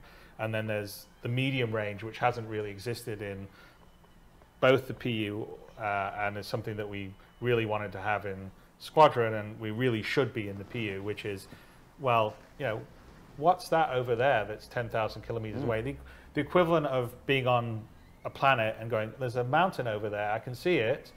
I don't know what's on it, but I'm going to drive over there or walk over to that mountain. Uh, and so the idea with sort of the, the scanning is like the wave goes out and yeah, you'll pick up things 10, 20, 30,000 kilometers away. So you definitely won't be able to What I understand missed. what's there, but you'll say, "Ooh, there's There's a something point of interest I I'll get, there's a point of interest. And so you'll be able to map things and then we need to get there. But you know, the quantum travel, spooling up, spooling down, or, and we, and so this is the whole quantum. What? This is the worst Star Citizen? I mean, worst CitizenCon? Yeah, look. Not every CitizenCon is going to be amazingly mind blowing. I, I think with the what we can work with this year, it's fine. I mean, we know there's Pyro. We know he has one or two new ships. It's fine. Uh, but the the big reveal Cons, I mean, they're going to save those for the Squadron 42 release. Uh, I don't think anything mind blowing besides new ship concepts, uh, new landing zones. Once the game mechanics are in, and I know this is still being developed, but once we've got the game loops, which we do, once we have the game mechanics, which we do, uh, how much new stuff can they show? There was a time where you know, Area 18 would be mind blowing. Like, oh my god, look at this, and he has a new landing zone. But we've seen the different biomes. We've seen what they can do with cityscapes and uh, forests and rivers and snow biomes. Once we've seen all the different biomes, once we've got the different game loops, once we've got Pyro and one or two more systems, how much new stuff is that they can show us? There isn't. So it's not that CitizenCon sucks. It's just that we've, as the game's developed and we've seen more and more of what's in the game, there's less surprising stuff to come in the game. Um, remember how amazing it was when they showed from uh, from pupil to planet, uh, showing how you can seamlessly try go from the surface to uh, space and vice versa. That was mind blowing. And how mind blowing is it now when you're in the game? I mean, it's not. It's just part of the game loop. So they're a victim of their own. I don't want to say it's success yet, but as the game evolves, less and less is impressive because we've seen it. Uh, so you can't expect every CitizenCon to be mind-blowingly impressive. But what will be impressive is, I guess, new systems. Uh, if there's a new game loop, if there's um, a new ship, obviously, and uh, that's about it. So yeah, don't expect mind-blowing Star Citizens indefinitely going in the future. Uh, nothing will beat the old CitizenCons where they go, here is a seamless transition from space to the planet. That mind blowing. Here is an entire planet made of a city. Mind blowing. Here is a snow biome you've never seen before. Mind blowing. Here's a river. Oh, that's awesome.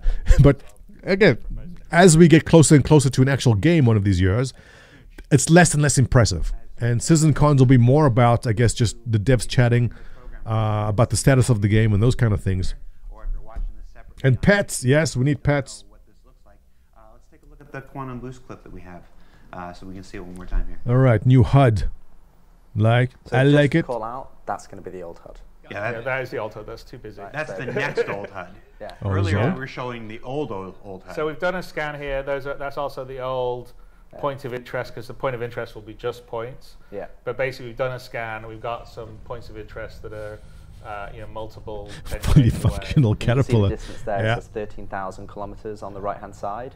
So this is obviously just placeholder UI for the quantum boost. Uh, we- again, you can Trying to understand the quantum there, boost system here. What's the green has part? interactive gameplay, which obviously went into. Uh, Yeah, and this, by the way, is that, that's all programmer work in progress from Yogi uh, on uh, the quantum boost um, mechanism because you're just going to have to stay in the zone to keep in boost, otherwise you'll fall out of boost. Uh, but we cut Oh, over to the- that's to the totally planning. dangerous. So Yeah. what it's allowing you to do is sort of have that mid-level Thank you, Braben. traversal and investigate things uh, without having to, uh, you know, spend forever at 1200 meters per second or So wait. quantum traveling over and it's over too quickly.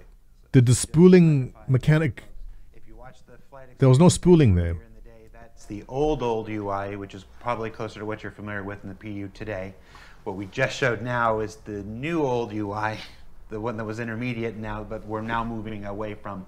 And the well, newer, ba- basically, it's the same as it's the styled uh, Squadron UI that was from the UI you have in the PU. Right. So what you have in the PU is the these generic version that Zane did. This was the one that we had the style that we did for the Aegis style, but it was still based on the idea of all this information being present. And we've decided that we wanted to really scale that back to be more contextual to switch between modes. So that's one of the reasons why we're not really showing all the HUD and the MFD stuff now, is because we're in the process of the change. So it's you know a lot of programmer are, and you even you even saw it in the the Need for Right. Speed segment, whereas a lot of that like the mode stuff and everything, they've just sort of hacked in the modes to the current um, uh, HUD stuff. But when the new one comes online, it should be much cleaner and, and easier to go. And I, I don't know if it was too clear on the video that we were seeing, but on the video we say we were in originally in SCM mode, Yep. standard control mode, and then um, we switched to quantum mode. So the spool up wasn't really the spool up for the quantum boost. The spool up was just there's a spool up as you go into quantum mode. Your shield's powered down, so you so you you know there is some risk when you're in the fast traversal mode, uh, and the quantum drive powers up. But once you're once it's spooled up and you look at a place, you can boost towards it. and it's just you press shift and it's instant. Yeah, and and so so for people that want to you know go oh what's that over there you know people have been wanting to I just want to like free quantum right you know there's people who want to do that for quite a while. It's That like getting on your basically is what horse. Quantum Yeah, yeah. you know. Second start of the Free right. quantum. That's on. uh, yeah. Um, that works. So yeah, so we've, we've been talking about these these these flight experience stuff, the ship related stuff, uh, the new UI stuff, the contextual changes and everything. Uh, we'll obviously show those as we get closer to being ready to show those. Uh, you talked a little bit about the the, the star map. Um, again, not quite ready to show uh, today stuff. As far as those mapping things and getting around stuff, uh, there's also the mini map. There's also the mini map, which has always been this promise of being able to find your way through either a really large ship or a space station or stuff like that. Uh, what can you tell us about the work on the mini map? So radar, as, as we call it, is essentially it encapsulates the star map. It encapsulates what's in your cockpit, and it also encapsulates when you're in FPS, you have an FPS radar and scanner.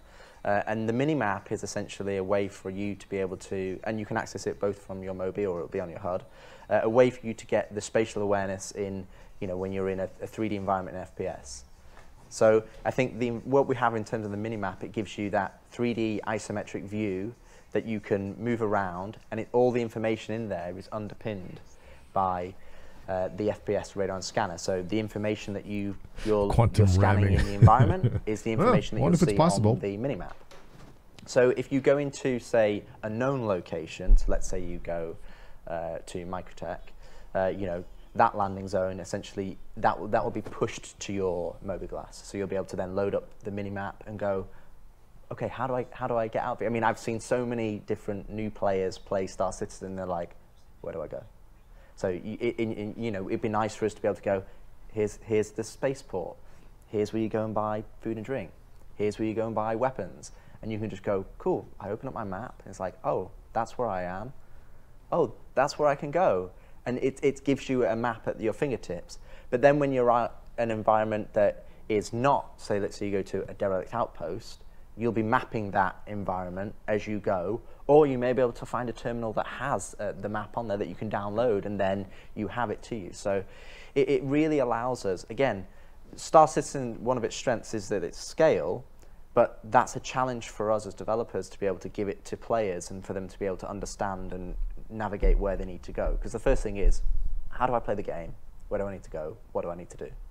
So, you know, how do you play the game is about making the barrier to entry, the controls smooth and intuitive, what you understand. So that's an interesting point is raising on the, on the barriers of entry, and I've been concerned about that because if you've been playing this game for years, it's second nature how to fly a ship. You get in, you know what to do, how to take off, how to land, how to have combat. But Star Citizen is not going to be a, a game about combat. There's going to be people playing the game that just want to find a planet and have a, a hab and uh, collect crops or whatever. There's more to the game than just combat. How do you cater to that demographic that are here for the building part and exploration part that don't have combat when combat is essential part of Squadron 42 or going to exist in the game?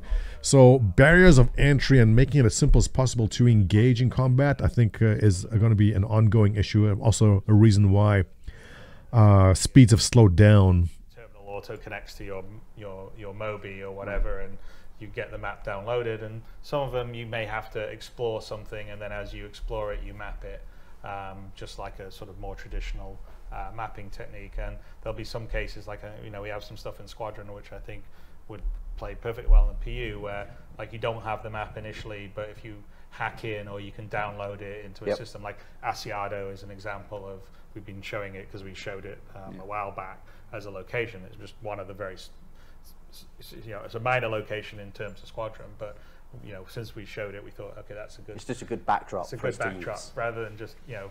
Uh, grey really boxes, um, but you know that would be an example. Is you don't load the layout of that place, but you would have to go and ho- hook into their Mm. system, download the map, and then now you would have it in your mini map. So what we have is we have some footage here, which is showing how the visuals, the mini map, in terms of sort of an isometric render In engine. in the engine, in the UI, that uh, will essentially become your mini map. But you'll have a, a more sort of you know reduced version with you in the middle as you're moving around. But Yep. if we run it, uh, you'll you'll you'll see kind of what the the tech is. So first, this is in the editor, um, uh, but it's essentially what it does is it's taking our existing um, layouts, levels, ships, So we don't have to build this custom, but it's a way of applying certain shaders and marking up certain objects to be displayed, like the floor gets displayed, but the walls don't.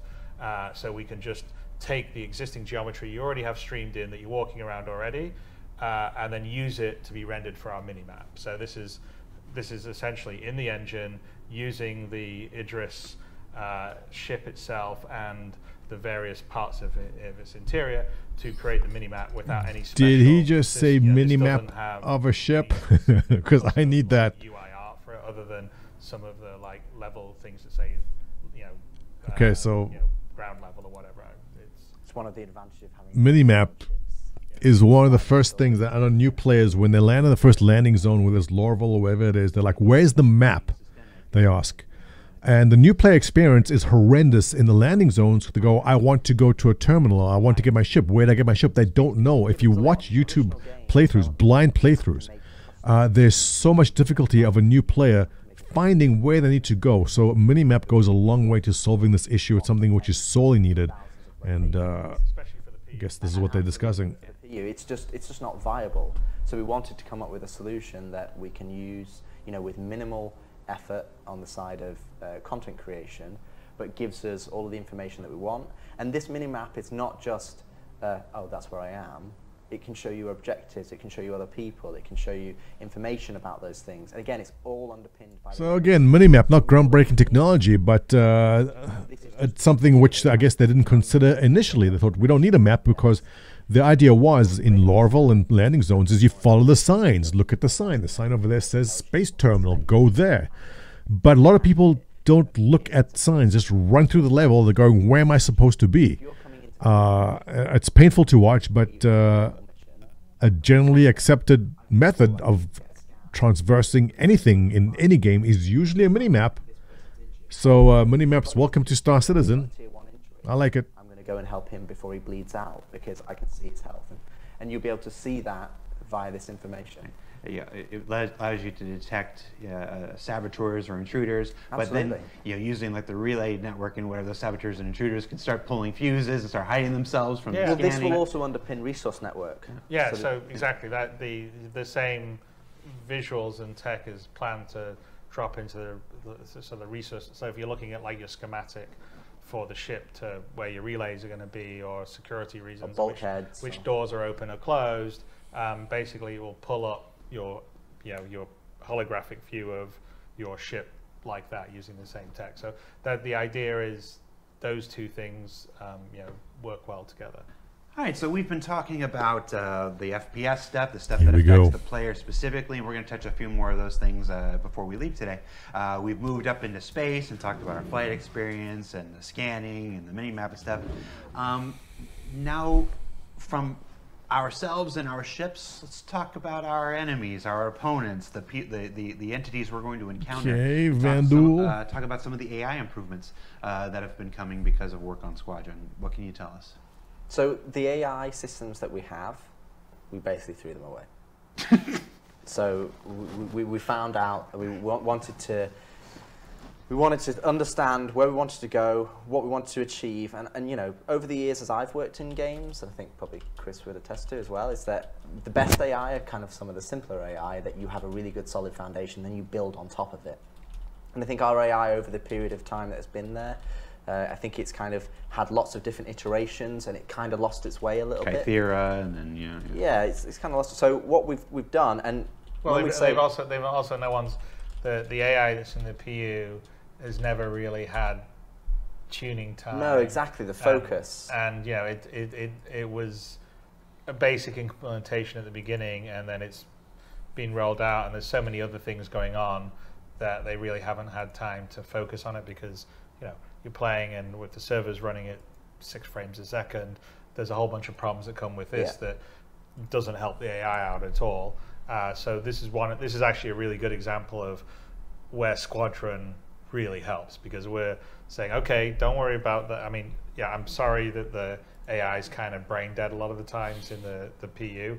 It's a combination of the, you know, it's older logic and behaviors haven't been well developed, but also it's because of poor performance of the servers and what's going to happen with server meshing is going to make a big difference for that. And there's other things that are happening in the background that will will also make it better.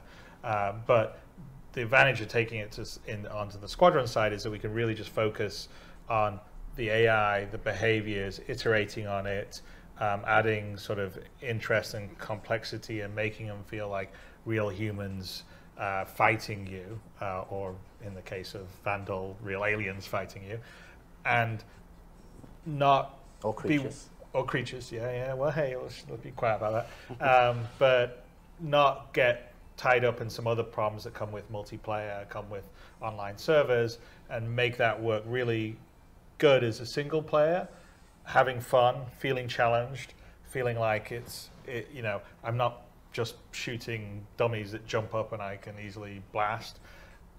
And when that all works, then comes across into the PU, uh, especially when some of the latest stuff's going to trigger in the PU, I think it'll be a whole different experience. And, and it's, I'm, I will not argue it's been like a long, hard slog hmm. on the AI side.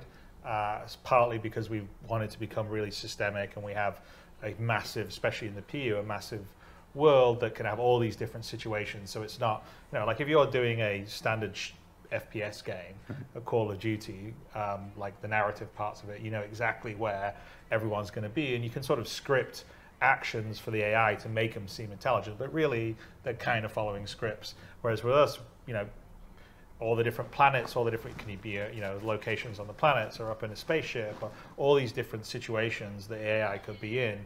There's no way you could script it all. So you need to make it systemic. It needs to understand the environment. It needs to to have perception of what's happening around it and uh, be able to communicate with the other AI it's fighting alongside to seem like they're working as a team. And so that takes time to work.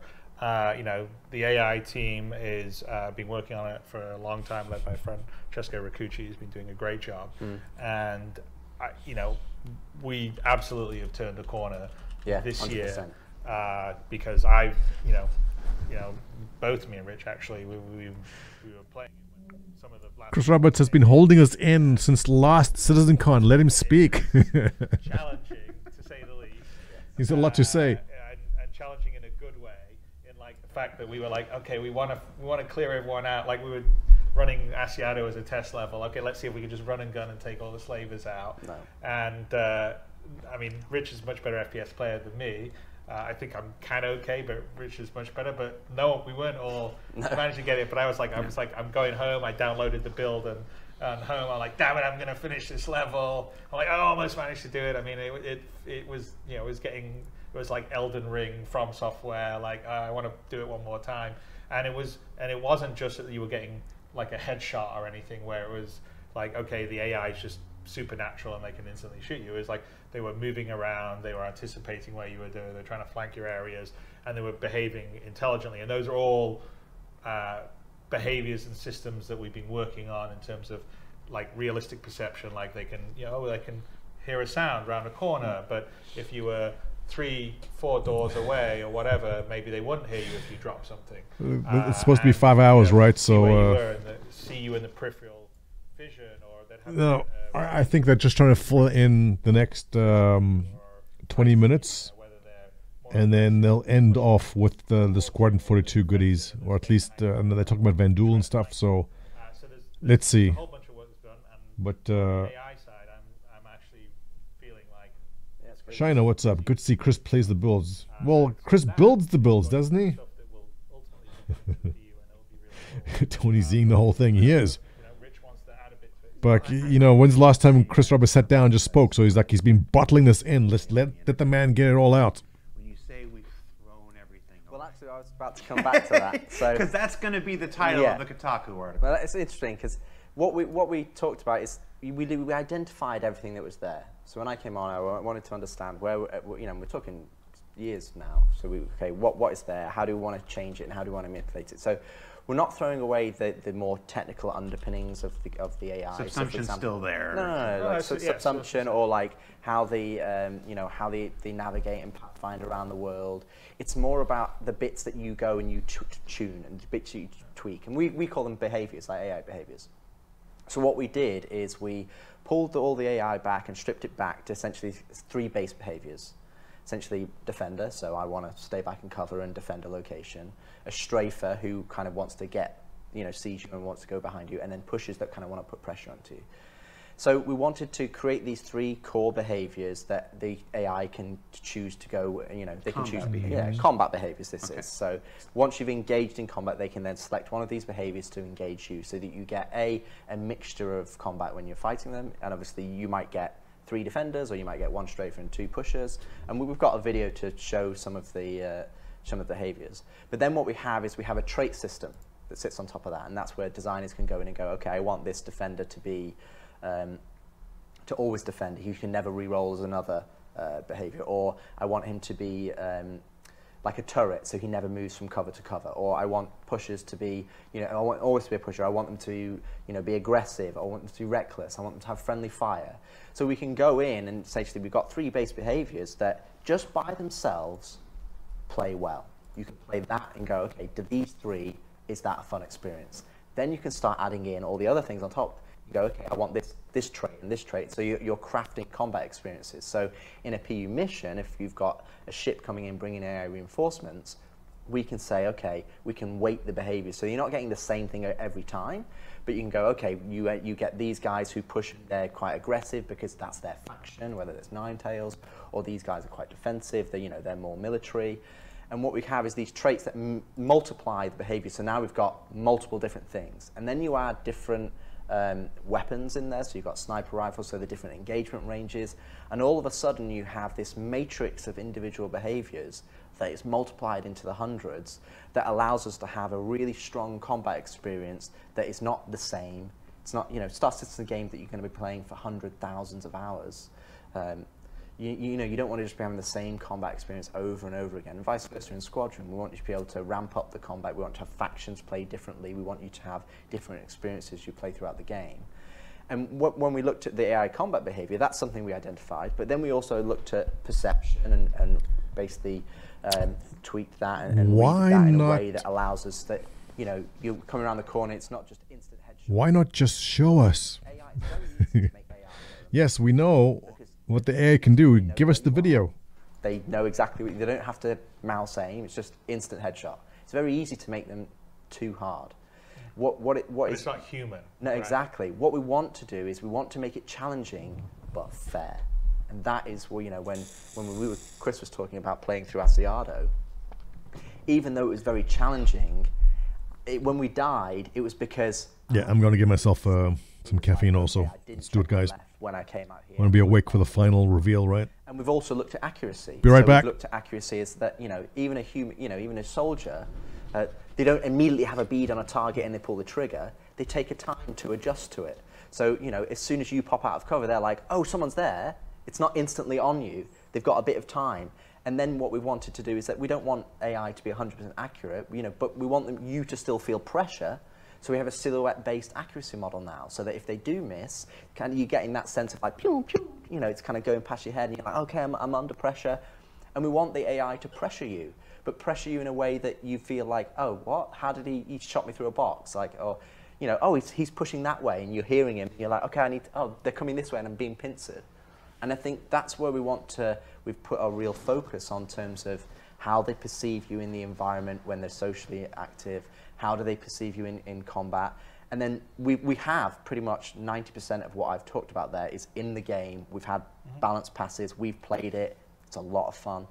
Um, and then what we have on top of that is future things that we're going to be adding even more. So, you know, we've, we've got versions of them going doing medic behavior and reviving allies and ammo management and all the other advanced combat behaviors that we can pull on top, which we're already working on. But they, they're underpinned by an absolute solid foundation. So if you strip all of it back just to those three base behaviors, the defender, pushes straight for, is it fun?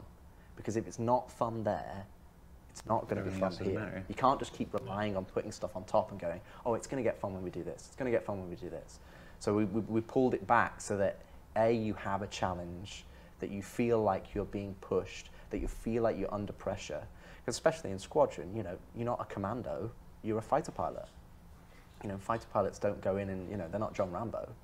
And again, in the PU, you could be a you could be a haulage uh, trucker, or you could be you you might want to do something else. You might want to be doing just a homestead, so you want to do trading. And so when you get into FPS, we need to have the the um, the AI reflect the level of difficulty that we want to push in into a persistent Yeah, I- universe.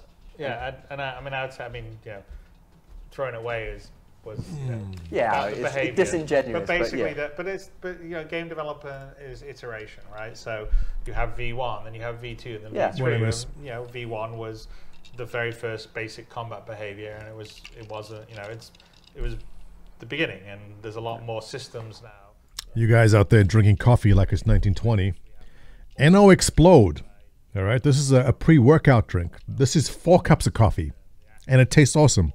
Much more efficient than normal caffeine. Specifically of the FPS combat behaviors. Correct. Like, like the seven segments I did about the bartenders, those are all still accurate. No, no. Social. So I mean, social AI and combat behaviors. This There's there Uh, we've social. redone the yeah. chow line yet Yeah. again. Uh, Social AI is staying the More same. mess so- hall? More mess hall? Yeah. Mess hall, anyone? yeah, the mess hall will never end. Ninety percent of the AI is in. Well, I guess the remaining ten percent better be the good stuff. But uh, I mean, they've spoken about the AI at length and why it's operating the way it is. earlier talk in terms of the jousting and how we want to have more close combat. Things like accuracy and the behaviors and how they can roll different um, traits. Yeah, my thinking is after I drink this, I'll want to uh, work out. I'll have no choice, so we'll do it. You know, we- we're showing it as the FPS, but it's very similar. Good for you, Night Spies. I didn't drink coffee for 30 years. I I started drinking coffee like at 32, 33. Once you start, it's difficult to get off. Some videos. Yeah. So I, what I'd suggest, I think we'd probably show the investigation first Yeah, before we well, go into should the have, because combat. the other things yeah. outside of you just talked about combat. Yeah. There's a whole bunch of other behavior in terms of because you know, like I said, stealth game plays a lot. Yes. What'd you so, get? You know, Squadron is the test bed for that. So Hmm. investigation. So like someone hears a noise, what's that? Let's go check it out. They radio their you know back to base or their buddy. Hey, I heard something Oh. here. Or Yep. they get in a gunfight. They could actually call back. Hey, I need reinforcements, and they'll come in. That's all I got free food. working right now in Squadron. Yep. And then on top of that, you know, you're Where's making the joke about the, the bartender and all the rest of stuff. But really, uh, the Yeah. main uh, cooking bed for what we call social AI, i.e. non-combat AI, Are the kids not is eating it? Squadron. There's a lot more stuff happening in, in, Wasn't a hit? in Squadron that will come into the PU. So it's not just Hmm, I'll- the bartender I'll take a or, look. you know, even people eating at the chow line. It's, you know, it's Hmm. you know, engineers going about their daily business Oh. or uh, a janitor, you know, This looks amazing. messes that people leave systemically, or for instance, Flight attendants or hangar Hmm. personnel. yeah, the hangar people that you know are basically operating on the hangar, and then when they're not fixing something, they're having a conversation on the Delicious. For instance, there's a whole dynamic conversation system uh, that Francesco's been working on that allows the RAI, say, aboard the staff. Well, it's lunch. That you're based in uh, good and it's huge Squadron. conversation it, when you're playing through a level and you can hear them talking to each Yeah. other and reacting to what's happening it all of a sudden brings that space Hmm. to life So yeah, but- but the dynamic conversation system allows it. So we have some that are sort of more story scripted conversations. Yeah. Like if you eavesdrop on some people patrolling, and it, we've got some stuff we want to let Not you kosher, hear, but so you alright. know where to go and stuff like that. But also, I should probably get a fork. There's dynamic conversations, so Mm. people can just Hmm. sort of you know whether it's in a mess hall, they sit down and they just start up a conversation talking about the most recent vid show they saw, or uh, you know talking about what they think the best I don't know ship thruster is. Uh, and there's a system in for that, and we're creating a recording. But that's also a system that's going to come into the PU that's going to create a huge amount of life. So when you go into a bar in the PU or you're wandering around the you know the big point of interest, the cities, people will be having conversations, gossiping, talking about oh well, there, I heard there was something went on the Nine Tails attacked someone in Rice and and, and but Right, second wind. We got caffeine. We got food. and dynamic, Good to go. It's really cool. and it just adds so yeah, much it will- it just adds so much So let's look at some of this in action. Uh, uh, uh, we don't have the conversation system stuff to show today, but the uh, let's look at some of the investigation stuff, and then we'll to- look at some of the uh, combat stuff you were talking about afterwards. So we've actually got it as two videos. So there's the investigation in the test map, and what you're seeing here, in some respects, it, you, you might think that this is scripted, that this is something that we just put on a track. This is purely systemic. So if we, we captured this 20 different times, it would be 20. It would, it would Yeah. play out 20 different ways. So the one, those individual there is gonna is going away to hide behind that orangey boxy, whatever we want to call that Yeah, color. so that's the player, gonna essentially. Go. This is essentially a standard for the player. The other two AI are searching for him at the moment. Uh, the white spheres you see are basically Cover hiding points. or cover spots. And so as AI, this is a sort of debug mode, as the AI goes around and they search, the, the spheres go away, indicating that, okay, they've checked that place, so no Okay, one's that's actually pretty- there hiding out on cover. So, and they, they're both That's interesting behavior working from the together. AI So on their- top their there. logic is they need to clear these rooms first, and then once the rooms are cleared, they can sort of go on. So they from share this information. So as they're clearing the cover points, and the cover points are basically all the nooks and crannies in the room, they're clearing the cover points and they're sharing together. So you'd see here that they're going, okay, this guy's coming in and go, okay, there's an open vent. Again, this is systemic. He's just coming to investigate this vent, but he's not cleared this entire room yet, so he's not going to progress. And he's just going to go and check the rest of the room alongside his buddy. And once they've then cleared it, they'll then progress. Well- But again, here would be, you know, you'd hear them talking to each other. I've not found him yet. Where is he? And again, if that we've got In terms of what AI do in Yeah. games, I mean, I don't think this is how they use it, groundbreaking. so it might be, a- you know, it's something you But again, it's um, it's new going through systemic for Star Citizen and definitely new for this checking the cover engine. You can see there's only a few balls left now. The ones at the bottom right, and then the ones at the back that he's clearing. And then the, one of these enemies will then go, okay, we've checked everything in here. I'm now going to progress to the next space because that's where you know they're not in here. I think you're going to go this way. So you come back, there's only one set of uh, ones left. He's going to check it. He's going to come through here. Cleared those, so now he's coming around here. And. Fire away! And what you're seeing here with the bar, which starts off with, is something that we like That scared me. so they start off in green, and then it goes to yellow, then amber, then red. So once it goes to red, that's into full combat. But the previous states are kind of levels of. Um, they go up based on levels of different perception. So a green might they just might have seen you. They, that's the equivalent of going, huh? You know, did I see Yeah. something? No. By the way, in the game, you don't see that. That's our No, no, debug. that's our debug. That, that's just Yeah. indicating uh, the level, and the level in the game would be. But like we'll where- have audio and visual Yeah, exactly. representation for those levels. So the the initial green one would just be like like a head turn, maybe a verbal cue. Mhm. Then you're getting into the yellow and amber. That's where they're like they're turning to face the noise and going. I think I'm going to go check it out, and, and then you know maybe they'll walk over there. Mike saying the new or if there's Crusader two of ships them, are flatter one of them Inferno and go Ions. Yeah. check it out, and then he goes The only thing missing, out. do any of them have like a See bed? where it's like there's a depth The only thing missing is a bed. I don't think I saw a bed in any of them. threatened, like But I in do like the bomber. I'll- happens I'm gonna pick wait up the bomber. time, They will then de-escalate to the green, and it's like their minds have been, you know, it's like MIB, they flash through memory and it's gone. In our game, what they do is they go to a threatened state, and in that threatened state, they'll still do their social activities and their functions, but they're more they're more perceptive. So as soon as they see it, for like he's there again, they'll get into it. So it makes a difference that if you've gone loud at the start and then tried to hide, you can't just go, oh no, they'll Mm. forget about me. It, it has memory, and that Crispy will be the case in the PU as it is in Squadron. So Didn't realize I was so hungry. So that was on a test map. Yes. But we do have an, a, a, an example of it working. Yep. So in I'll real re- life. Let's, roll the let's, clip. let's uh, Mm. take a look at the, the real deal. So here is in Aciedo in the decommissioned area.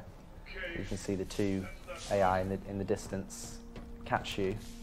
And then this is kind of just a representation of, of it doing the same thing in a real environment. But obviously we wanted to show you the kind of the, the thing behind the curtain. What are they actually doing? They're checking cover points. They're checking the usables that are there.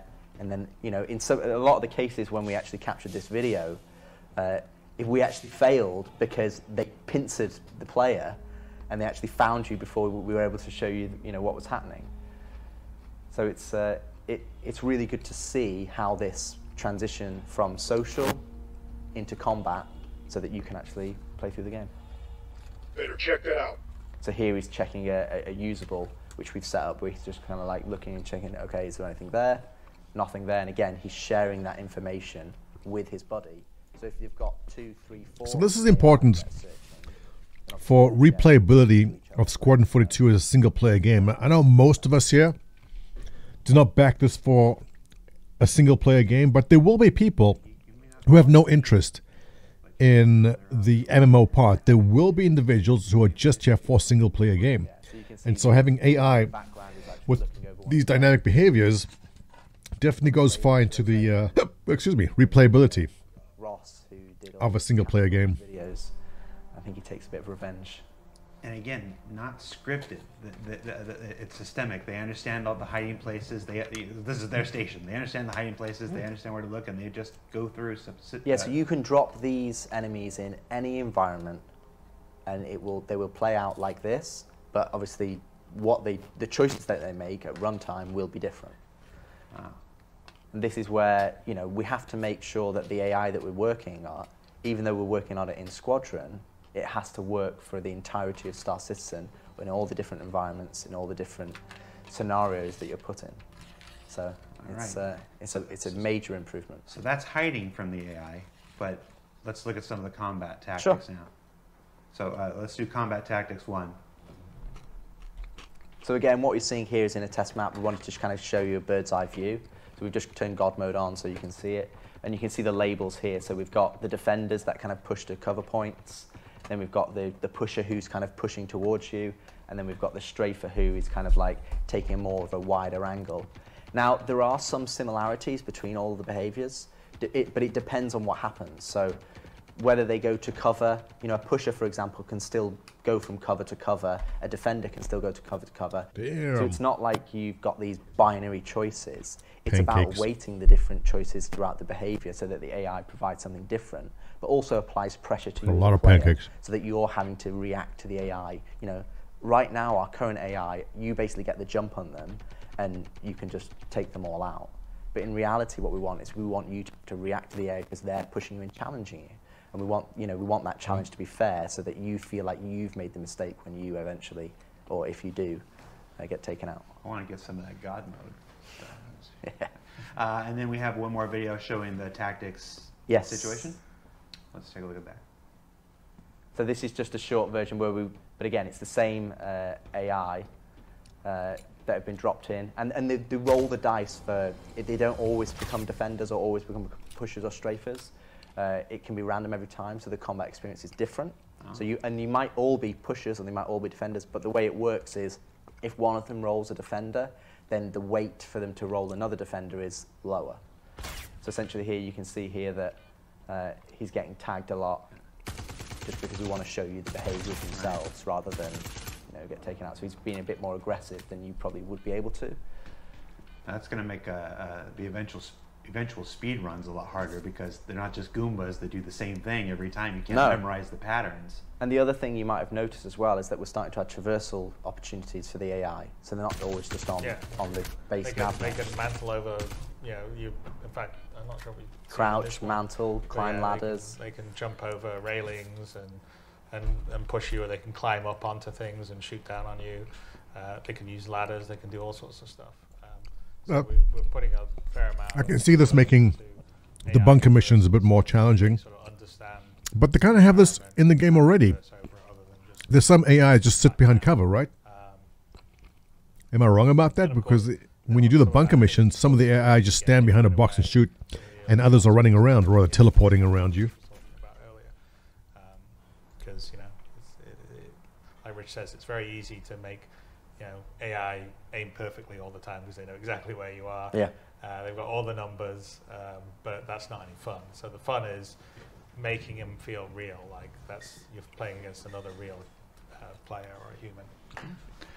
All right. Well, we are just about out of time. I think we got two more talking points we want to cover before we let you go.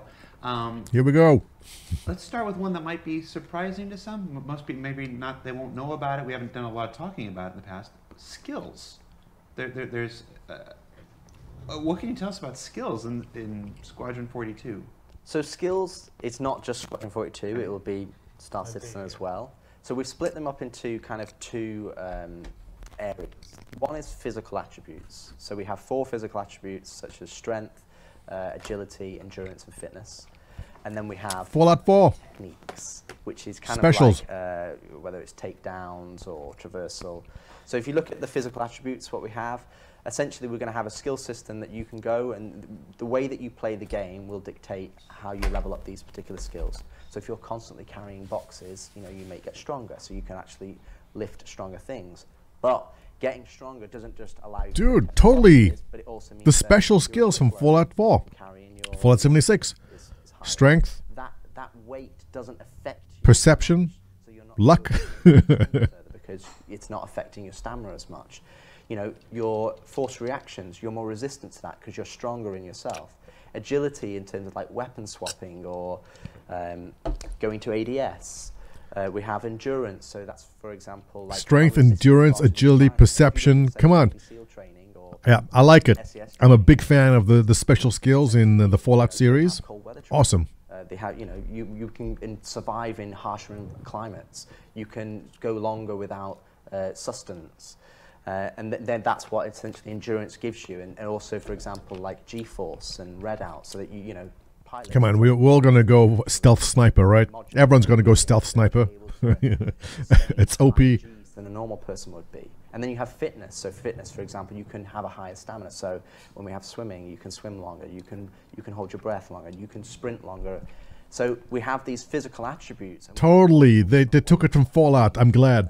Um, yeah, agility, perception, endurance, luck. Is there going to be luck?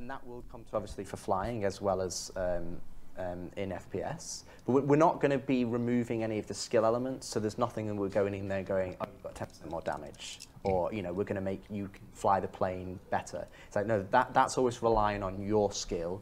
This is the things that you, you can't necessarily improve. So, you know, like I said, how far, how Mining would be uh, perception. You'd be better at scanners. You can have skills where you will just be better. Or luck. Absolutely. Have, well, I don't. Well, I don't mention luck, but uh, something like perception will allow you to identify or scan further. You know, you- okay, I can do whatever. I can like bench press 100 pounds. Now I can do 120. Now I can do 140. Now I can do 160. Now I can do 180. Right? Well, you couldn't do 180 right from the beginning. You Yeah. had to you had to work the same if you're like running. You know, you work your way up to a marathon, and so that's kind of the idea. Do you even lift, bro? I see that happening a lot. Yes. Yeah, but if you want to take some time and go to the gym and do some squats, you you know you, you can get some Yeah. strength up. And uh, I, I, again, that's part of like making that, that the the the living world. So if you want to invest in your character that way, Now we know why there's a gym in the Siege of Orison. They want you to go work out. See, it's going to take five years to build up your strength 10%. um, then you can do that if that's something You know, that makes sense. the level of fidelity in this game. I mean, there's going to be treadmills. Uh, you have to watch your intake because if you eat too much food, you'll get fat. You need to be all buff and everything because Exactly. I'm sitting there in the cab of my caterpillar hauling a bunch of cargo. patience skill. I think we've maxed out our patience skill. Every, every original and veteran backer gets automatically uh, full patience. If you're wearing the same if you're wearing heavy armor and they're wearing heavy armor, and, and you've put effort into, you know, skilling up your character because you're saying, you know, you, that's the dedicated area of focus that you want.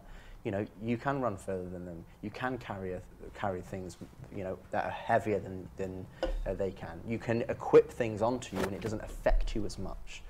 So all of those different physical attributes it allows you to progress your character in those ways. I think every original back in this game will- have intelligence set to zero and patience maxed out.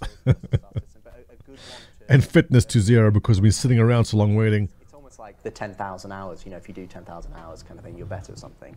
So takedowns is a good example. So the first time you do a takedown, you know, that's going to be quite sloppy. It's, it's going to take quite a long time. You know, you might struggle and, uh, okay, eventually you, you take them down and it's like, oh, okay, the guy over there heard me. It's not very good. Mm. And after a certain amount of time that you, you know, you practice at them. Yeah, more takedowns you do, the better you you'll get better. So then they'll change different animations. So now you'll unlock a different animation where it's it's smoother. Steve Bender is yeah, it's- very looking forward to getting all the versions of Takedown Yeah. from sloppy to super killer pro. Yeah, and at the end ones, it'd be like, you know, straight in, straight out. You lower him down onto the floor. It takes, you know, it's much faster.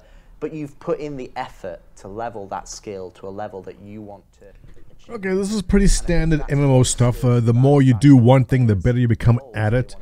Uh, think Skyrim, where you're using uh, two-handed, you become better at being two-handed. Uh, so the more takedowns you do, the more skill you get in takedowns. The more lifting of objects I do. I mean, I guess you don't get to select your skills like Fallout. Doesn't sound like it. it. Sounds like you're saying the more you do a specific thing, the better you get at it. So uh, the more you've played or the longer you've existed in the game, the more skills you'll have racked up, which is cool. I like that. That's something to work towards. Because again, it's you know this is going to be a really huge, deep world, and it's sort of up to you how you want to But I mean, essentially build your character. If you look at fighter pilots nowadays or Formula One car ra- races, Okay, this is pretty big. I mean, it's it's not big in terms of exciting new news. In terms of gaming, all games, a lot of games have had this, but in terms of Star Citizen, it's something to work towards. So eventually, we'll all get to the point where we just want to max out our characters in any way possible, and uh, doing a certain task which you have not done much in the past will build that skill up. You know, you want the best all-round character, so it encourages you to do different loops. So if like, scanning builds up your some kind of scanning skill, you'll do scanning a lot to do it. I guess encouraging you to explore different game loops. I'm not going to black out because I'm going to be able to do it. And it's those slight 1% differences that allow you to put some effort into do and, and that you should be you will be able to level them as you just play the game organically so you're not going to have to go out and level them um, you know you know like chris said to the squats if you if you do squats like that's the equivalent of us going from crouch to stand essentially it's like we will allow you to do things like that if you want to go and kind of like level them yourself, but you'll also just be able to level them by naturally playing what you like to, in the game. That Pilates area in Microtech. Uh, Jared's falling asleep. The whole thing you felt, and then the other thing that we're going to so look, it's uh, essential in Test Squadron to build up alcohol tolerance. sort of track this is the Yes. same way as you know I've got an Apple Watch on. Or maybe there'll be a perk to uh, your charisma rises the more you drink. Plus five to charisma. Uh, but uh, you know that will be essentially one of the apps in the mobiGlas, and then one of the last uh, you know things that we we're going to talk about as far as some of the stuff we're doing in Squadron uh, is you know there's a complete redo of the mobiGlas, uh, and the first iteration is in Squadron. There's a sort of cut down set of apps in Squadron because it's the military mobiGlas, and you you know don't need all the cargo trading and all that kind of stuff that you would want in the PU. Uh, but it's a framework that we're building almost like a you know our own Operating Mobi OS. system, Uh, and it's all in building blocks, so all the all Flash stuff's gone away. It's been built to be extensible. Um, there's been uh, some tech and thought into how it looks and rendered, which is much nicer and transitions much better before uh, between uh, the modes. And uh, you know, in Squadron, it's where you'll sort of be able to see, oh, you know, this is who I am, this is how I'm doing in terms of like my health and stats, but also like, okay, here's my personal uh, log of what's been going on in the li- in my life, which is basically sort of what I've been playing the game. You know, here's my mission assignments. Uh, you know, here's the the ship chat channel. Uh, and, the ship uh, WhatsApp. Yeah, the ship WhatsApp basically, uh, and um, you know, obviously the, the your nav map, star map, and all that will be in And there. but Galactapedia. The Galactapedia, so you can look up, and then in the PU, it's going to just get expanded and maybe uh, potentially have a slight uh, UI difference to be not the military version, but be the civilian version. But it's it will all go in the same framework using the same base work. So one of the things that we've been really trying, you know, not just on the Mobi, but on the HUDs and the MFDs, is they're all using a, like a common building block framework, and we're trying to share the same base code stuff so it's easier to support and maintain. Because one of the problems right now in the PU is because there's a hodgepodge of the old system, which is the old sort of flash scale system. So I know you guys kind of joking with the um, Shiner board up about making like an Edgerunners for Star Citizen. Um, if you haven't kept up with the story, uh, Cyberpunk, which had uh, kind of a, a rough launch and uh, player base has dropped off a lot over the year, had a massive spike in new players after Cyberpunk Edgerunners came out on Netflix. A lot of people maybe being exposed the first time, but a lot of people who possibly tried the game and then just left it have come back, and so they've got a peak, the the highest number of new players in over. Uh, uh, I've got the recent numbers, but a massive influx of new players came to the game because of that. Uh, there's actually a Fallout series also being made. I think is it Amazon or Disney or Netflix? It's making the Fallout series, uh, and I predict that's going to be a boon for the Fallout genre.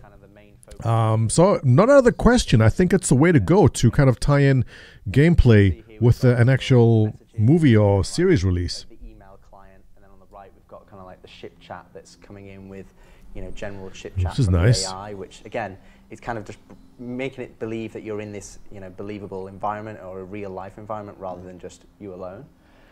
Uh, so responsive compared to the old one.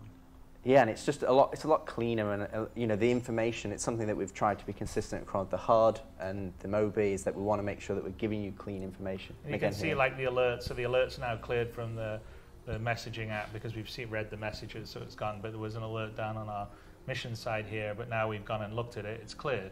So that's the system. It's a framework. So like inside the, you know, you'll get you know notifications or alerts. Oh, look, I got a new message over here. I'll click over to it. Now we're back. Oh, uh, and yeah, on the topic of um, shows, Arcane, another series made from a game. So it's definitely the trend, I think, in the future where you tie in the gaming area with uh, a movie or a series release on uh, one of the streaming services. It definitely works well in uh, complementing each other. have a level of familiarity that people understand. It's like, okay, this is intuitive to use. And it comes back to really the original message that we started this talk with. We want to make sure that the game that you're playing, we're removing the barrier to the entry, we're removing the complexity so that you can enjoy the stuff that you want to do enjoy, that you want to go and do. You want to go and do missions, you want to go and you know, get equipment or find rare loot or join up with your friends. And I think a lot of the things when we look at this, where you go from player interaction experience to improve traversal, to improve HUD, uh, star map, Moby is a combination of that, with where we want That's right, The Last of Us. Um, also, what's his face? Uh, the guy from Spider Man, wasn't there some show or movie he's in? and you want to have the information at your on your Mobi, like, okay, tell me what am I about to? Is my environment outside? Is it breathable? Do I need a helmet? Is it hot? Is it cold?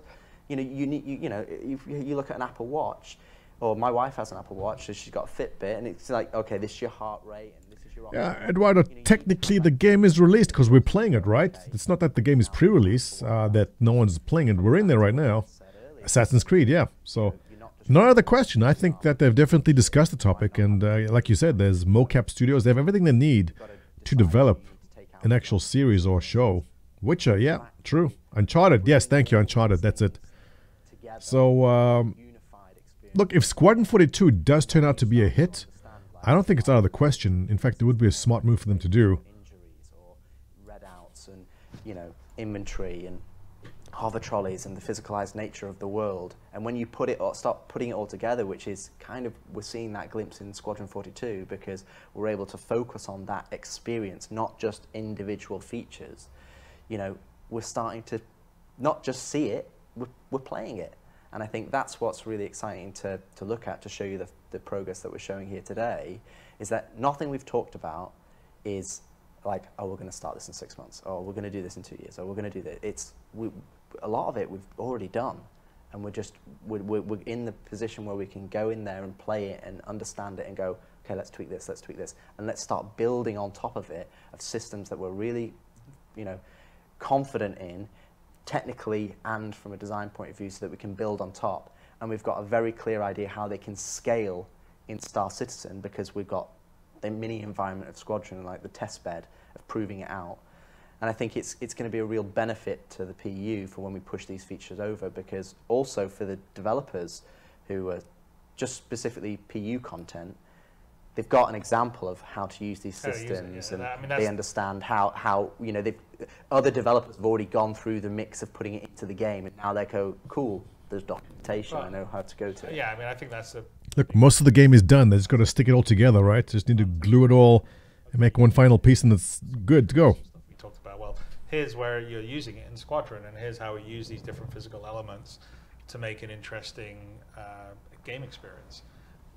And that means that the PU team that's now going, oh, we want to do 10 of those or 100 of those, has good examples of how to use it rather than here's a feature, you figure it out. Because again, that was a lot of things that went in Hmm. were that. You know, it's like trolleys, as we use Yep. an example, or um, the Mounted mounted guns. guns are just features that didn't really have uh, gameplay or, or use associated with them. So, uh, you know, I mean, there's a lot more going on uh, in, in Squadron than just this. But we thought, Yeah, it'd this is just a it'd be snapshot. very- It would be very good to talk about. Yeah, we know they can pull these kind of things together. I mean, remember the the, the sale promo for the Mercury Star Runner? Or what's it? The belligerent duck? What was that? Whatever they called it, where you know she's dropping off a prison. Like there's there's enough writers and mocap and skills they have to create a five minute ad for a ship. They can stretch it out to a thirty minute uh, episode of something and just do those. Not impossible. I think it's a great idea.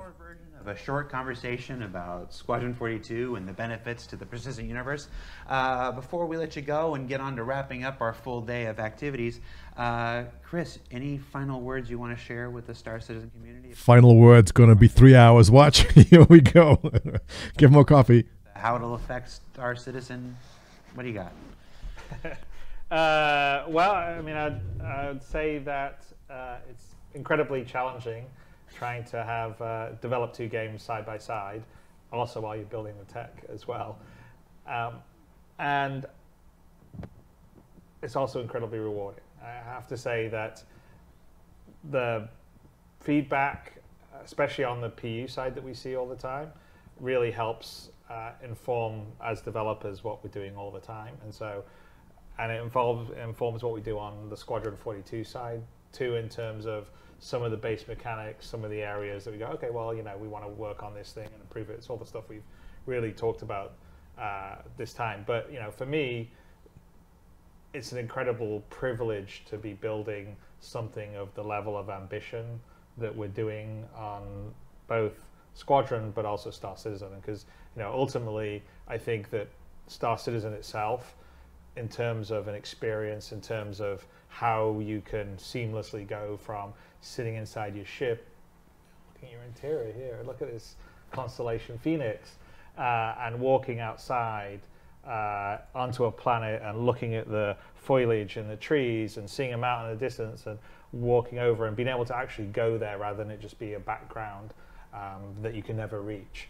Uh, the, the, you know, the scope and scale, the sense of being able to go anywhere, do anything, uh, that is something that most game engines and games generally just can't do and, and, and don't do. You know, they're limited to more limited spaces, and you know, we utilize we're utilizing in Squadron to give you a sort of single player experience that sort of feels like you're you know in a huge play environment and system that you traverse around. I mean, we talked about you know the various types of quantum travel you're using and all the different you know down to the detail mechanics of picking up something off a desk and moving it over and and and being able to build a system that can do that for the detail and fidelity that we're telling a really rich story in Squadron, but also a huge universe that you can exist in as a sandbox for everyone a player is a complete, I mean, from a developer's standpoint, uh, it's a dream. I mean, it's a dream I've had,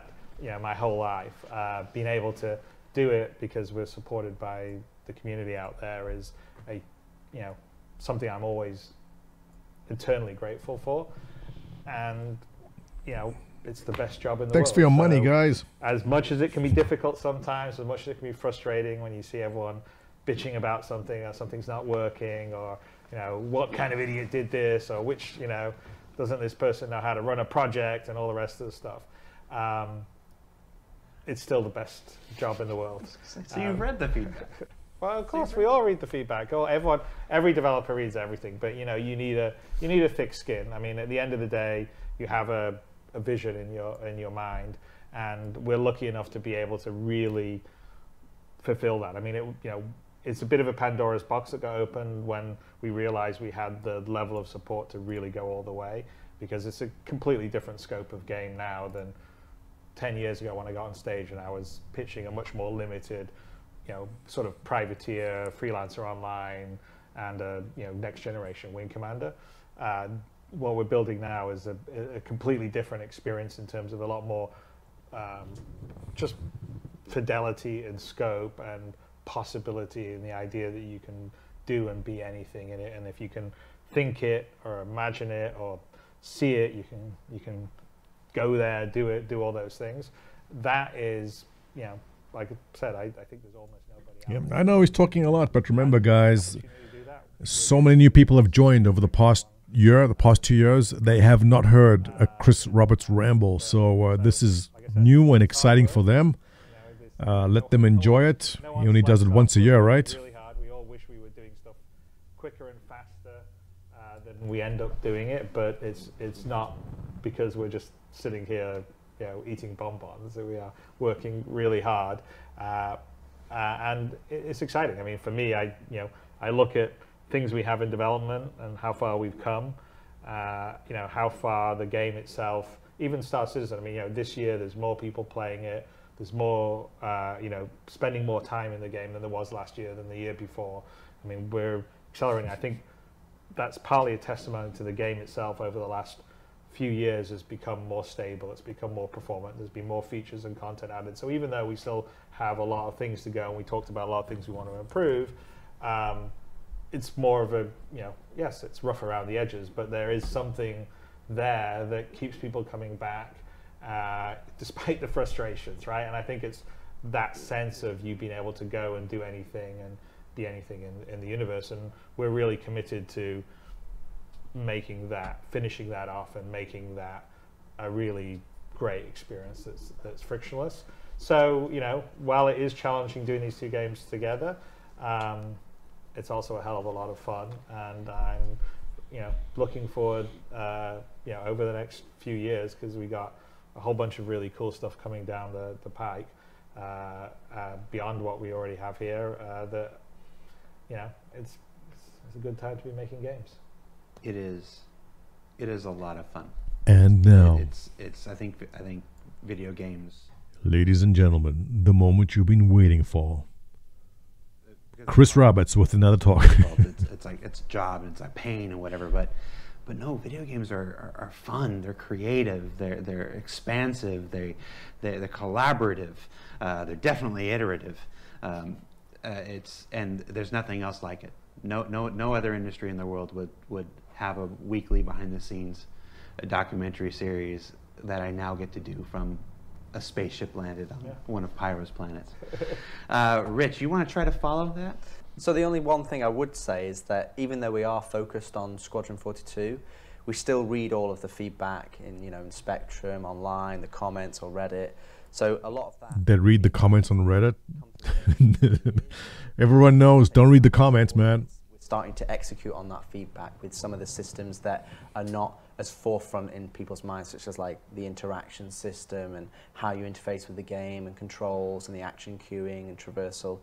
And I think the biggest takeaway for me when I when we start to look at all these features is that it's don't think of it as feature feature feature. It's we're making the game. The biggest thing is that we're starting to put that game together and we can sit down and play it. And while Star Citizen, you know, there already is a game there, uh, this is about, you know, making what's there even better and, and making sure that all the things that new players and existing players have had frustrations with, that we're smoothing those, o- smoothing them over and removing the friction. And so, and then about injecting that new features on top that's going to just enhance it even further. So, I think it's you know in the next few years it's going to be really exciting times. Like as Chris said, there's lots of things in the pipe, and I think some of the things that come online will be real game changers to not necessarily what you do because that's going to be delivered by the content and the features and ships, but how you do it and how you interface with the game. And I think that's going to be a huge improvement. And I think that will, you know, I think if you're a, a developer, it's something that's really important because you've got to make sure that your game is, if they're not talking about that aspect of the game, then you've done it right. And I think that's where we are. We're getting close on, on at least on Squadron 42, so that we can then map that over to the game. And then, of course, the only thing I want to add is that everything you've seen here today is work in progress. Uh, we've Here we go. moved some of the locations and, and aspects where you would see. Here we go, guys. The big Squadron 42 reveal. Uh, but all this stuff is coming to the persistent universe at one point. Uh, the stuff we've been able to show you, the stuff we haven't been able to show you, uh, today. And if you were surprised by the skills part in particular, like we just kind of snuck that in there before the mobiGlas, rest assured we will be following up on the skills conversation uh, with visuals and a more in-depth discussion of how that'll work and how you'll interact with that and stuff as we get closer to being able to do so. So uh, if you've already gone to Spectrum or Reddit or your YouTube thumbnail and added little red laser eyes to Richard Tyrer, uh, that last part's okay, but everything else, we just ask that you hang tight and, and, and give us the benefit of the doubt. It's, uh, it, uh, it'll be fine. So yeah, so thank you Chris, thank you, Rich, for taking the time to uh, talk a little bit of Squadron 42 with us and how it'll affect the PU. Uh, we are just about to wrap up our entire CitizenCon day here. Uh, but before we do, I want to throw it back to a video that we opened today's show with. Uh, it was a bunch of our developers and staff at our five studios around the world uh, talking about their favorite things of the Star Citizen community. So we'd like to play that for you one more time. And when we come back, we'll uh, put this whole baby to bed. So take a look tell you what my favorite thing about the community is? What am I gonna say? it's gonna sound cliche, but they believe as much as we do. I love them because they continue to support us. You're all awesome. Everyone who's watching this is amazing. Uh, you guys are what make this possible. The support we get from you and your ongoing comments. I love that everyone loves what we do and uh, you're all the best. You're the greatest. It's the best community I've ever been a part of. Uh, I appreciate the opportunity I've received you, the most wonderful, and yeah. when I first did the uh, CitizenCon, where I got to fly the Carrack, everyone was so supportive, and the cheers I got when we were flying through that wormhole was unbelievable their effort they put into like their creativity. Such as building a simulator inside of an entire rv or machinimas i love watching them on my lunch break. Uh, i enjoy watching the videos on the content. There was one recently on twitter where it was like the 100 players entering the atmosphere that just looked really grand. I love all the memes. Some of the incredible fan art and passionate drive that you see come out of them is fantastic. How they come up with crazy ideas each and every day and surprise me. I really like all the crazy shenanigans they get up to in the PU. I can't cuss, can I? The new and exciting ways they find to break shit. Just the random stuff that you do. It's not like like the gameplay we intend. People doing crazy stunts in, in their ships. I'm from the character team. That's why I think it's cool when they show off all the ships because that's really the only time I get to see them. They create the, the community by themselves, and that's really, really cool. My favorite thing about the community, community around events. Going to Bar Citizen. It's always fun to meet some of the backers. They've all been lovely to me in person. Even if they're like really frustrated, you can tell it's just, they have so much love for it. I really like when the community is very detail oriented yeah. about They'll do this for the whole company. That's right. about our progress. How much inspiration we get from them, from their ideas. I love the genuine enthusiasm. The quick turnaround on feedback. I love that. And how they're always interested in what's coming up. I especially appreciate the people who are able to keep track of dates. They, you know, call us out. It really um, impacts uh, our decision-making process for, uh, you know, what what did we do right? What did we do wrong? It is the most rewarding thing in, in the entire development process. We're not making the game alone. We're making it with the community. Still keep fighting us they really do make all this possible. I'm living the dream. We all are. My favorite thing about the community, it'd be impossible for me to narrow it down to one. Um, and if, if somebody said you had to, I... yeah, this is it, guys. This was the big uh, reveal. So I hope you enjoyed that, and thank you for joining me. In the oh wait, wait. Community is at the heart of everything that Star Citizen is. So we've got one final uh, addition before we wrap. Is that viewership up. correct? Twenty-one thousand viewers. That's low back when. That's very low. 2015, 2016. I, I, thought I had it, but I realizing I don't remember. Uh, it's needed some some love, some TLC, uh, some extra handling for some time, and finally we're about to roll out Community Hub 2.0. Uh, so I'll throw it to Tyler and our friends at Turbulent to tell you more.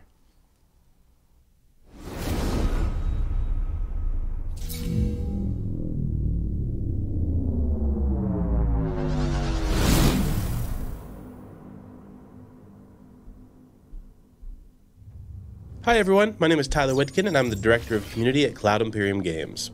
Each and every day we're taken aback by the tremendous amount of creative community content coming from all of you. Mm-hmm. From a small 3D printed MSR that fits in the palm of your hand, to a full size replica sandcastle of a 300i. No joke, someone actually did that. In fact, maybe they can pop it up right here.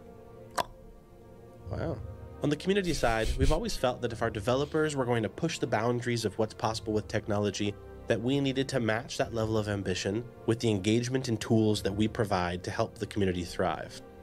With the incredible amount of creative content flowing from our community, it was a no brainer that we needed to find a better way to support that. So, we've teamed up with our good friends at Turbulent to completely rebuild the Community Hub, and we're very excited to show it to you today. Okay. The team has been hard at work and focused on building out a completely new platform that will make both sharing and browsing content easier than ever before. To build this community hub, we really try to keep the Star Citizen identity, see what was good for the community and what they would like. This is where um, most people will go when they uh, when they want to uh, search for new content or uh, discover new people who play Star Citizen and make posts in the community hub. Have I been ignoring the community hub? I don't, I don't think I've spent too much time there. Am I missing a lot? Any of you guys spend a lot of time in the community hub? To keep talking and Hmm. creating about Yeah, Eduardo, feel free to chat. That's fine. comment with each others. Now, I know I'm a little biased, but for these reasons and for many others, I believe that the Star Citizen community is the best and the Director Gunner, Seth, they're always in that shot. They use that picture everywhere. Drop an 07 in chat. Go ahead. By the way, this bit is pre-recorded, so I'm going to assume that you are spamming chat like crazy right now. Thank you. Don't let me down. When creating a new post, you'll be able to choose So, between. chat, three how much time do you spend in this section? An audio, a video, I, mean, I don't submit my stuff post. to there. Should I be sending my stuff to that able section too? Obviously m- Put a title and des- description in there, but also to pick and choose from a variety of different categories your post relates to. And that comes and play into the discover page. On the Discover page, Hmm. you can browse over all the content. You can also I mean, I, content I with think preferences. that's For example, fine wanna see only videos for content creators. I I mean, if you have a. TikTok or an Insta or a YouTube, popularity or by date. When you first arrive on the community hub, you arrive on the homepage, which features uh, top. But I trending gotta give this another look because I've hardly used this in the uh, past. From people you follow, because yes, you can now follow people on the new community hub. You have uh, a live stream section, which you can see the top players uh, who play Star Citizen right now. You have a tutorial section also on the front page, and there's also the sidebar. And it's not just all about screenshots, videos, and crafts. It's also about the human connection we make with like-minded spacefarers that we've met along the way. hey, that was me. For me, I've made countless Hey, now I'm famous. with so many people that I otherwise never would have met outside of this community. And many of those connections I know I will cherish and carry with me for the rest of my life. And I'm confident that many of you have similar stories, which is exactly why it was vital to us to find better ways to keep you all connected with one another. The Community Hub is a place of uh, creativity and exchange between all the Star Citizen players. The team has put a lot of work in it. We're working on it since quite a long time. Yeah, you know what? I, I will go check out this new Spectrum area now. The community will enjoy as much as us. So you can head over to our website, dive in, check out all the new features, break the new features. It's okay, it's part of the process. And as always, we want to hear your thoughts. So make sure to head over to our dedicated feedback thread on Spectrum and let us know what you think. And this is just the beginning. We've got so many cool things planned for the months ahead, such as site wide notifications, a massive shared content calendar where you can sort between official CIG events and community created and organized events, and so much more. And the best part about the new Community Hub, it's live right now. Woo! So I don't think most people care about that, but any kind of uh, content creator that is putting stuff out, I mean, you want your stuff seen, so uh, they appreciate that kind of stuff. I don't know what time my watch is saying. It says it's like 12:30 in the morning. Hmm. Uh, one last thing before we let you go, because we got more endings than a Lord of the Rings movie. Uh, Atmo Esports is running our 10th anniversary racing event, uh, the, the the new Babbage Bash or the Babbage Bash or something like that. Uh, that's immediately following this stream. Uh, we got a short video just telling you a little bit about who they are and what they do. So let- let's uh, throw it to Atmo.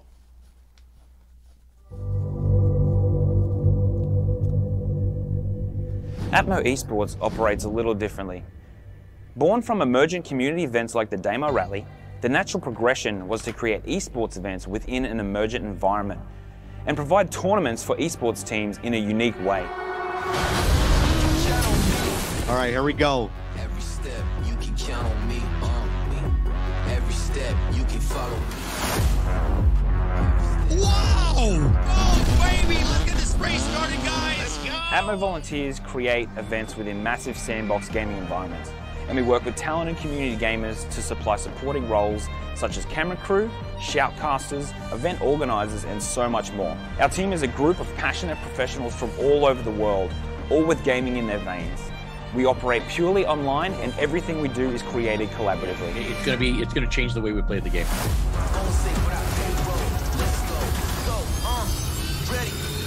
Five, four, three, two, one, go!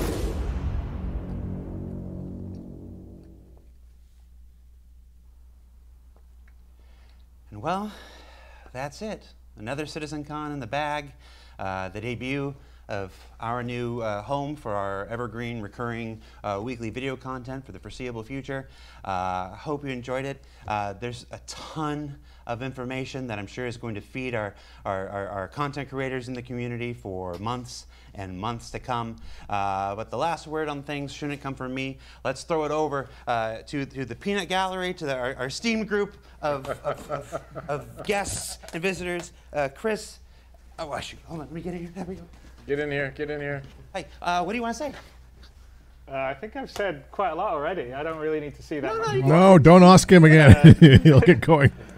well, let me start with back in 2012. Um, no, I, all I'm going to say is that we wouldn't be here without all of you out there that have supported us over these years and believed in the project and the world and the universe. No, you got him talking again. Thanks everyone from the community out here really appreciates This all began when I had a dream. Your side and also from our side into the project. So we really appreciate that.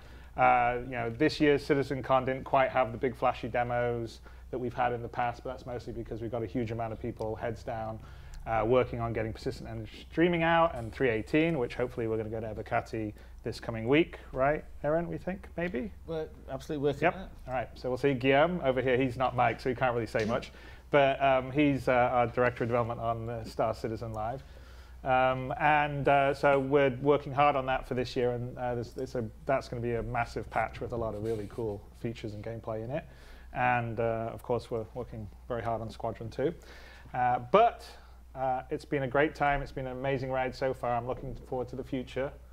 So you did get someone to be twinsies with you. Yes. There you go. Uh, and thank you very much. Happy birthday, Star Citizen. Happy birthday, the community. Happy birthday, Happy birthday. Star Citizen. Cheers. Cheers. Cheers. Let's throw it to Atmo. Bye, everybody. Goodbye. What? See you next year. Bye, everyone. Cheers. What? No Squadron 42?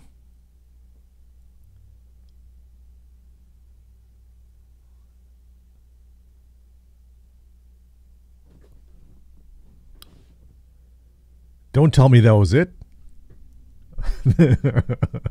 okay. Well, you know, I, I guess they're saving it for some other release then. Uh, so to recap, look, I think the skills, the special skill thing's interesting. Uh, the flight combat speeds, the new quantum travel stuff, that's good. Uh, overall, nothing new, groundbreaking. Um, the ship, the Spirit ship sale, coming in under what we thought, 100 bucks. I think 400 bucks is one of the best looking $100 ships in the game right now. And overall, uh, I think this was one of the lowest watched CitizenCons they've had. I think there were 20,000 people watching on Twitch, which is low. Uh, but as I said before in my soliloquy, there's less and less they have to show until that's new. There's less and less new stuff. As the game develops, there's less new things. There's no new biomes to see, maybe the lava one. Uh, and so we can't expect every CitizenCon to be mind blowing, but uh, disappointing in that I was expecting Squadron 42. So, yet again, no Squadron 42 mentioned. Uh, makes you wonder what that leaked footage was then, unless there's some kind of Squadron 2 special reveal coming later on. Uh, other than that, uh, look, I came in with no expectations of what to see here, other than maybe some more Squadron 42 stuff. In that sense, I'm disappointed we're not seeing any more Squadron 42. Uh, but uh, I think maybe they're saving it for a special Christmas time or some other event later in the year. And uh, with that, ladies and gents, thank you very much for joining me in chat. I appreciate it. Hope you like the live stream. If you enjoy this kind of content, uh, think of uh, subscribing below. Uh, your comments appreciated. Thumbs up this video. Uh, and uh, I know I've been taking a bit of a break from the content recently. I've just you, think you pull back for a while and you come back fresh, and so I am fresh now. As far as Atmo, they've done an awesome job. I'm glad to see them succeeding there. It's basically free coverage and free marketing for Star Citizen itself. So Atmo is in a great spot, and obviously the black and yellow color scheme is perfect. but with that, guys, thanks a lot for joining me. Uh, I'm going to head over to the Discord and discuss this with the rest of the TESTies and see what their thoughts are on everything. Feel free to join. And uh, signing off. Catch you later. That I was stop.